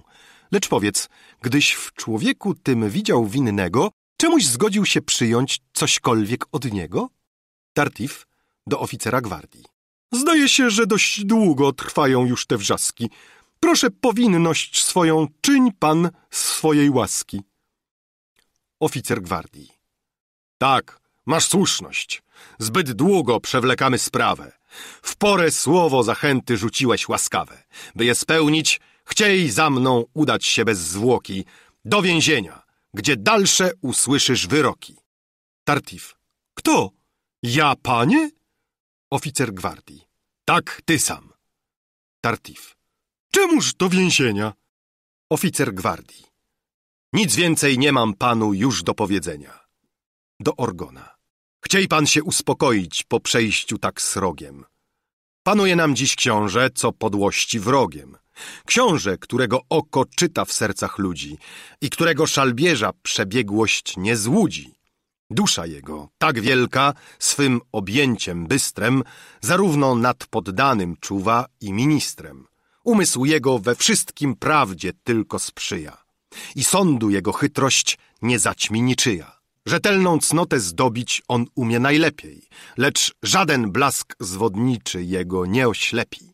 I cześć, jaką oddaje zasługom prawdziwym, wstręt do fałszu tym bardziej w sercu czyni żywym. Nie taki człowiek zdolny, by omamić księcia. Bardziej chytre on umie odkryć przedsięwzięcia. Jego bystre spojrzenie przejrzało zbyt łacno nikczemność, co się chowa pod pokrywą zacną. Chcąc cię oskarżyć, Hultaj zdradził się niebacznie.